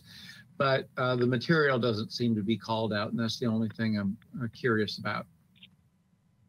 Maybe back one more. Um, yep. back another one? Or maybe we already passed it, I don't know. Yeah, there you go. Um, look at um, detail seven. What is that material? Commissioner Hausz, the intent for um, the only fence type that visitors may be able to see aside from the woven wire mesh would be a um, solid stained wood fence, um, which is what this is. So it'd be horizontal, um, tongue and groove boards, so no gaps, no laddering, and those would be heavily landscaped in front to kind of fade back. Okay, I had no idea whether it was gleaming stainless steel or it was something organic. Thank you. All right, thank you, Commissioner Lenvik. Yes, thank you. I, um, I have only been on the board for a couple of years. I don't recall that we have seen anything from the zoo before. Uh, I find it interesting that we're reviewing exhibits, but that may be a requirement of the um, coastal zone or whatever. Um, I certainly have no problem with this. Uh, I would, however, however, comment that some of the exhibit spaces, or at least the holding areas, are visible from Cabrillo Boulevard, and, and I know you've tried to landscape them out of our view, but um, I don't see this as being a problem because it's not anywhere near the edge of the uh, periphery of the zoo. So, uh, but I'm just surprised that we review uh, exhibits. Thank you. Uh, to Commissioner Lenvik, the reason it's on the agenda is because it's in El Pueblo Viejo Landmark District. Um, so that's the only reason it's before us. And, and we even review construction fence, so we, we will review it all. Um, all right, uh, other questions from commissioners? Okay. Um, okay, so in that case, well, if we have no other questions, let's go into comments. Mr. Chair. Commissioner Ooley. Sorry, I saw Commissioner Ooley up first. Do you have any comments? Uh, yes, I do. Sorry there, Commissioner Hausz. You're Uh. I was quick on the button, but slow on the freeze, or apparently. Anyway, um, uh, I think we all love the zoo, uh, and certainly miss miss the elephants. They were s- so entertaining to watch, um, and I think this uh, is a terrific project. I think we should speed them on their way uh, and get it done. It's all happening at the zoo. Um, Mr. Hausz. As opposed to Commissioner Lenvik, uh, in the eight years I was on HLC previous to this term, I did see zoo uh, applications many times. And uh, Mr. Block and I go way back at this point. And the zoo organization and the architects have just been a spectacular team and they do a wonderful job. So I think um, I'm entirely behind this, this application. Great. All right, Commissioner Vena. Oh, I think you're muted. having the zoo grow from nothing to something spectacular. It's now, it's now apparently going to be even super. I've per, I've perused all of the plant material. It's exciting. The shrubs, the selection thereof, the trees, etc. I think it's going to be a wonderful and exciting facility, and not to mention the type of plant material that's going to be expressed. Good job, Sam. All right. Commissioner Edmonds? I'm, I'm really on here because I had a notice that I was supposed to, to put myself on there. I don't know if anybody else had it, but since I'm here. I know, forgive Yeah, me. exactly. I, I feel like I don't want to constantly interrupt your meetings, but um, for comments, um, it is nice for all the commissioners to turn on your webcams and, Yep. uh, and maybe raise your hand or uh, the chair could just go down. In addition to the Santa Barbara Zoo And that makes it for easier. with- kangaroos and Australian type. Oh, we just got a new kangaroo. Since Oh, I'm here, Commissioner Vania, I think you need to uh, mute your mic. um, I can All share right. that I have the, had the honor of being on the search committee for Rich Block, and it was um, obviously a- a- an excellent decision that we made, and uh, So now, so now you're making, you're taking credit for it. Everything Yeah, we're yeah, saying. I I can't take all the credit. It was, it was really, it was really an honor. So we go way back. Um, and I think this is absolutely wonderful. I happen to have an uh, Australian book on Audible going right now, and I was delighted to see the uh, um, Australian exhibit today. So um, I would fully support it. All right. Uh, Commissioner Mahan? Uh, I'm ready to make a motion for what, what do we want to do here? Move this on to, uh, uh, this design review? Okay, so we have, this on for? This is for concept, conceptual review. So no final appealable decision will be made. So Okay, I well, guess we would just, I, I, th- I think that, that I agree with everybody. This is a great project and, and as soon as it comes back for us, uh, we'll be able to uh, give it, give it a uh, design review. um, commi- uh, Ms. Plummer, if you want to weigh in on what, what could be, um, potential motion, that would be where, where this is going next and Yeah, thank you, Mr. Chair. Um, so the next step would be to continue it indefinitely. Um, like I said earlier, um, it looks like this will qualify for a coastal exemption. Um, so it just needs to go through the application completeness review process and CEQA uh, to make sure um, that it's meeting everything that it needs to, and then it can come back to the commission for project design approval and final approval. Um, would you like this to return to the full commission for review, or would it be acceptable to push it to consent? Um, I'll leave that up to the commission. I'll, I'll make a motion for uh, indefinite continuance. Second. Okay, motion by Mahan, second by Ooley.